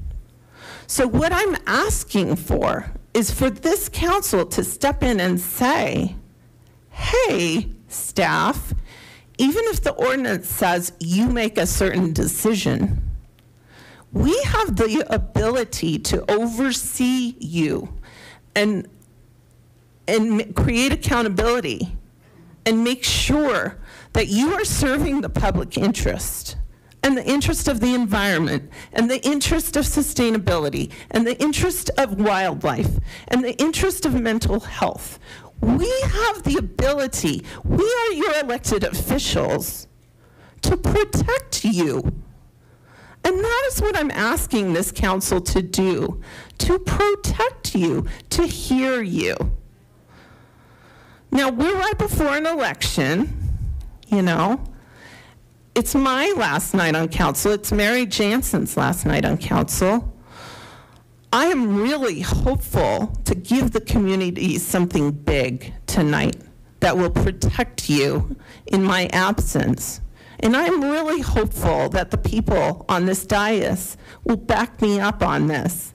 Now, the other things I asked for in this motion had to do with those 69 trees. And so if we don't accept the fee in lieu, if we require the park dedication and the open space, I think that that developer can work around those 69 trees. And so the, one of the other things I've asked for is that we direct staff to have that be part of this site plan as well as providing at least two parking spaces. And some of the things I took right out of our charter, right out of our policies, which is that the development is required to protect and enhance the natural environment and seamlessly integrate with the neighborhood. I mean, we're required to do that. I'm not asking to change something. That's something under our charter already. Um, so,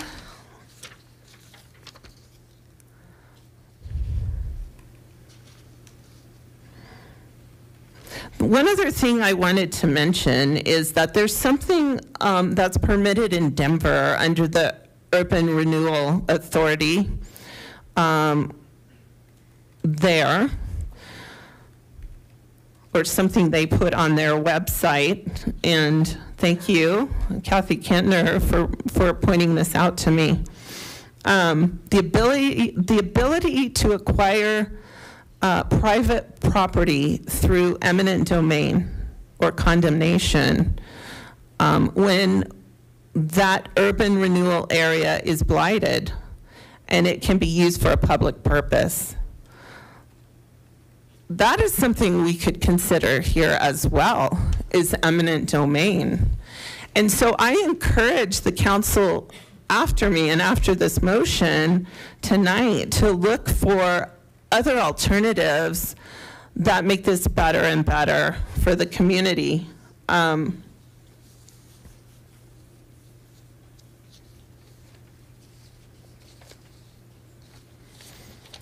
So I guess at this point, I would read the motion into the record. Um, I make a motion that before a site plan is approved, the city manager is directed by city council to direct the director of community resources to require that the developer, Kairoy Properties, LLC or any subsequent owner provide open space and park dedication instead of a fee in lieu with respect to the development of Belmar Park West located at 777 South Yarrow Street, Lakewood, Colorado 80226. That the developer will be required to work around the 69 mature trees and not cut them down that the developer will be required to provide at least two parking spots for every unit built, that the development will be required to protect and enhance the natural environment and seamlessly integrate with the neighborhood, which will require input from neighbors and citizens, neighborhood meetings, and input from wildlife experts. If it is determined by city council that this has not been accomplished, the site plan will not be approved.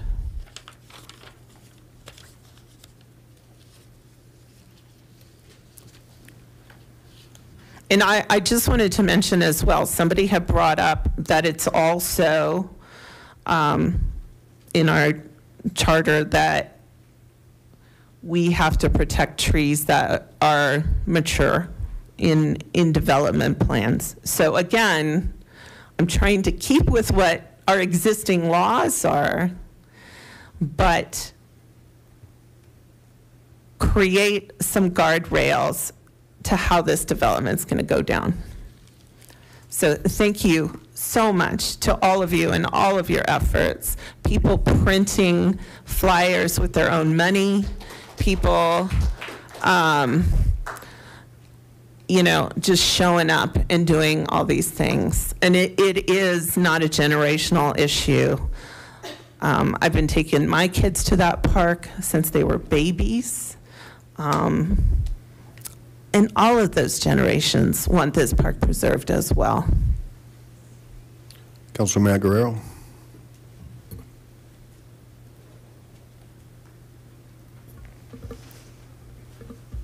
Was that an official motion? Because if so, I I was going to speak to the motion, but if not, I can wait until my turn on the general. Yeah, I was waiting for discussion. Um, Second, by the way. Well, If that's so- a motion, I'll second.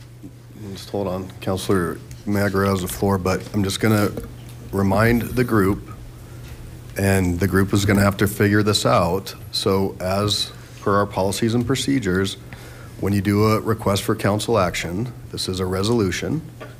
There are a few issues with this, but we can get into the legal.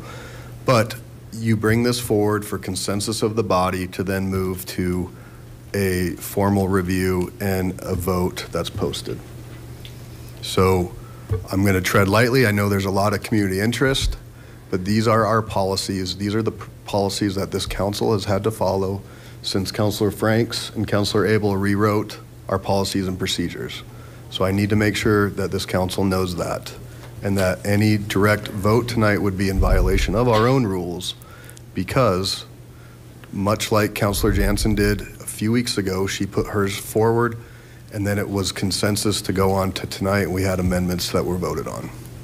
Councilor Mayott-Guerrero, go ahead. Thank you.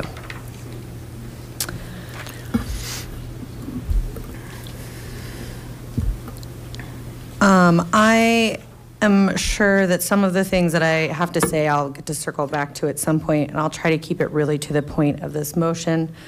Um, and to say, first of all, I'm very impressed with all of your tenacity and persistence in being here at this late hour. It's incredible. It's really, really incredible.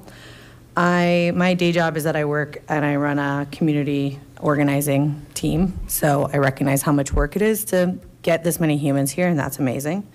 I also worked for almost 10 years in the conservation movement, specifically on environmental justice issues, and growth and housing was one of my uh, main portfolio areas of expertise. And so I do think that the idea of having additional discussion, accountability, and improved planning around such a sensitive area that borders such an important park is very necessary.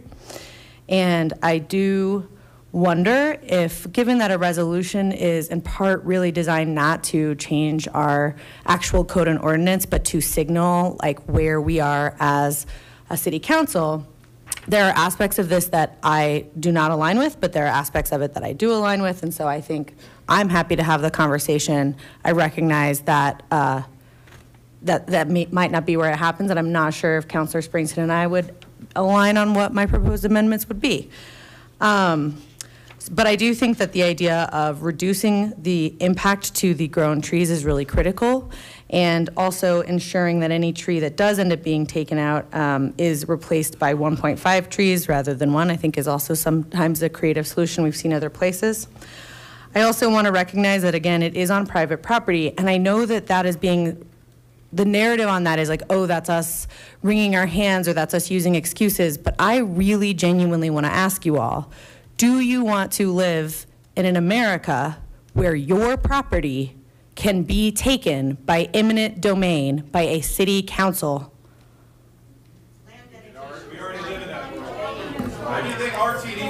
It All is right, all right, I, that's all right.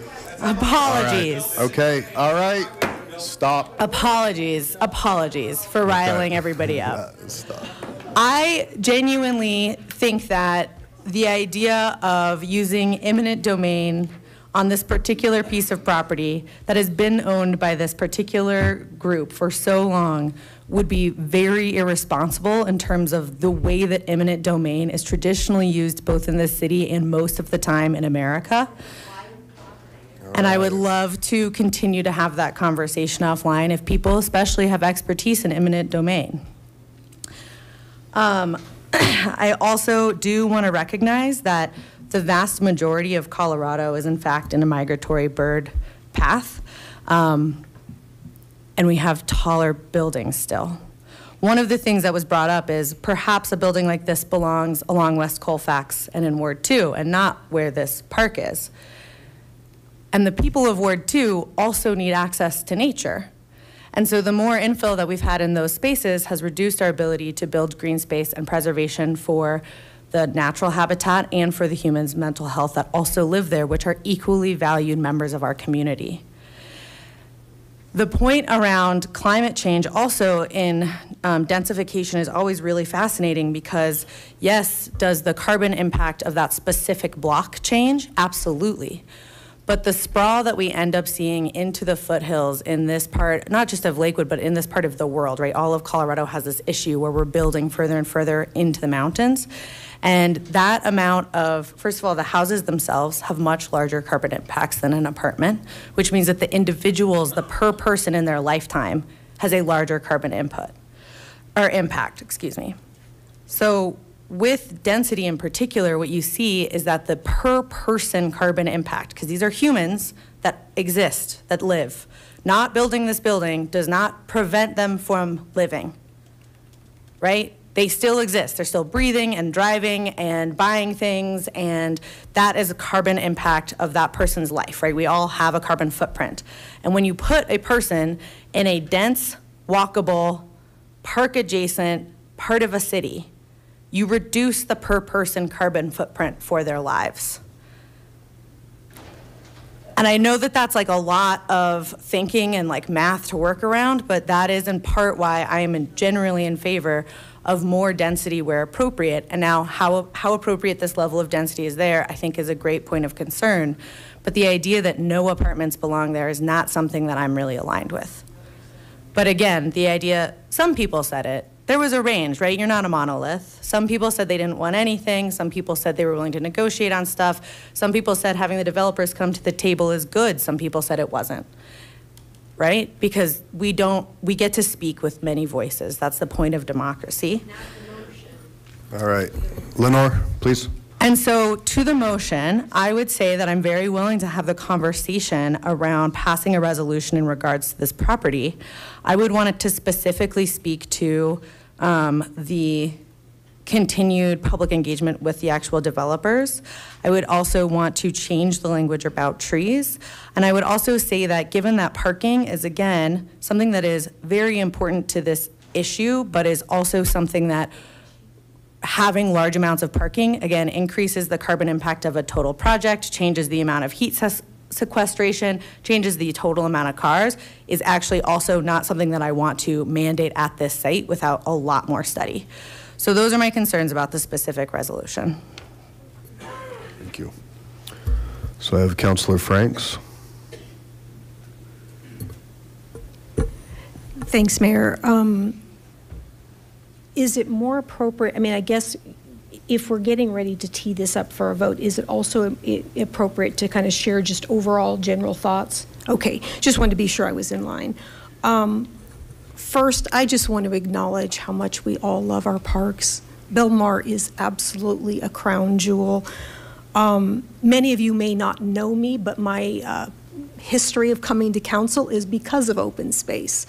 Um, Forsberg Park is there because of one woman's mission and a lot of us who stood behind her. So you have Forsberg Park thanks to that dedicated work. Um, Hutchinson Park, um, that predates right before I joined on council. Um, probably 2,000 hours of my time, several years, and it ultimately led me on to council. Um, campaigning for Crown Hill and making sure that it stayed passive. And then fighting for when, the, when we wanted to put on the ballot for uh, the Tabor timeout, fighting tooth and nail to ensure as many dollars that, as we could possibly get for open space. So I just really wanted folks to know that, that certainly it is something that I am highly passionate about.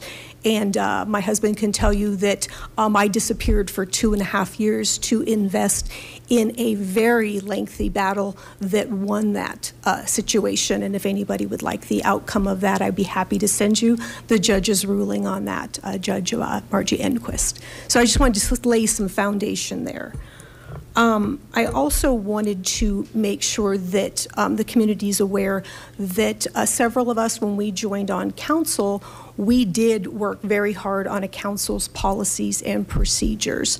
It used to be uh, that there was discretion for, uh, you know, council members, I mean, I mean, the public to come and speak, and we embodied that into the council's policies and procedures, guaranteeing the pooling of time and that information. So that was because we absolutely did want to hear from the public and make sure everyone was heard.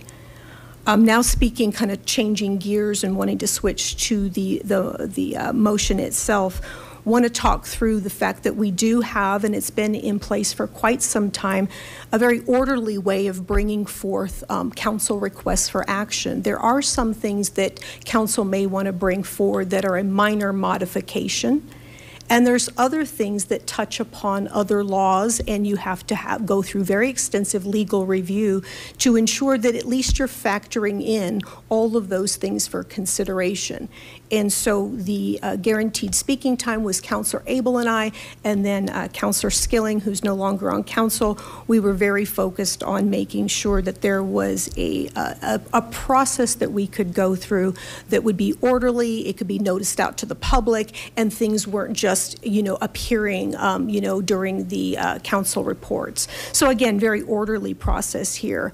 Um, my inquiry I would like to, to understand is it is my understanding that this, uh, you know, did not go through legal review before it went into our packet, but I do believe there has been at least some some investigation into that, and I think that's important. Um, so I'd like to pause there before I finish with my comments and make sure that we're sort of all aligned on that there has been at least an analysis of what's in the packet. Certainly, we can propose other things, but can we can we get that uh, feedback? Yes. So, are you asking for an analysis of? Okay.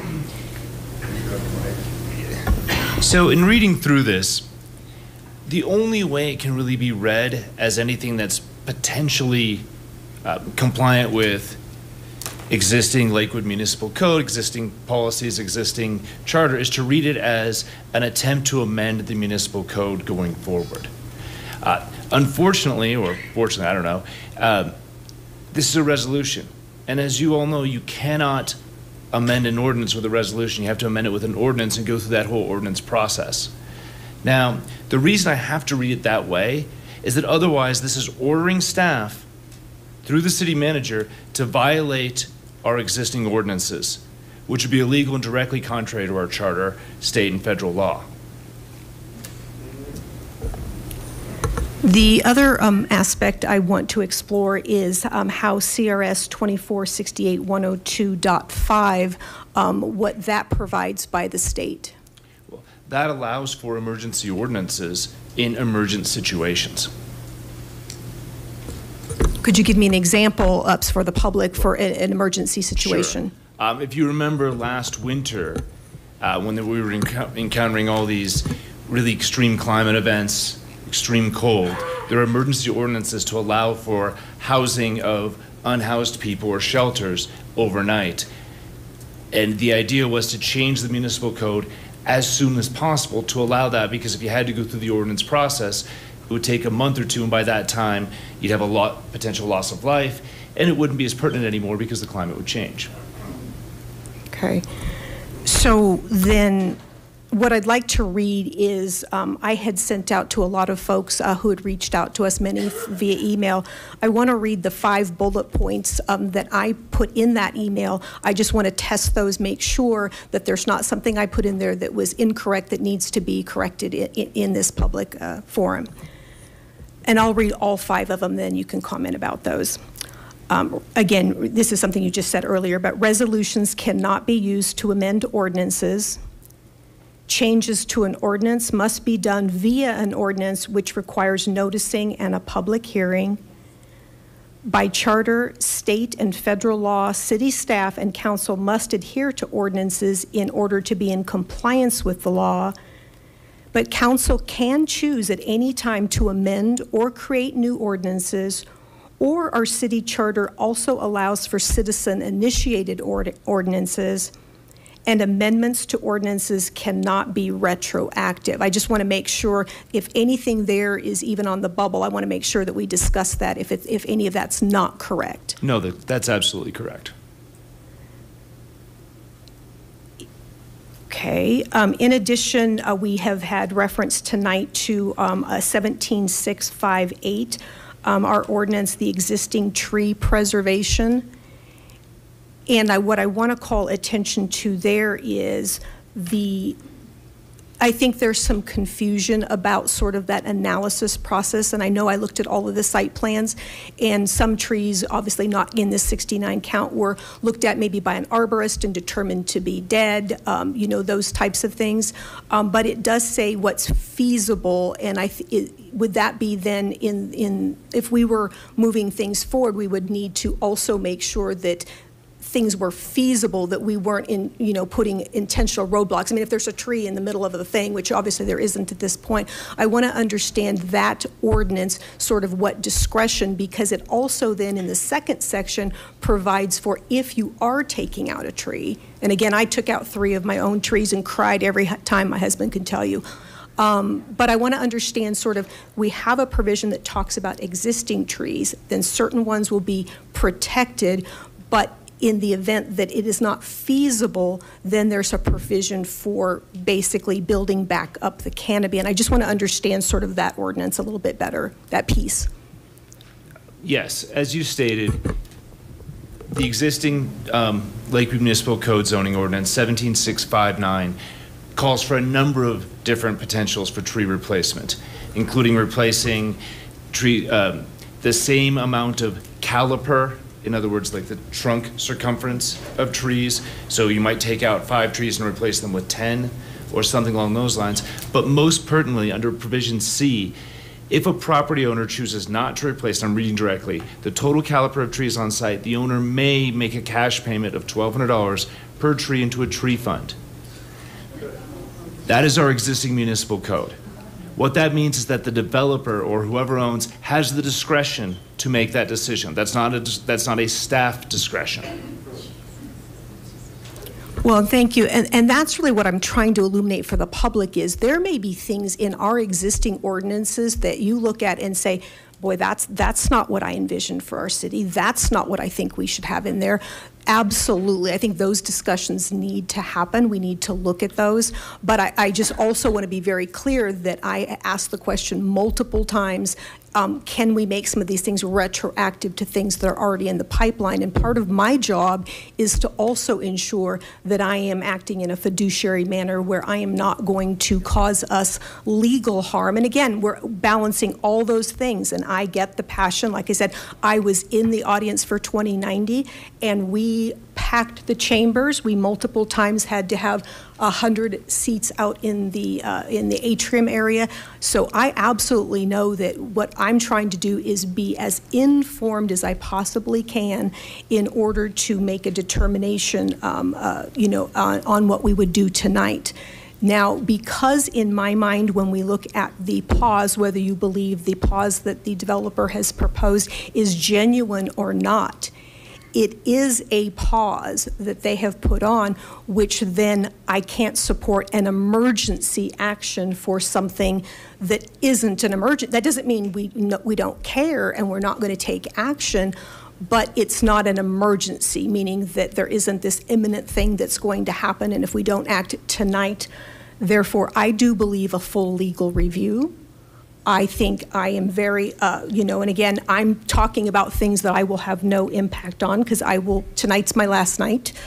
Um, I am open to looking at our, you know, fee and lieu and how it's done. And, um, but again, we'd have to also be given the advice of what can we do retroactively, if anything. And I'm being told, unless I can find additional information, for something that's already in motion, to retroactively try to do that.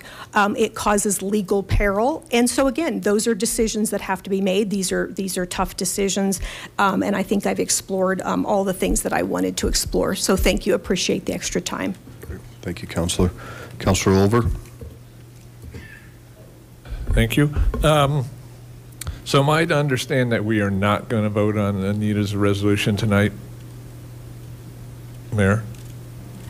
Well, our policies and procedures as such would not do that. It would be a consensus to move it forward or not, or change. So we are going to vote on um, our opinions, let's see, to allow a motion to get the pulse of the council. So we, we, we can make motions, we just can't make the motion she, she brought forward? We can take a consensus to move exactly what is brought forward, forward again. Because I have another motion that might cover everything, well, part of it. And it, here, here's what it is. Um, It is city council, my motion, I, I move, it is city council's wish that staff not allow a fee and lieu arrangement for the 777 South Yarrow development. And so with, So it's just a wish. And- and It's a with motion. that- It's actually taking the pulse of our council just to maybe help people feel a little better about council, that we're actually going to do something.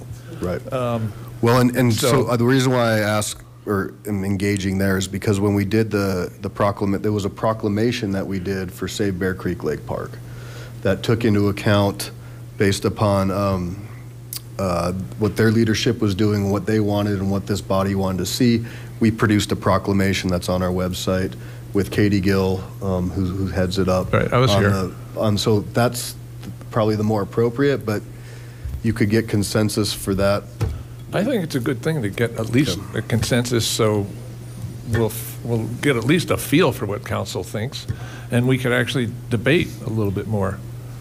I mean, it's, it's late, but uh, I think everybody that's here wants to stay a little longer and listen to what most of the people here want to say, and so that's something we could debate on right now. Okay. So I have some more lights on. Um, Um, I would need a second, probably. We're not quite to that, that point on the consensus what I mean? taking, so I have um, Councilor Shahrezaei. Uh, yes, thank you. Uh, I appreciate Councillor Frank's uh, clarifying because I think for me, what's hard is that there seems to be, um, we created uh, some space in this process, whether people believe this to be true or perceived, by uh, the pause with the developers. I'd also add that nothing, there was no master plan that was finalized, and, and it's my understanding as well that the 69 trees have already been reduced in further iterations. So I, I feel like these are um, arbitrary uh, sort of urgency right now, but I understand and appreciate all of you that have come out uh, over the last two meetings to share about this. Um, I guess for me, I'd, I'd want to understand better the fees in lieu. If we were at the five-year look back, and we did make some decisions. Could we retroactively apply that to something that's in process? No, is the head shaking? Okay, that's helpful to understand. Um, you know, I, I'm open to some of these things in this resolution, but are counter to the goals that we set as a council um, at the start of the year and year over year. You know, the parking thing would be a non-starter for me, um, but there are things that I'd be willing to talk about. It just feels like the urgency is set because there's someone who's exiting council tonight and wants to see this pass through, and I feel like we want to have a really clear conversation with the community and be able to understand what is legally possible in this. You know, we're shoving this through very quickly, and I, I just think that there's an opportunity for us to get more clarity. We've already learned tonight, just through a couple of questions being answered, that what's being proposed here isn't even possible. So I understand people's frustration, and I'm committed, and I know my peers are as well, in finding a solution for this that um, helps to get us closer to where we need to be as a community. But I, I'm not sure that this resolution, as it stands here, is something that I could get behind. Okay. Councilor Vincent? Yes, thank you. Um, And I thank you for the clarifying questions. I, I think that a resolution does not change an ordinance. An ordinance can change an ordinance. People can bring forth an ordinance. And I know that's very um, um, irritating and confusing to people to understand. There's a, there's a lot in this that I like too. And if anybody on this council, after eight years plus having to go through light rail and everything, can understand eminent domain. And I personally do not like fees in lieu of. Our ward has had more fees in lieu of and the least amount of parkland that's been dedicated to that than anybody. And as far as I'm concerned, it's been it's been a stuff shot to our ward, okay? And we've had to give it up. Plus the the um, the apartments and everything that have been built there have caused a lot of consternation also because they think it's it's come up against single family residents and a lot of it has. Now i've also i think been the longest person here working with developers however horrible that may sound. Um, but there are zoning requirements and there are things that developers are allowed to do. Um, although I don't talk about it a lot, I have worked with developers to have even reduced the floors that have been on there, to push back what's there, to offer more parkland and dedication that will be accessible to the public in there. I find that sometimes developers will do what they can as long as they hear from from the community. And I think that you need to make those things very clear we had a horrible problem and they learned when the when the people got upset that they charged for parking well hello you got you guys said it right here. I'm not going to pay another hundred dollars a month to park my car. I'm going to park it on the roadway. Those are the kind of things that i think you should look at and the amenities that you should look at. Try talking to them i, I don't like this project. I it goes from, from end to end. So try to work with them. It's only a two month pause, and you can bring it back again. I mean, there's nothing that says you can't come back and speak if you don't get anything. And I know that that's irritating, but I have to say this now because because I know what can be done and I know how irritating it is to see things just scraped and a five story building going up. So try to work with them. Um, I know that sounds ugly right now, and let's see what we can do to move it forward if there's something legally we can do or not. So that's that's all I wanted to say. If we move it forward, uh, Mayor Pro Tem Strom. Thank you. A lot to say. Um, I want to start with being completely candid about there are several things about this project that are likewise frustrating to me. Um, it's big for the space. I too share concern about the trees and the birds, and, and the traffic is a significant one in my mind as well. Um, and I'm sorry that this process has felt disingenuous to some, as well as lack of transparency to others. Um, we've learned there there are things that we can and should do better in the future but to the point of the fact that we we changing rules retroactively none of us would like to have that happen to us either um, if it was even realistic to occur.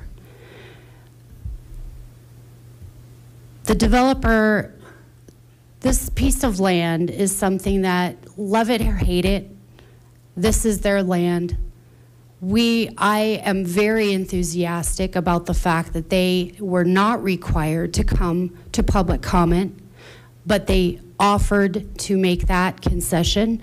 They're going through a process that includes mediation, and that's where it is incumbent upon us to make sure that our voices continue to be heard because we do collectively have things that we have concerns about and would like to see done better. But unfortunately, and I'm, I apologize to those of you that believe or have been told that this is an up or down vote from City Council, it is a property rights situation. I don't like 69 trees going away, but this is very much a property rights situation. And I do hope that the, the owner is showing up in good faith and planning to be that good neighbor that they say that they're planning to be.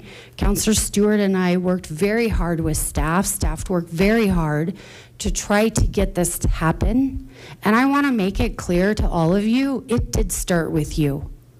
It did start with you. We couldn't have or wouldn't have worked as hard without hearing so many voices from each of you and consistently and I'm sorry that it didn't feel more public than it was before. It's just not, a, it's not, that, that's not digital infrastructure that we have in place or communicated infrastructure that we have in place, but it's something that we should talk about and we do need to do better. We need to do communication better. And I want to say, I'm sorry that it felt like a surprise. Um, and I, I just, I can't communicate enough to you. There have been, accusations of lack of, of um, integrity and, and a number of other things tonight. But we are all up here, and I know you are all in the, in, in the audience tonight because you love this city. And this park, this project, directly puts at risk something that you likewise hold dear. And so I want to make a commitment to you, although we've talked through the fact that res resolutions cannot change ordinance and zoning code is an ordinance. That creates challenges and barriers tonight, but I'm not ready to give up, and I hope you guys aren't either. We need to continue this conversation, and I hope that you will trust that we up here, as we're sharing our comments with you, you are being heard. We've heard a lot of things from all of you, and we appreciate your consistency in coming back and some of your very thoughtful emails and thoughtful asks that have really asked us to look at very specific things. So thank you very much for every one of you that have come tonight. And one, one takeaway that I have with this as well is I've heard from voters um, several times, more than several times, Zoning is where Lake, one thing Lakewood needs to really look at doing better. And I fundamentally believe that that is something that we do need to do better. And it is something that will partner very well as we move through the next iteration of our comp plan, our comprehensive plan. And we as a city decide where we want growth to be and where we don't want it to be. And we can utilize that as a springboard to actually addressing some of these zoning issues so that we do not have some of these challenges for, pro for projects that are coming down the pike. I wish we could retroactively change these things, but it's not feasible. And I think as Councillor Franks had mentioned, we are operating up here as fiduciaries of the city. And one big thing that is important for that role is that we need to make sure that we are protecting our city um, to the extent that we can and rely on legal counsel for doing this. We need to make sure that we're not putting ourselves in potential legal harm's way with every decision that we make. And that's a big important reason why this resolution needs to be vetted before we actually come up. And I would fully support the idea of a proclamation that says these similar things so that we are as a body collectively sending a message to the owner that we are these are the things that we've heard from our residents and these are the things likewise that we would like you to consider as you're moving forward through the planning process. Councillor Jansen. Thank you. Um, it is kind of amazing when we have a charter and everybody says we need to follow the charter. And um, when we have something that happens where I'm following the charter, you guys don't follow the charter. and it's, it's, it's the same thing over and over again. Um, one, 12, 1, 2 states you can't go above the 7% in the revenue and you still, you know, you win above it. So you, you, you're saying being fiduciary, I'm being the one that's being fiduciary and you guys are, at, are, are, are going against the charter. So now you're saying, now you're saying, oh, we have to follow the charter or we have to follow the rules. And, and it's, it doesn't make any sense to me. So thanks. Councilor, Councilor Springsteen?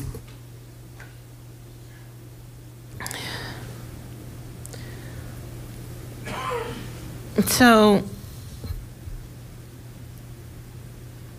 on the last night at council two years ago, before the election, October 25th, 2021, Dave Skilling brought a motion out of the blue, hadn't written it down, hadn't publicly noticed it, Nobody knew it was coming. In fact, the motion was so not thought out that he didn't even clarify what the motion was actually about, other than to direct, uh, direct the staff to write a letter about me to the Independent Ethics Commission for the state. And that was about the extent of the motion. It was very confusing. Uh, he was saying something about a conflict of interest, but didn't really specify what that was. Um, there was no pushback on the fact that he hadn't even written down this motion. It hadn't been publicly noticed. Uh, it hadn't been vetted. Uh, that he didn't even define what the motion actually was.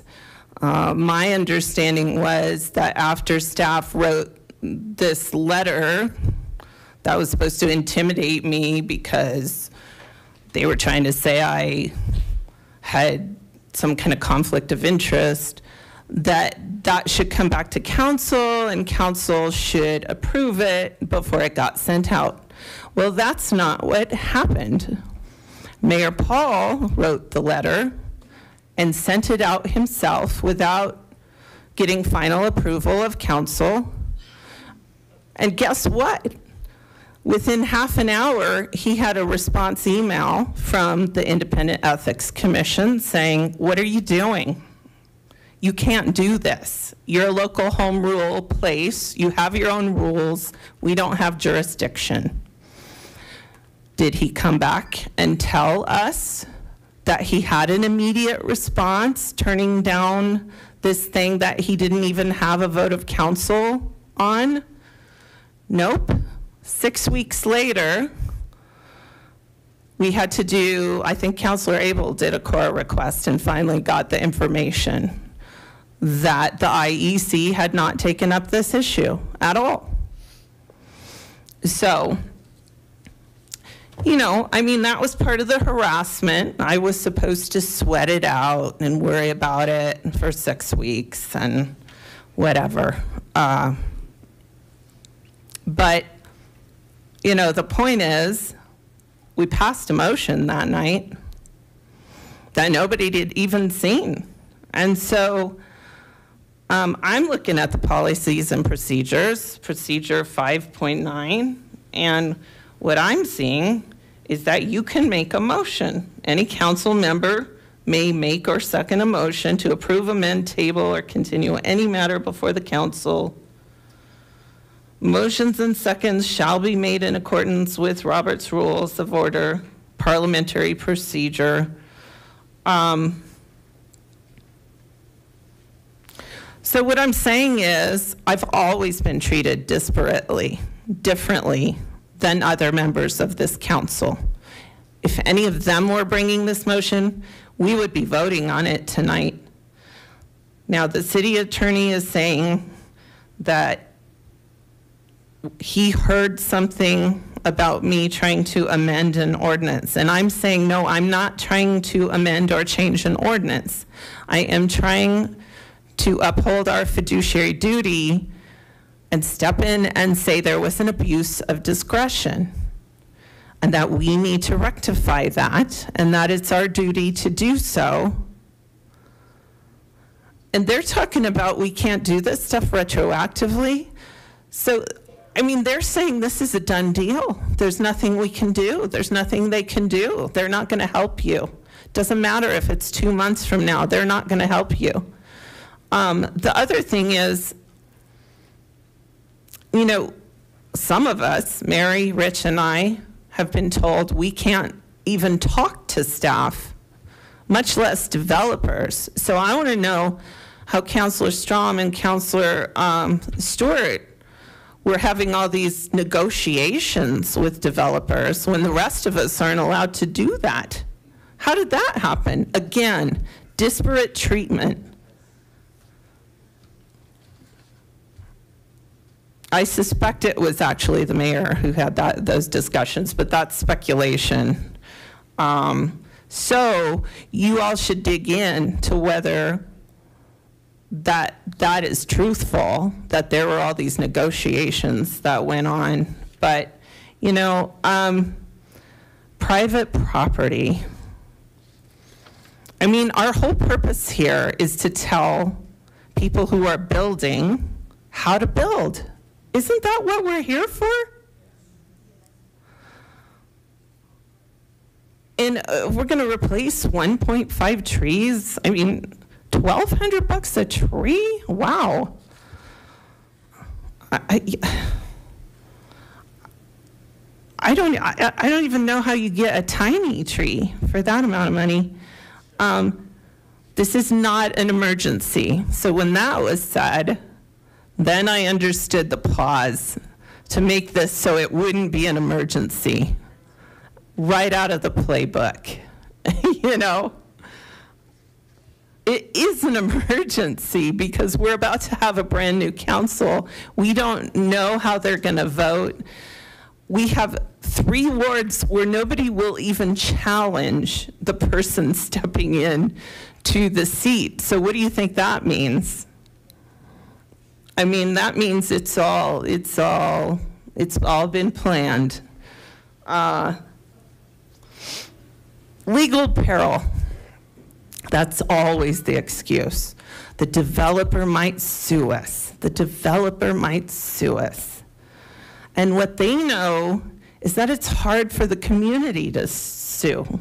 It's not unprecedented. The community has sued. But they're more worried about the developer suing, always. That's always what you're going to hear from these people. That's fiduciary duty to just kowtow when somebody says they might sue? That's, that's your fiduciary duty? Um, you know, this is, this is not about changing the ordinance. It's about saying you can't abuse your discretion. You can't take $250,000 for an acre of land. And I mean, that's ridiculous. And all of this garbly gook you're hearing tonight is just that. Why can't they just stand up? All we need is six votes. And you know, this whole idea that that that this is not following policies and procedures is just not accurate. It's not accurate. So if if that is going to end up being the way we go, and it shouldn't be about consensus. There should be a motion and a vote tonight, not consensus. I, I don't even see where it says that in the policies and procedures. I have made a motion, and I'm going to appeal the decision of the chair if he decides that we cannot vote on this motion tonight. Thank you. Councillor Stewart.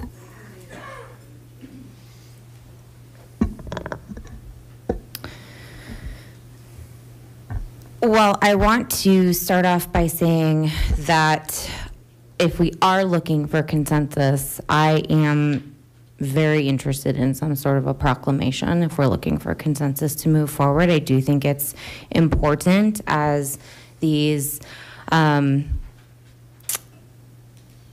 stakeholding conversations with community move forward that the city council very clearly state um, where we're at with this project and what our desires would be.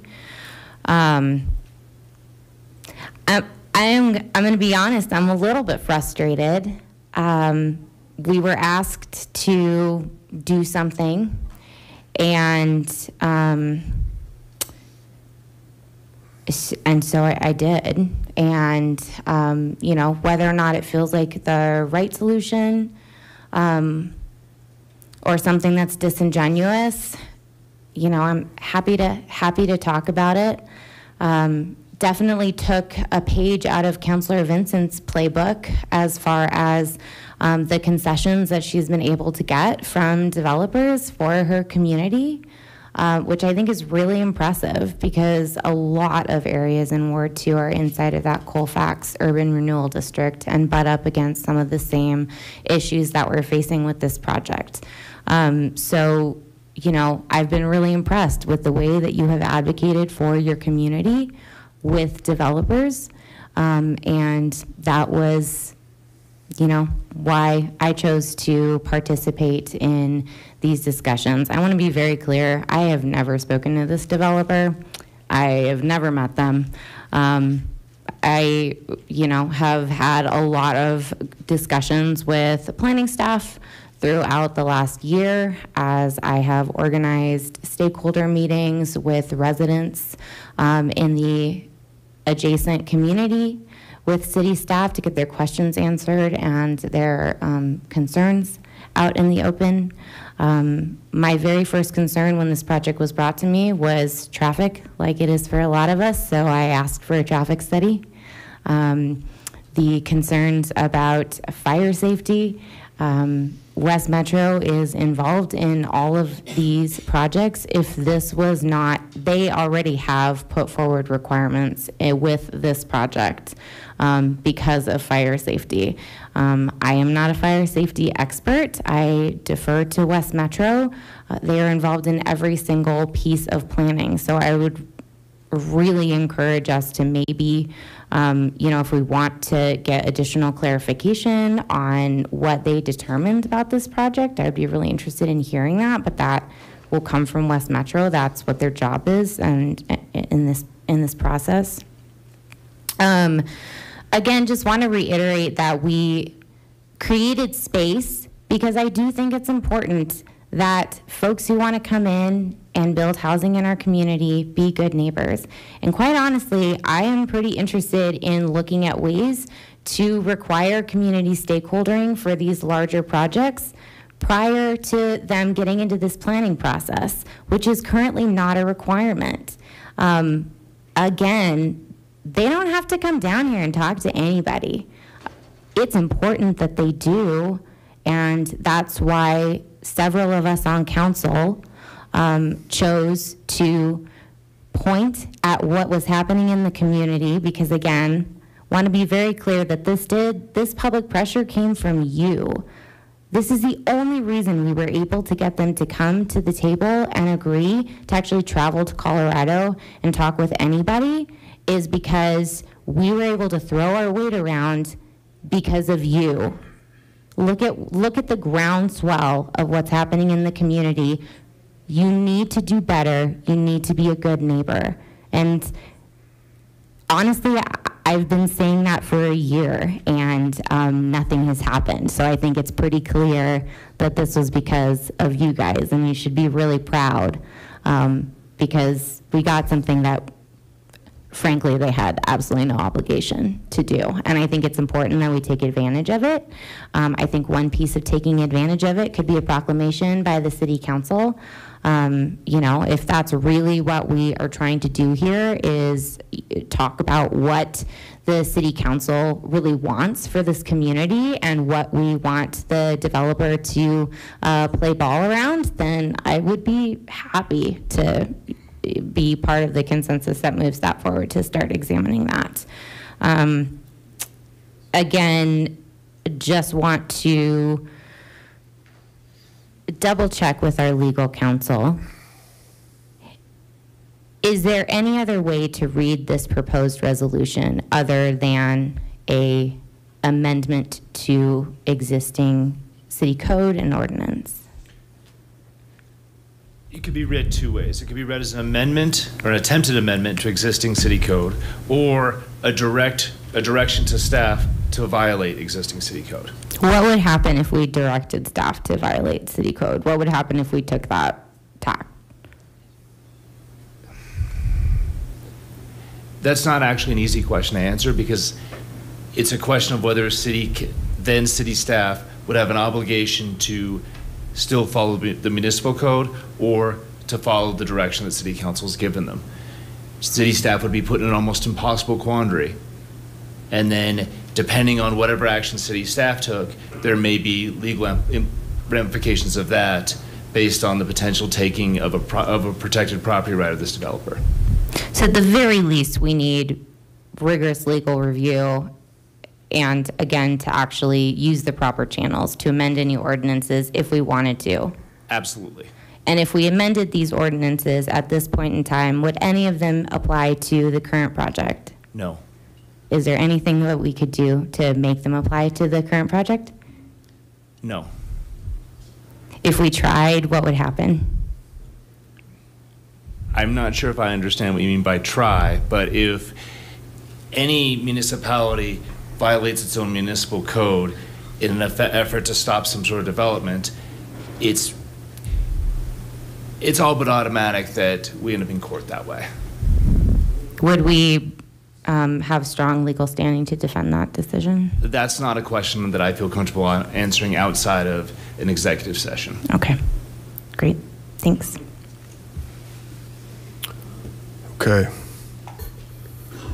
So, you know, I started the meeting off by saying we're all here because we care and we love our community. And that's certainly factual. And I think I stated this two weeks ago. I mean, this is important. What you're saying is important.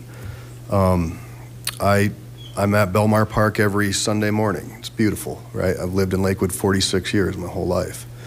Um, parks and open space is what really makes Lakewood unique, and I'm proud of the fact we've added 13 parks and over 200 acres in the last eight years, and that's because this community values that. And so whenever you have these sort of tough conversations, you really get where we're at tonight, right? And a lot of frustration and angst, but I think everybody needs to realize we're all on the same side on this. Whether we see, no, we certainly are, and but what we're given with is an imperfect solution in that we truly are trying to look at changing an ordinance via a resolution. And so, do you go forward with something as the mayor of a community? And, and look, you're important. There's a lot of you here. There's 158,000 people in this community. And we have to try to balance that as we move forward. And when you go back on the fee in lieu, when it was changed in 2018, the real goal then, and it's a different time, a different era, a different lens, was we changed it to make sure that you weren't able to buy your way out of large tracts of land, right? That was the concern at that time, was that we'd have developers buy their way out of large tracts. So it brought it down to smaller tracts. And it was mentioned earlier that we have taken a lot of fee in lieu because when you look at the infill development, mainly in Ward 2, those dedication pieces are really small slivers. So those dollars are more impactful in an area like Ward 2 where they can go in and be pooled for the redevelopment of Two Creeks Park. Perfect system? No. Ebb and flow of change? Absolutely. And so these are the conversations I think as we move forward at parkland dedication, at school dedication that need to be addressed. And when you do a heat map, 500 feet within Belmar Park right now, there's 1,400 units of residential. And I would venture to guess we would struggle to put in a library today next to Belmar Park. There's a Xcel Energy substation within 500 feet of our beautiful park. People's whole backyard on the west side of Belmar Park is Belmar Park, right? There's a lot of people that are interacting. And I would stand here, I would welcome 500 units of affordable, all affordable, 100%. But I've also had that fight because every affordable project that we've had, we've had the same kind of turnout of people saying we don't want affordable. And so it's never black and white. And you heard from folks that are longtime established residents to younger residents. And I think, again, we all want the same thing. And you have the opportunity, at least for now, with the developer and with smart, engaged people to come together and say, let's really look at these issues and see if we can make an inroads. And you haven't even given that, that chance yet, right? And I've been around a long time to know that not always do developers even take the time to say we're going to come when they don't have to. And that is because of you, but it's also because people have worked hard behind the scenes. So you have very valid concerns.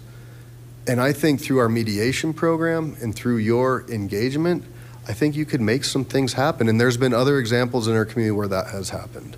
And so I would encourage this community to continue that as you move forward. Take this opportunity. You have a complete pause. And we talk about urgency.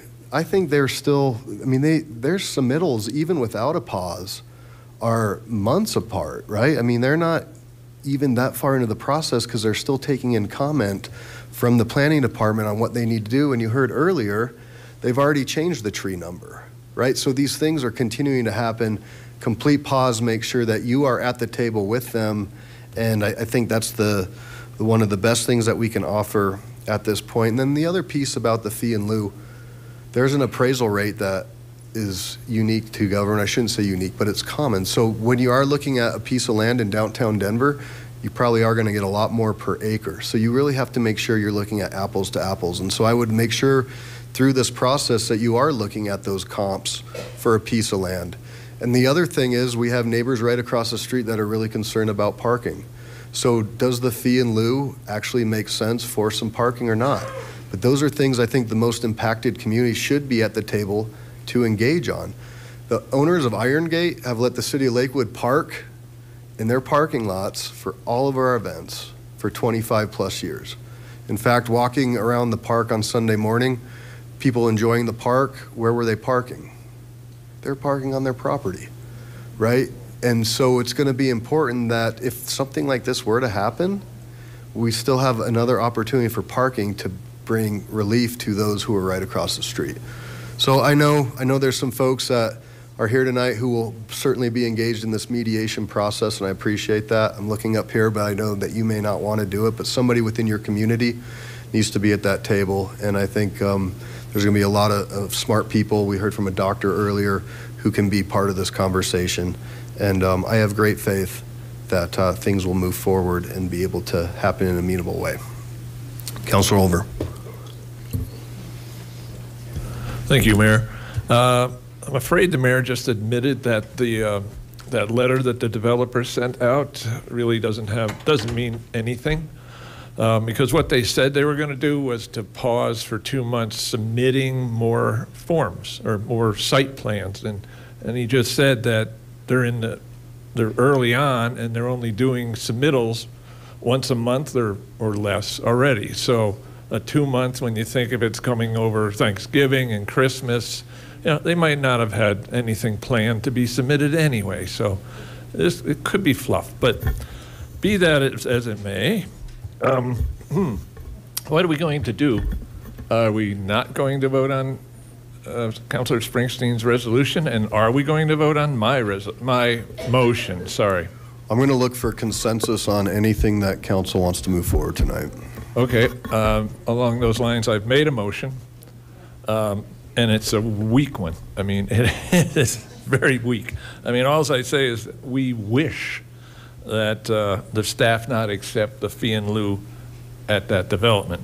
Um, I think it gives you guys the opportunity to actually stand up for something finally, because I've been hearing uh, other councilors say, I'm listening and we need to continue the conversation and let's come together.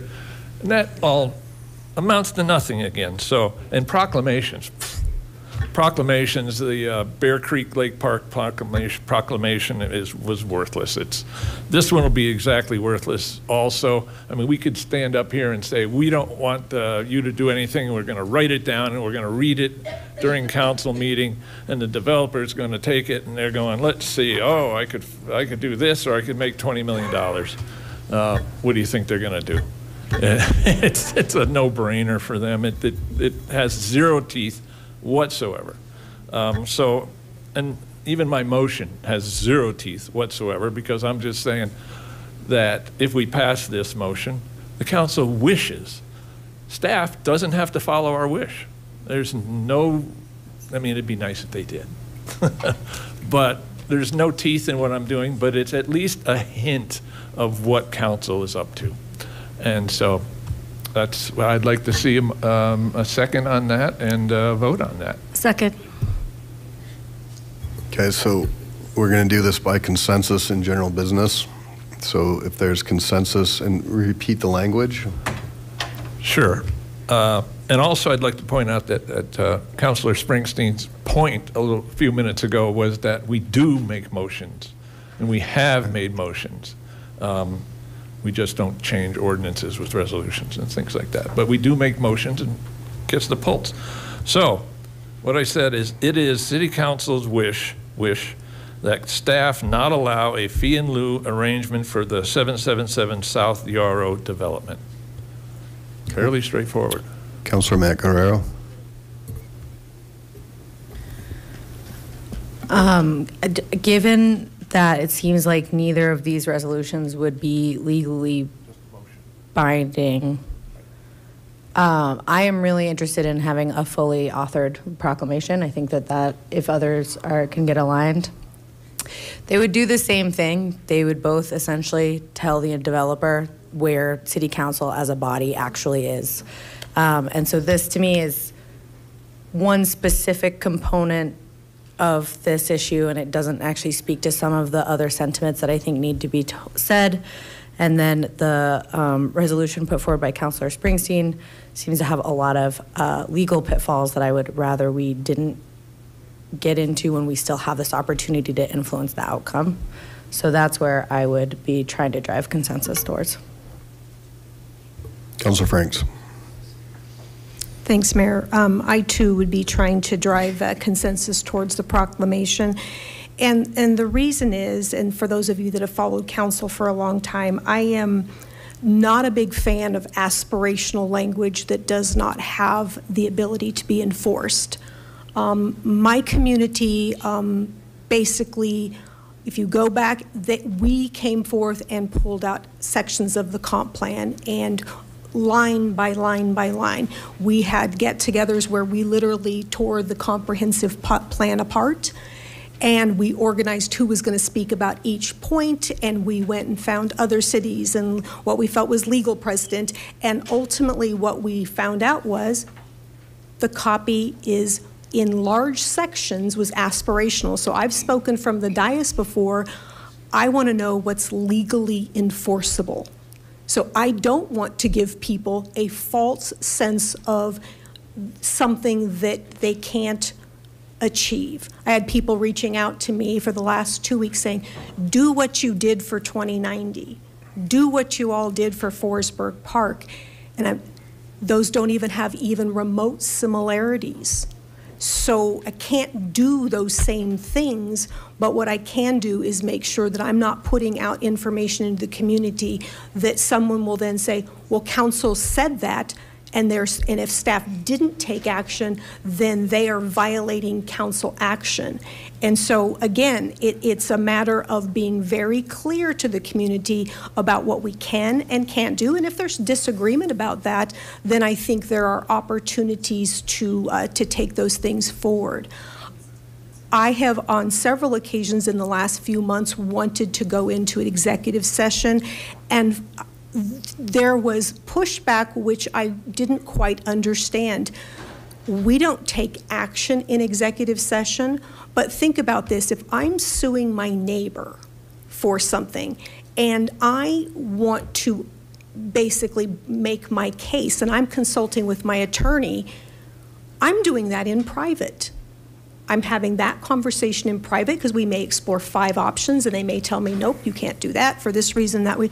But I don't want my opposition to know the various things I explored, which things had good merit and which things didn't. So again, I'm very focused on not putting out into the public aspirational things. I want to look at ways in which the ordinances, if we don't like how they are and we don't want to end up in this situation again, let's get in front of that You can't spot zone, is my understanding. Uh, We've talked about that. You have to make sure that you are able to say, for this zone type or this situation, you're putting these new rules on it. You can't pick and choose those winners specifically, but you can absolutely determine if you don't want to take fee in lieu, if you want to just take that off the table. If you just want to say, nope, it must be a dedication.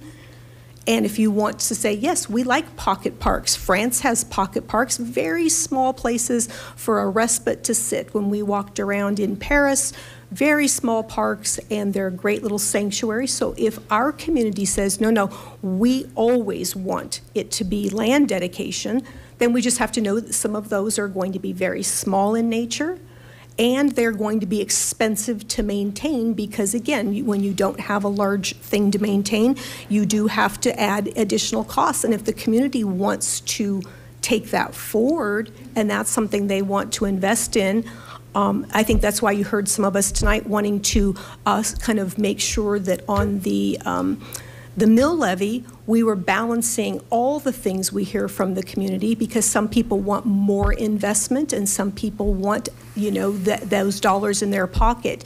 And so it's always trying to represent, for my case, roughly 30,000 people as a ward person, and then, of course, the whole city. So apologize for taking all that time, but I think it's really important to be very, you know, explain why I'm not supporting something because in my view, it, it has no legal enforceability, sends a mixed message to the public, and I don't think that's a fair thing for a council to do. We have a serious job to do, and uh, I, I think that uh, if this body wants to move something forward uh, into a legal review or other things, you know, those can be considered, but I'm not going to put, you know, a wish out into the ether that then uh, can uh, mislead the public on what's possible. Thank you. So just circling back to Councilor Olver's, is there a consensus to move that forward?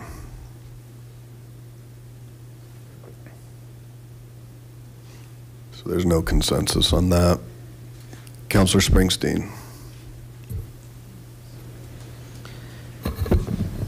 You know, the, the city told Councilor Franks that the school district owned 2090. That turned out not to be true. And here she is selling that same stuff to you here tonight. Let's not attack the personalities, let's just stick with the facts, please. The other thing I want to point out is, I don't know if you caught this, but our city attorney told us that if we directed staff to do a certain thing, they would have to decide whether to do that thing or to do what they wanted. So who's in charge here? I thought we were. I thought six votes were, but apparently we've been told tonight that's clearly not the case. In any case, I, I am going to appeal the decision of the chair not to move forward with an immediate vote tonight uh, on my motion. Second. So I stated clearly that, first off, you didn't have a second on your original motion earlier, but I said that we were going through consensus. And so there is an opportunity for there to be consensus on what you're bringing forth tonight.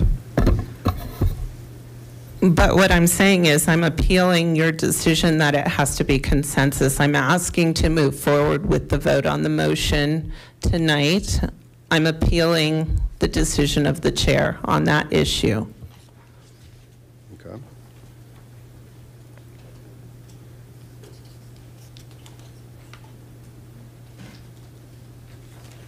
Which means we have to have a vote on that. Correct. I'm getting the right language here. One second.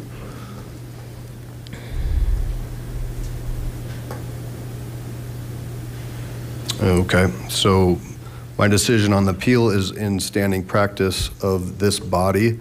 We have um, requests for council actions that are discussed, and if there's a consensus of council to move it forward, it moves forward. And that is my, um, it's my decision. And so um, the decision of the chair shall be sustained. So if the majority vote sustains the decision of the chair, then it will be affirmed. So again, my, my interpretation of our process is that this is a consensus item, and you're certainly welcome to seek consensus to move this forward. So if you disagree with me, vote no. If you agree, vote yes. Can we just clarify one more time what a yes vote and a no vote means Uh, on this? Yes, a, a ye- a yes denies the appeal, and a no agrees with the appeal.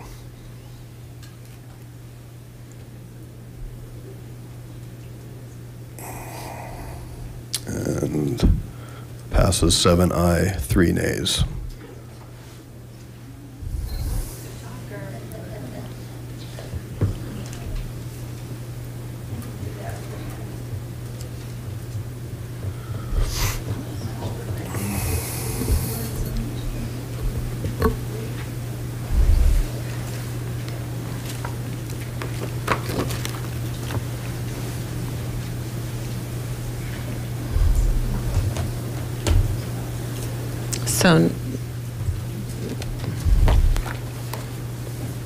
Now what? We do the consensus vote? Yep, if there's consensus to move forward with these two aspects of what was produced tonight by Councilor Springsteen. Is our consensus. Yes. So I'm not seeing any consensus. So we'll close general business and go into council reports.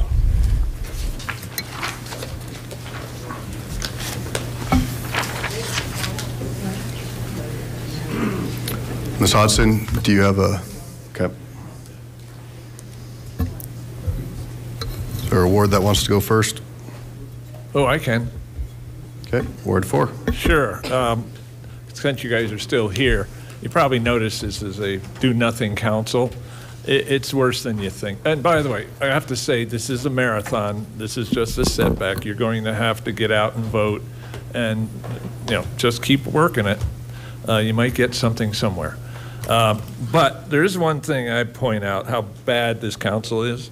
Um, This is, yeah, we have one meeting in November, and then I said, wow, how come we keep continuously having study sessions canceled? Study sessions are where we're supposed to talk and learn about certain things.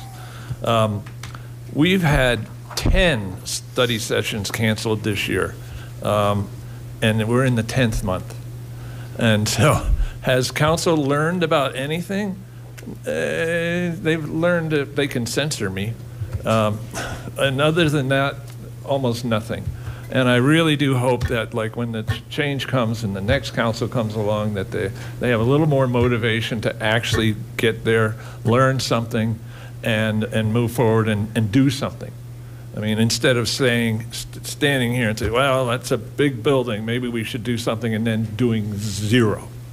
Um, So, um, yeah, this council's horrible, but it's about to end. Councilor Franks? Well, I, I won't sit idly by and uh, take that. As someone who didn't show up at the annual planning meeting until midway in, as someone who does not participate, again, I, I'm, you're, you're speaking about how, how others do nothing, and again, I have been very quiet for very long, being disparaged for quite some time, and I just simply am not going to stand for it anymore. Um, I have worked very, very hard. Um, I I will let my record stand. I show up at committee meetings. I participate. I work hard on legislation. I challenge pieces. I follow up with staff. I ask good questions. I am never going to say that I have answered and, and, and pleased everyone. This is a very difficult job. I would be remiss if I didn't say it is difficult. You have a lot of information you have to take in. You have to look at it through many lenses. You have the community who is not always unified on matters. Um, and uh, again, I, I just really want to just push back against that because Councilor Over the when I wasn't uh, here for a meeting chose to call me out specially for that, but never provides the information about why I did something. I'm a person who's a project manager by trade. I work on meeting efficiencies and keeping meetings focused on the task at hand. And when lines of questioning diverge into where there is nothing productive going to come out of them, your time's precious, our time's precious, and therefore I called the question. That's not something I can do by myself. Anytime we need to act, we act as a body. That's why not, not one person gets to have everything they want. You have to go out and you have to say, here's what I want to do. And you work with your fellow councilors, you work with the community, you ask questions. That's how you, you get things done up here. And to have things brought forward when the first I've heard of them is the night of, very difficult to move those things forward when there's been no conversation. So again, I, I just could not let another evening go by. I have sat idly by for a long time, being accused of doing nothing, and that is emphatically not true. You even have Councilor Springsteen who misrepresents um, you know, my work. I absolutely was involved with the community that ended up intervening into a lawsuit, and we were victorious. If you would like to see the result of that, I'm happy to share that. But to pick and choose pieces of information and disparage people is not fair. I never questioned Councilor Springsteen's love for her community. Long before she was on council, she came to speak up on things. She is passionate, she cares, never question that. Rich, I never question your integrity the way you consistently question mine, and I was just unable to sit through one more attack without calling that to your attention. Thank you. Thank you. Ward three, Councilor Springsteen. I'll go after Councilor Stewart. No, go ahead. I'll go after Councilor Stewart. I always have to go before her, so I'll go after. Councilor Springsteen, the floor is yours. Please go. Why? So she can rebut me, right? It's her last meeting. Can she not do it this time? One time, can you bend the rules, sir? Lenore, It's her last meeting. please.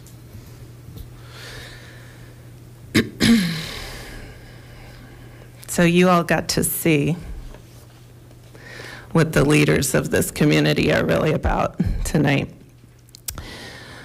I want to thank the voters for placing their faith in me to uphold the laws of the city and the state and to represent them the past four years. It has been both a privilege and a nightmare.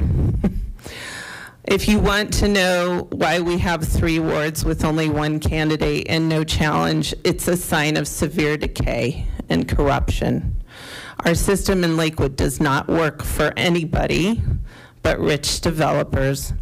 It does not work for people of color. It does not work for those struggling financially. I want to thank my sweet, sweet boyfriend and my wonderful children for all they have had to go through with me these last four years. And they have suffered because I have. Um, there's been many positive things that have happened. I made many wonderful friends of constituents who are amazing activists and care about our community. I became hard as nails and resilient because I had to, especially having been disrespected by Mayor Paul at every turn. I learned how backward and corrupt our system of local government really is, so my eyes were opened. I found a passion in pursuing social justice issues, civil rights, and equality for people of color as I've seen how badly those rights are violated daily in Lakewood and Jefferson County.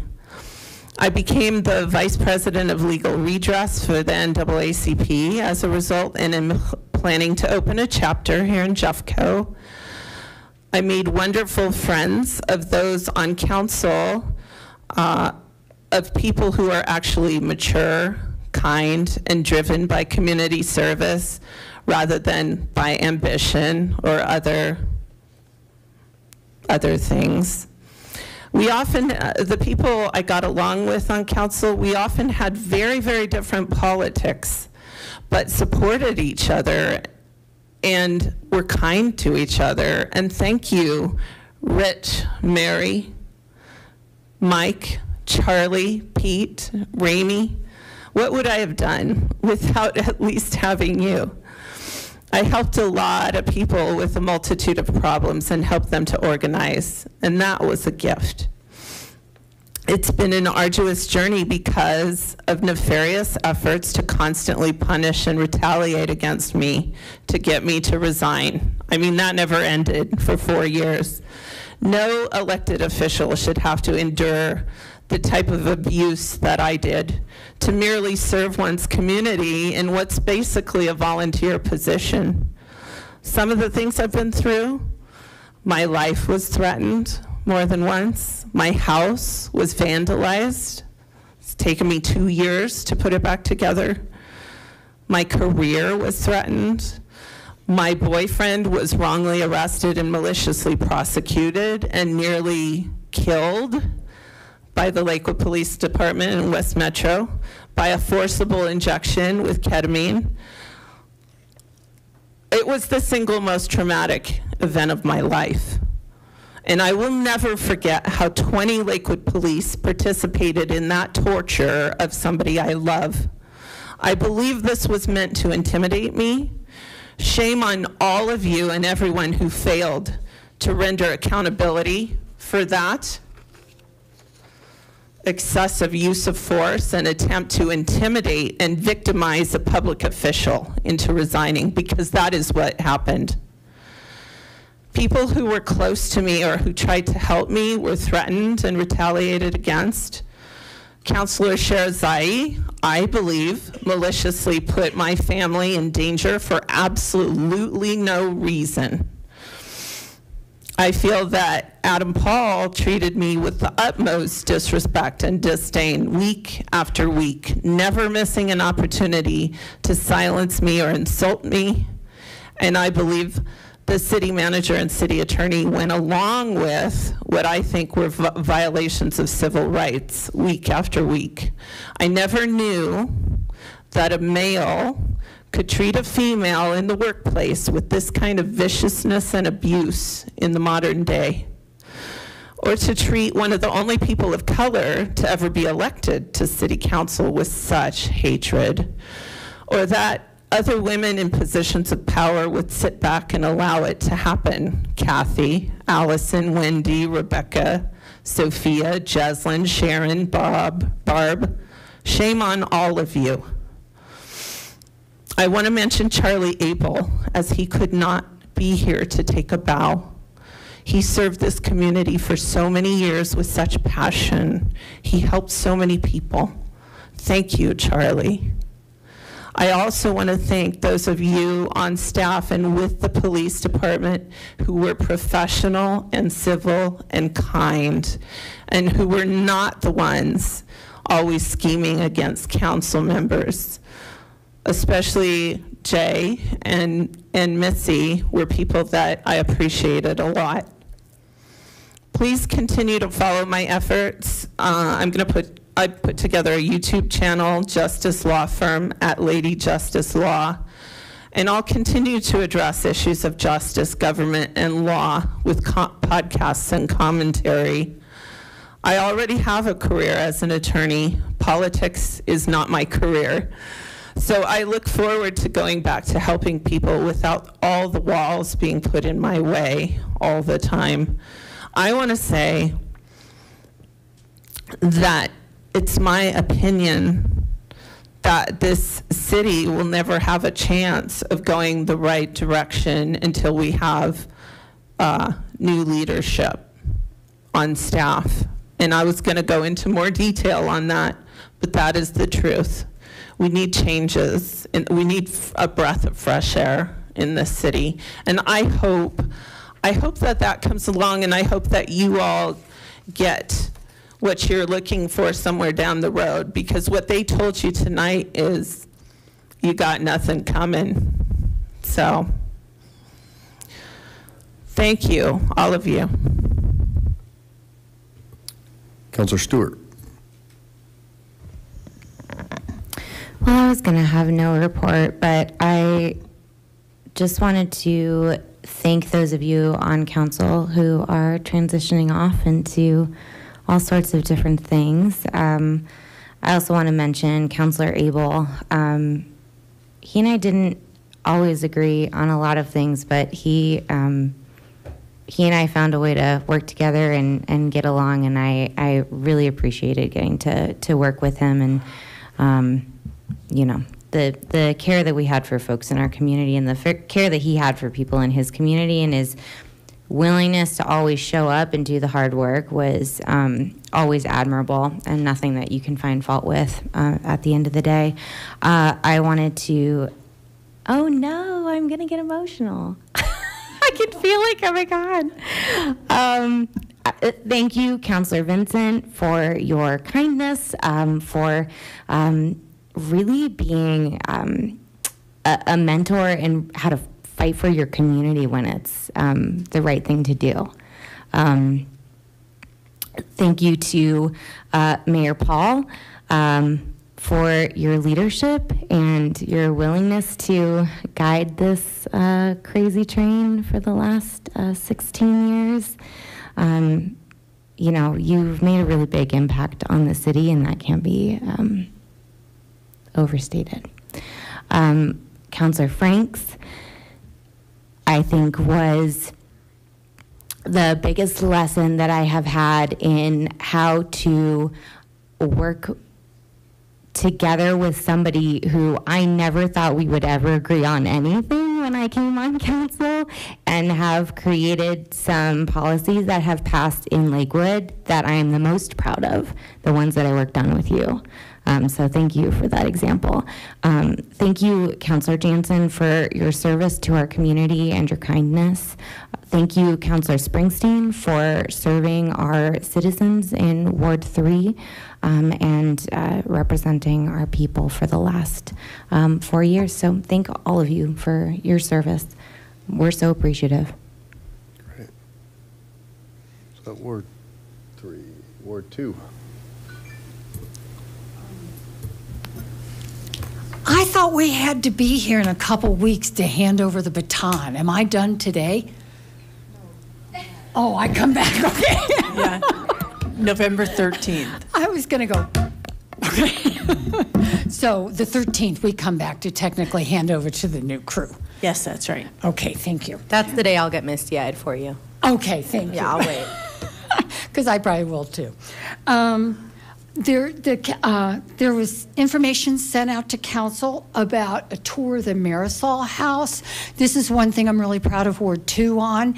Uh, Catholic Charities came, and Marisol House is for women who are transitioning into permanent housing who have children.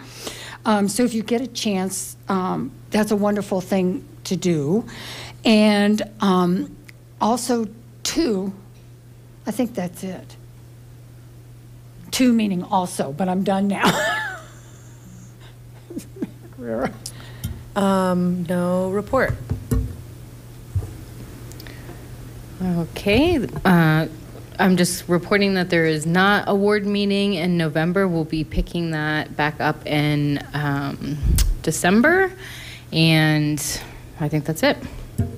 Councilor Jansen. Thanks. Um,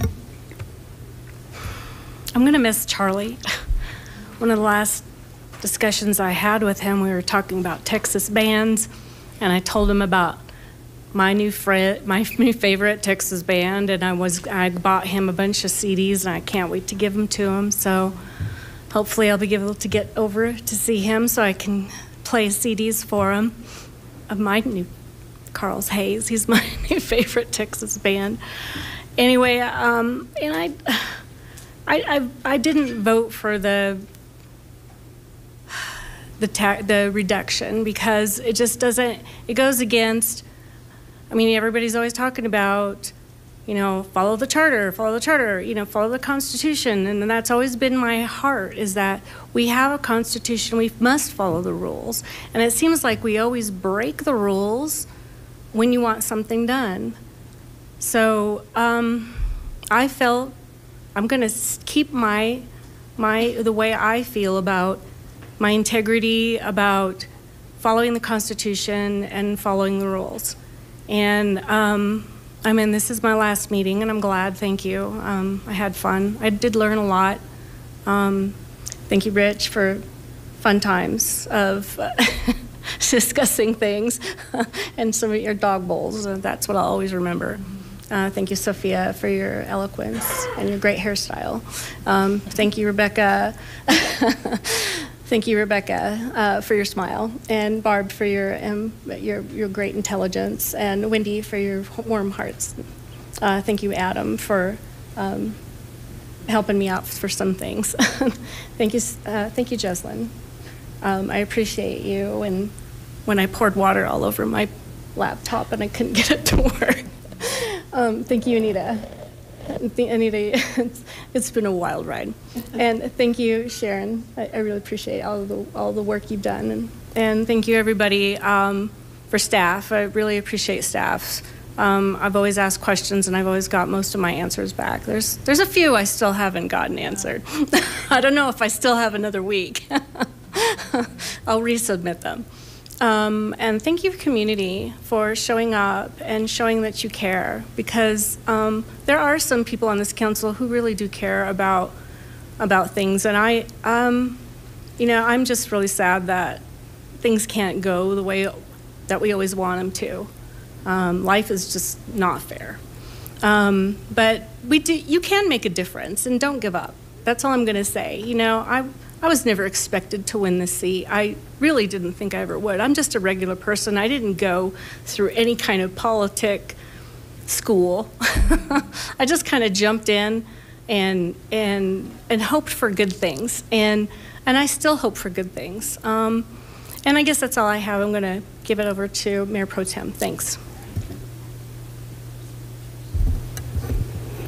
Thank you, and thank you, Mary, for your partnership over the next, uh, the last, the next couple years, the last couple of years you've done. I um, likewise try not to get sentimental, but it is, um, it's really been a pleasure to work with you, Sharon and Barbie. You guys have been amazing. I've learned so much from you, your mentorship, and being able to um, provide so much context and. Um, Likewise, we landing on things that we may not have started out agreeing on, but being able to come to the table and have constructive conversations has been really powerful. And, and thank you for being um, part of the initial journey that we've had here um, within City Council. And, you know, for all of you that are getting ready to step off, Mayor Paul, for your leadership over the last not two years, but a long time. and um, on that note, I will say that in Ward 5, we are having a ward meeting coming up. It'll be Saturday, November 4th, and in a slightly different format than we're used to. We're having it as an open house, and I really wanted it to be an, op an opportunity for the community to come by and um, thank Councillor Jansen for her um, service over the last couple of years, as it'll be her last ward meeting. And um, I have also, we do have a number of community volunteer members that will be showing up as well. So excited to introduce everybody. Location TBD, we're trying to find a coffee shop type of a venue. So stay tuned on that. We'll send out updates when we have them. And that's all I've got. I guess I'm last. All right. Well, I'll just be brief and thank the community for a long time. Uh, six years on the water board, eight years on city council, and eight years as your mayor. It's been an incredible journey. I think I kind of had to say everything I could in my farewell letter, but um, I do know that good prevails, not always in our time frame, and there's certainly not a book on how to be mayor. And so there's been a lot of growing that I've had to do in many different ways And so I thank uh, many who've cared about me and have been patient with me, and uh, in some ways along the way that I've um, made their life harder. So I appreciate um, all of that support and love and understanding. And um, we have a great city, right? And support your next mayor because it's not always easy, as evidenced by tonight. These aren't easy decisions. And, you know, to be out there, and, and one thing you can't doubt is the love for this community and the love that this community has for, for who it is and what it wants to be. So um, we're super fortunate. We have an incredible staff. And, you know, us electeds come and go. Staff, staff is here, and they are the, the they're, um, they're the true dedicated public servants who do care and put in day in, day out, stay here till 105 in the morning um, take arrows and all that sort of stuff. So we're very fortunate, very blessed to have a top-notch team, and I hope your team knows that, and I hope they know that we really do appreciate them. And to a person, when you're out in the community, you know, we have these issues. Most people love this city, and they understand how important um, you are and our Lakewood Police Department. We have two agents with us tonight, and uh, so proud of our Lakewood Police Department, and it's always been a bright spot for me to to be able to have that and all of that put together. So incredible residents, and you know, it's been a fun group to serve with. Uh, Councilor Olver actually, you know, he supported me once, so there's that, and so I appreciate your service to the community. Um, Councilors Mayott-Guerrero, Stewart, and uh, Strom and Shahrezaei, when you got elected, I was like, oh my goodness, things are going to be pushed in, in a way that's going to make me feel uncomfortable. But through that uncomfortableness came growth and, an ability to really understand. I think you've been such a bright spot for this city and have really reshaped, and you're the next generation of leadership. So I'm truly grateful for you. Councillor Franks and I, believe it or not, started out on opposite sides. She's a tough one, and um, she's done a lot for this city and going all the way back from, you know, we were at, at odds about land use, about processes, and she has put in, showed up, done so much research. She is so analytical. And so you know when she does say something or she is advocating, she's done her homework, and you better have done your homework or you're going to get crushed. And I think her lasting legacy, she talked about preserving parkland, but for a long time, for years, since our inception, the city of Lakewood had a, a city attorney program that was really uh, quarterbacked from a firm that we hired. And we are one of the only cities of our size that continued to have that sort of format. And she, she bravely stood up and said, I think we need something different. And that was a tough change, right, for a lot of folks and for people that really you know, had been here a long time. So thank you for that. I think it's paid dividends as we've seen in our attorney reviews and, and what's happened. So thank you, Councillor Franks. Mary, when she says she really does care about the Constitution, she really does care about the Constitution. And so I appreciate that and um, appreciate you always willing to do what you felt was right and, and had your heart in it. Um, Councillor Springsteen, thank you for your four years of service. Councillor Vincent, you go a long way back. But going back to the early days of RTD, when she, and even down to the finite discussions of should we build sound walls or should we have no, no sound walls, right? And those tough things about how that divides a neighborhood. And then also a neighborhood that has endured the most development, the most change, and probably the least amount of infrastructure. And um, you've always been fun and, and said things that were inappropriate and served as mayor pro tem, which was pretty fun too. So I know you're ready to, to ride off, and I'm surprised you want to come back on the 13th. and, and last but certainly not least, Councilor Able, who um, I'll never question his love for our community. And we certainly were able to go at able to go at each other like that. And but I never doubted where he was coming from. And he did serve as mayor pro tem for this city, and he gave a lot of time and energy. And um, his background was that of a reporter, so he really sought to find the, what the facts were and to really dig into it. So I want to thank him for his dedication and service to our community. And with that, we're going to shut her down at 110. Thank you.